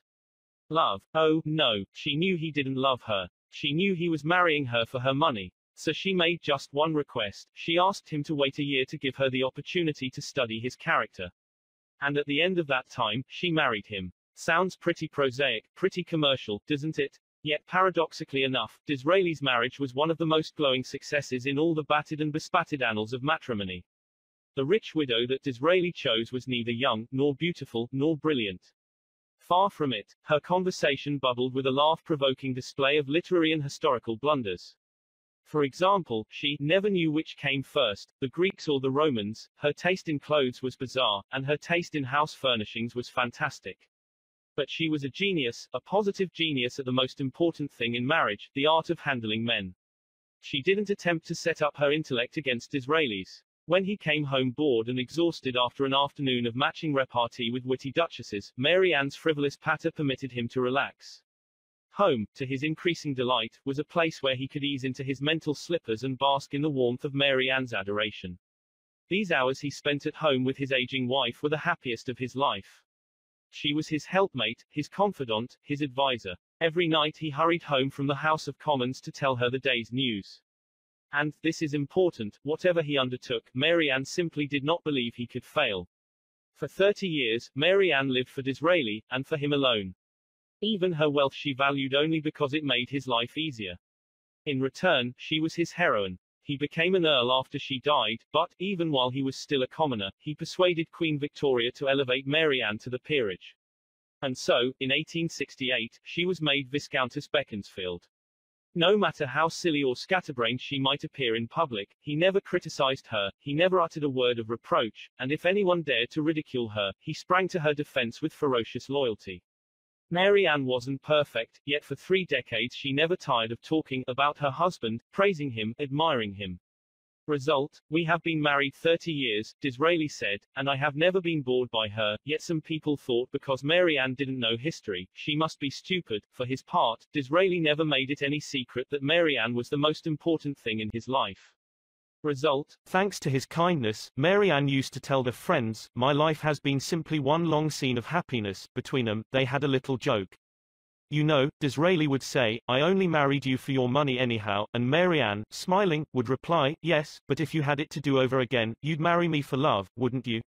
And he admitted it was true. No, Mary Anne wasn't perfect. But Disraeli was wise enough to let her be herself. As Henry James put it, the first thing to learn in intercourse with others is non-interference with their own peculiar ways of being happy, provided those ways do not assume to interfere by violence with ours. That's important enough to repeat. The first thing to learn in intercourse with others is non-interference with their own peculiar ways of being happy. Or, as Leland Foster Wood in his book, Growing Together in the Family, has observed, success in marriage is much more than a matter of finding the right person, it is also a matter of being the right person. So, if you want your home life to be happy, rule 2 is, don't try to make your partner over. Do this and you'll be looking up the timetables to Reno Disraeli's bitterest rival in public life was the great Gladstone. These two clashed on every debatable subject under the empire, yet they had one thing in common, the supreme happiness of their private lives. William and Catherine Gladstone lived together for 59 years, almost three score years glorified with an abiding devotion. I like to think of Gladstone, the most dignified of England's prime ministers, clasping his wife's hand and dancing around the hearthrug with her, singing this song. A ragamuffin husband and a rantipoling wife, we'll fiddle it and scrape it through the ups and downs of life. Gladstone, a formidable enemy in public, never criticized at home. When he came down to breakfast in the morning, only to discover that the rest of his family was still sleeping, he had a gentle way of registering his reproach. He raised his voice and filled the house with a mysterious chant that reminded the other members that England's busiest man was waiting downstairs for his breakfast, all alone. Diplomatic, considerate, he rigorously refrained from domestic criticism. And so, often, did Catherine the Great. Catherine ruled one of the largest empires the world has ever known. Over millions of her subjects she held the power of life and death. Politically, she was often a cruel tyrant, waging useless wars and sentencing scores of her enemies to be cut down by firing squads. Yet if the cook burned the meat, she said nothing. She smiled and ate it with a tolerance that the average American husband would do well to emulate. Dorothy Dix, America's premier authority on the causes of marital unhappiness, declares that more than 50% of all marriages are failures, and she knows that one of the reasons why so many romantic dreams break up on the rocks of Reno is criticism, futile, heartbreaking criticism. So, if you want to keep your home life happy, remember Rule 3, don't criticize. And if you attempted to criticize the children, you imagine I am going to say don't. But I am not. I am merely going to say, before you criticize them, read one of the classics of American journalism, Father Forgets. It appeared originally as an editorial in the People's Home Journal. We are reprinting it here with the author's permission, reprinting it as it was condensed in the Reader's Digest. Father Forgets is one of those little pieces which, dashed off in a moment of sincere feeling, strikes an echoing chord in so many readers as to become a perennial reprint favorite. Since its first appearance, some 15 years ago, Father Forgets has been reproduced, writes the author, W. Livingston Larned, in hundreds of magazines and house organs, and in newspapers the country over. It has been reprinted almost as extensively in many foreign languages. I have given personal permission to thousands who wish to read it from school, church, and lecture platforms. It has been on the air on countless occasions and programs. Oddly enough, college periodicals have used it, and high school magazines. Sometimes a little piece seems mysteriously to click, this one certainly did. Father forgets W. Livingston Larned. Listen, son, I am saying this as you lie asleep, one little paw crumpled under your cheek and the blonde curls stickily wet on your damp forehead. I have stolen into your room alone. Just a few minutes ago, as I sat a day reading my paper in the library, a stifling wave of remorse swept over me. Guiltily I came to your bedside. These are the things I was thinking, son, I had been cross to you. I scolded you as you were dressing for school because you gave your face merely a dab with a towel. I took you to task for not cleaning your shoes. I called out angrily when you threw some of your things on the floor. At breakfast I found fault, too. You spilled things. You gulped down your food. You put your elbows on the table. You spread butter too thick on your bread. And as you started off to play and I made for my train, you turned and waved a hand and called, Goodbye, Daddy, and I frowned, and said in reply, Hold your shoulders back. Then it began all over again in the late afternoon. As I came up the road I spied you, down on your knees, playing marbles. There were holes in your stockings. I humiliated you before your boyfriends by marching you ahead of me to the house. Stockings were expensive and if you had to buy them you would be more careful. Imagine that, son, from a father. Do you remember, later, when I was reading in the library, how you came in, timidly, with a sort of hurt look in your eyes? When I glanced up over my paper, impatient at the interruption, you hesitated at the door. What is it you want? I snapped. You said nothing, but ran across in one tempestuous plunge, and threw your arms around my neck and kissed me, and your small arms tightened with an affection that God had set blooming in your heart and which even neglect could not wither. And then you were gone, pattering up the stairs. Well, son, it was shortly afterwards that my paper slipped from my hands and a terrible sickening fear came over me. What has habit been doing to me? The habit of finding fault, of reprimanding, this was my reward to you for being a boy. It was not that I did not love you, it was that I expected too much of youth. It was measuring you by the yardstick of my own years. And there was so much that was good and fine and true in your character. The little heart of you was as big as the dawn itself over the wide hills. This was shown by your spontaneous impulse to rush in and kiss me good night. Nothing else matters tonight, son. I have come to your bedside in the darkness, and I have knelt there, ashamed. It is a feeble atonement, I know you would not understand these things if I told them to you during your waking hours. But tomorrow I will be a real daddy. I will chum with you, and suffer when you suffer, and laugh when you laugh. I will bite my tongue when impatient words come. I will keep saying as if it were a ritual, he is nothing but a boy, a little boy, I am afraid I have visualized you as a man. Yet as I see you now, son, crumpled and weary in your cot, I see that you are still a baby. Yesterday you were in your mother's arms, your head on her shoulder. I have asked too much, too much. A quick way to make everybody happy, most men when seeking wives, says Paul Popenoe, director of the Institute of Family Relations in Los Angeles, are not looking for executives but for someone with allure and willingness to flatter their vanity and make them feel superior. Hence the woman office manager may be invited to luncheon, once but she quite possibly dishes out warmed over remnants of her college courses on main currents in contemporary philosophy, and may even insist on paying her own bill. Result, she thereafter lunches alone. In contrast, the non-collegiate typist, when invited to luncheon, fixes an incandescent gaze on her escort and says yearningly, now tell me some more about yourself. Result, he tells the other fellows that, she's no raving beauty, but I have never met a better talker. Men should express their appreciation of a woman's effort to look well and dress becomingly. All men forget, if they have ever realized it, how profoundly women are interested in clothes. For example, if a man and woman meet another man and woman on the street, the woman seldom looks at the other man, she usually looks to see how well the other woman is dressed. My grandmother died a few years ago at the age of 98. Shortly before her death, we showed her a photograph of herself that had been taken a third of a century earlier. Her failing eyes couldn't see the picture very well, and the only question she asked was, what dress did I have on, think of it. An old woman in her last December, bedridden, weary with age as she lay within the shadow of the century mark, her memory fading so fast that she was no longer able to recognize even her own daughters, still interested in knowing what dress she had worn a third of a century before. I was at her bedside when she asked that question. It left an impression on me that will never fade. The men who are reading these lines can't remember what suits or shirts they wore five years ago, and they haven't the remotest desire to remember them. But women, they are different, and we American men ought to recognize it. French boys of the upper class are trained to express their admiration of a woman's frock and chapeau, not only once but many times during an evening. And 50 million Frenchmen can't be wrong. I have among my clippings a story that I know never happened, but it illustrates a truth, so I'll repeat it. According to this silly story, a farm woman, at the end of a heavy day's work, set before her men folks a heaping pile of hay. And when they indignantly demanded whether she'd gone crazy, she replied, Why, how did I know you'd notice?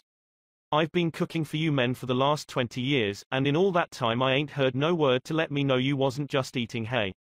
The pampered aristocrats of Moscow and St. Petersburg used to have better manners. In the Russia of the Tsars, it was the custom of the upper classes, when they had enjoyed a fine dinner, to insist on having the cook brought into the dining room to receive their congratulations. Why not have as much consideration for your wife? The next time the fried chicken is done to a tender turn, tell her so. Let her know that you appreciate the fact that you're not just eating hay. Or, as Texas Guinan used to say, give the little girl a great big hand, and while you're about it. Don't be afraid to let her know how important she is to your happiness. Disraeli was as great a statesman as England ever produced, yet, as we've seen, he wasn't ashamed to let the world know how much he owed to the little woman. Just the other day, while perusing a magazine, I came across this. It's from an interview with Eddie Cantor. I owe more to my wife, says Eddie Cantor, than to anyone else in the world. She was my best pal as a boy, she helped me to go straight. And after we married she saved every dollar, and invested it, and reinvested it. She built up a fortune for me. We have five lovely children. And she's made a wonderful home for me always.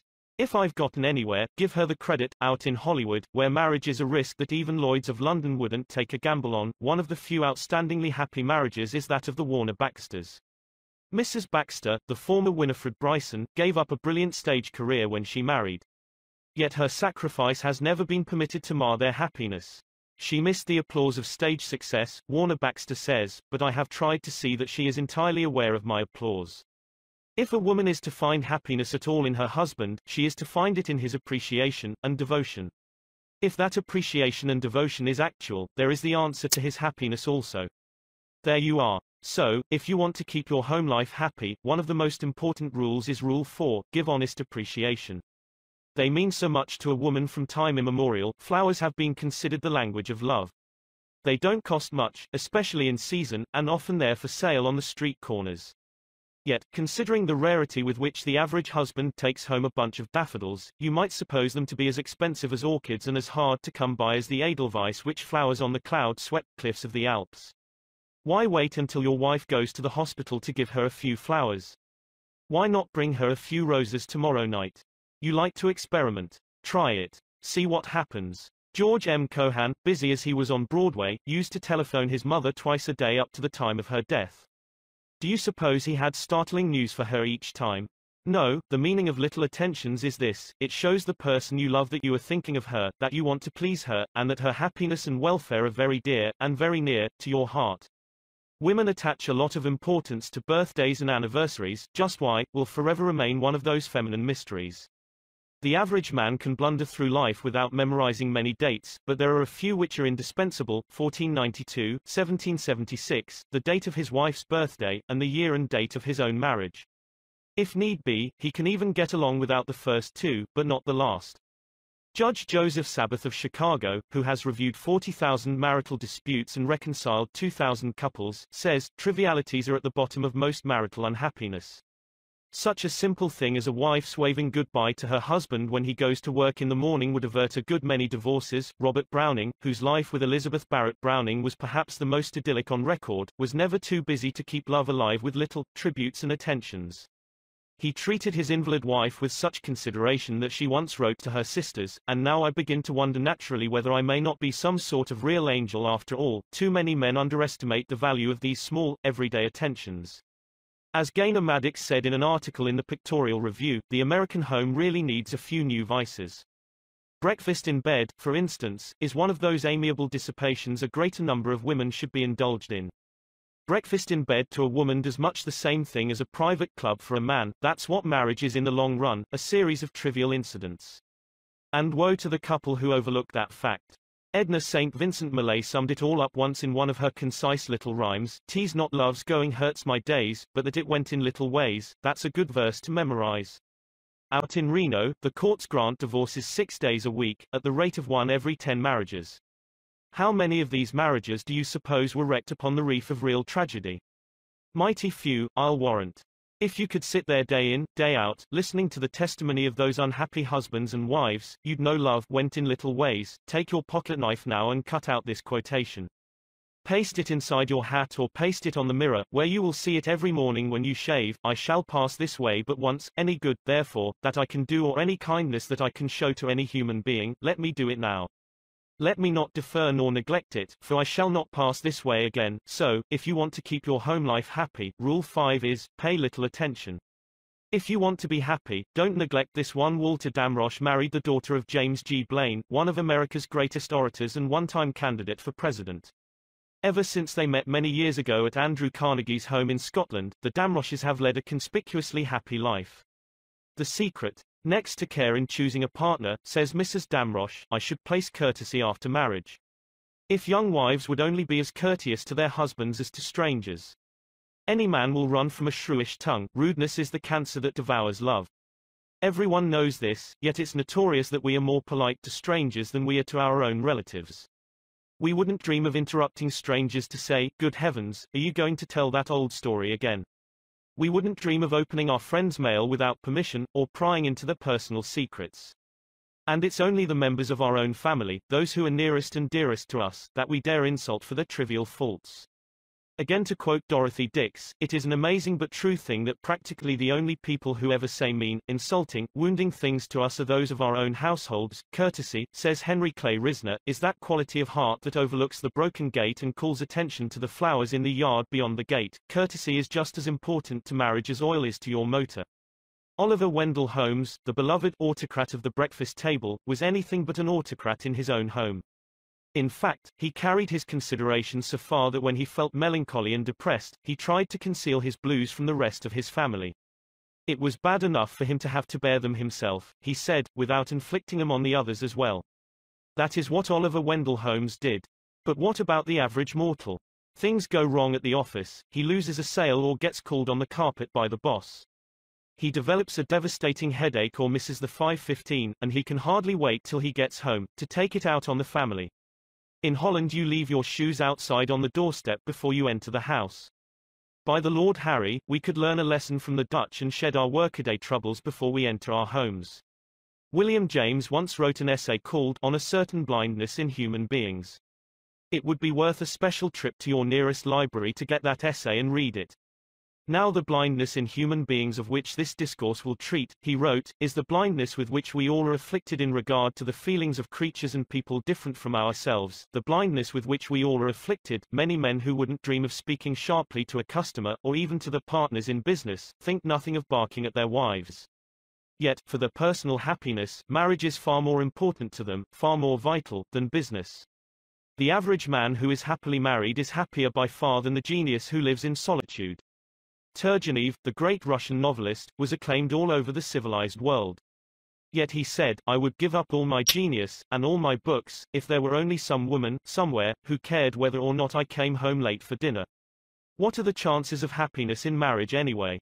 Dorothy Dix, as we have already said, believes that more than half of them are failures, but Dr. Paul Popenoe thinks otherwise. He says, a man has a better chance of succeeding in marriage than in any other enterprise he may go into. Of all the men that go into the grocery business, 70% fail. Of the men and women who enter matrimony, 70% succeed. Dorothy Dix sums the whole thing up like this, compared with marriage, she says, being born is a mere episode in our careers and dying a trivial incident. No woman can ever understand why a man doesn't put forth the same effort to make his home a going concern as he does to make his business or profession a success. But, although to have a contented wife and a peaceful and happy home means more to a man than to make a million dollars, not one man in a hundred ever gives any real serious thought or makes any honest effort to make his marriage a success. He leaves the most important thing in his life to chance, and he wins out or loses, according to whether fortune is with him or not. Women can never understand why their husbands refuse to handle them diplomatically, when it would be money in their pockets to use the velvet glove instead of the strong arm method. Every man knows that he can jolly his wife into doing anything, and doing without anything. He knows that if he hands her a few cheap compliments about what a wonderful manager she is, and how she helps him, she will squeeze every nickel. Every man knows that if he tells his wife how beautiful and lovely she looks in her last year's dress, she wouldn't trade it for the latest Paris importation. Every man knows that he can kiss his wife's eyes shut until she will be blind as a bat, and that he has only to give her a warm smack on the lips to make her dumb as an oyster. And every wife knows that her husband knows these things about her, because she has furnished him with a complete diagram about how to work her. And she never knows whether to be mad at him or disgusted with him, because he would rather fight with her and pay for it in having to eat bad meals, and have his money wasted, and buy her new frocks and limousines and pearls, than to take the trouble to flatter her a little and treat her the way she is begging to be treated, so, if you want to keep your home life happy. Rule 6 is, be courteous. Don't be a marriage illiterate, Dr. Katharine Bement Davis. General Secretary of the Bureau of Social Hygiene, once induced a thousand married women to reply very frankly to a set of intimate questions. The result was shocking, an incredibly shocking comment upon the sexual unhappiness of the average American adult. After perusing the answers she received from these thousand married women, Dr. Davis published without hesitation her conviction that one of the chief causes of divorce in this country is physical mismating. Dr. G. V. Hamilton's survey verifies this finding. Dr. Hamilton spent four years studying the marriages of 100 men and 100 women. He asked these men and women individually something like 400 questions concerning their married lives, and discussed the problems exhaustively, so exhaustively that the whole investigation took four years. This work was considered so important sociologically that it was financed by a group of leading philanthropists. You can read the results of the experiment in What's Wrong with Marriage by Dr. G.V. Hamilton and Kenneth Macgowan. Well, What is wrong with marriage? It would take a very prejudiced and very reckless psychiatrist, says Dr. Hamilton, to say that most married friction doesn't find its source in sexual maladjustment. At any rate, the frictions which arise from other difficulties would be ignored in many, many cases if the sexual relation itself were satisfactory. Dr. Paul Popenoe, as head of the Institute of Family Relations in Los Angeles, has reviewed thousands of marriages and he is one of America's foremost authorities on home life. According to Dr. Popenoe, failure in marriage is usually due to four causes. He lists them in this order. 1. Sexual maladjustment. 2. Difference of opinion as to the way of spending leisure time. 3. Financial difficulties. 4. Mental, physical, or emotional abnormalities. Notice that sex comes first, and that, strangely enough, money difficulties come only third on the list. All authorities on divorce agree upon the absolute necessity for sexual compatibility. For example, a few years ago Judge Hoffman of the Domestic Relations Court of Cincinnati, a man who has listened to thousands of domestic tragedies, announced 9 out of 10 divorces are caused by sexual troubles. Sex, says the famous psychologist, John B. Watson, is admittedly the most important subject in life. It is admittedly the thing which causes the most shipwrecks in the happiness of men and women, and I have heard a number of practicing physicians in speeches before my own classes say practically the same thing. Isn't it pitiful, then, that in the 20th century, with all of our books and all of our education, marriages should be destroyed and lives wrecked by ignorance concerning this most primal and natural instinct? The Reverend Oliver M. Butterfield after 18 years as a Methodist minister gave up his pulpit to direct the Family Guidance Service in New York City, and he has probably married as many young people as any man living. He says, early in my experience as a minister I discovered that, in spite of romance and good intentions, many couples who come to the marriage altar are matrimonial illiterates, matrimonial illiterates. And he continues, when you consider that we leave the highly difficult adjustment of marriage so largely to chance, the marvel is that our divorce rate is only 16%. An appalling number of husbands and wives are not really married but simply undivorced, they live in a sort of purgatory. Happy marriages, says Dr. Butterfield, are rarely the product of chance, they are architectural in that they are intelligently and deliberately planned. To assist in this planning, Dr. Butterfield has for years insisted that any couple he marries must discuss with him frankly the plans for the future. And it was as a result of these discussions that he came to the conclusion that so many of the high contracting parties were matrimonial illiterates. Sex, says Dr. Butterfield, is but one of the many satisfactions in married life, but unless this relationship is right, nothing else can be right. But how to get it right? Sentimental reticence, I'm still quoting Dr. Butterfield, must be replaced by an ability to discuss objectively and with detachment attitudes and practices of married life. There is no way in which this ability can be better acquired than through a book of sound learning and good taste. I keep on hand several of these books in addition to a supply of my own booklet, Marriage and Sexual Harmony. Of all the books that are available, the three that seem to me most satisfactory for general reading are The Sex Technique in Marriage by Isabel E. Hutton, The Sexual Side of Marriage by Max Exner, The Sex Factor in Marriage by Helena Wright. Rule 7 of How to Make Your Home Life Happier is read a good book on the sexual side of marriage. Learn about sex from books. Why not? A few years ago, Columbia University, together with the American Social Hygiene Association, invited leading educators to come and discuss the sex and marriage problems of college students. At that conference, Dr. Paul Popenoe said, divorce is on the decrease. And one of the reasons it is on the decrease is that people are reading more of the recognized books on sex and marriage. So I sincerely feel that I have no right to complete a chapter on how to make your home life happier without recommending a list of books that deal frankly and in a scientific manner with this tragic problem.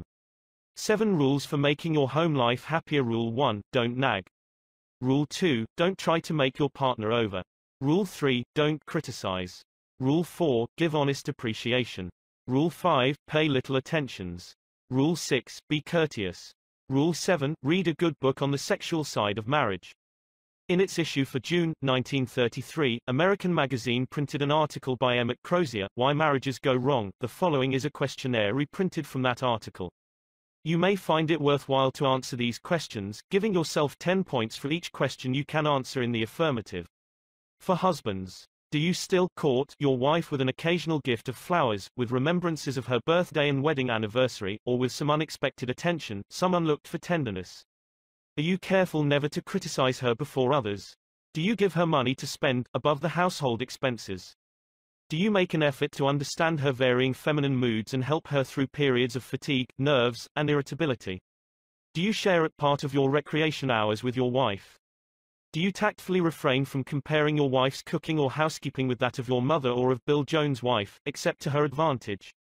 Do you take a definite interest in her intellectual life, her clubs and societies, the books she reads, her views on civic problems? Do you keep alert for opportunities to praise her and express your admiration for her? Do you thank her for the little jobs she does for you, such as sewing on a button, darning your socks, and sending your clothes to the cleaners?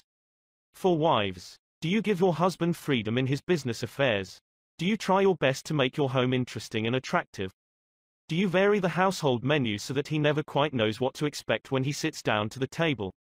Do you have an intelligent grasp of your husband's business so you can discuss it with him helpfully?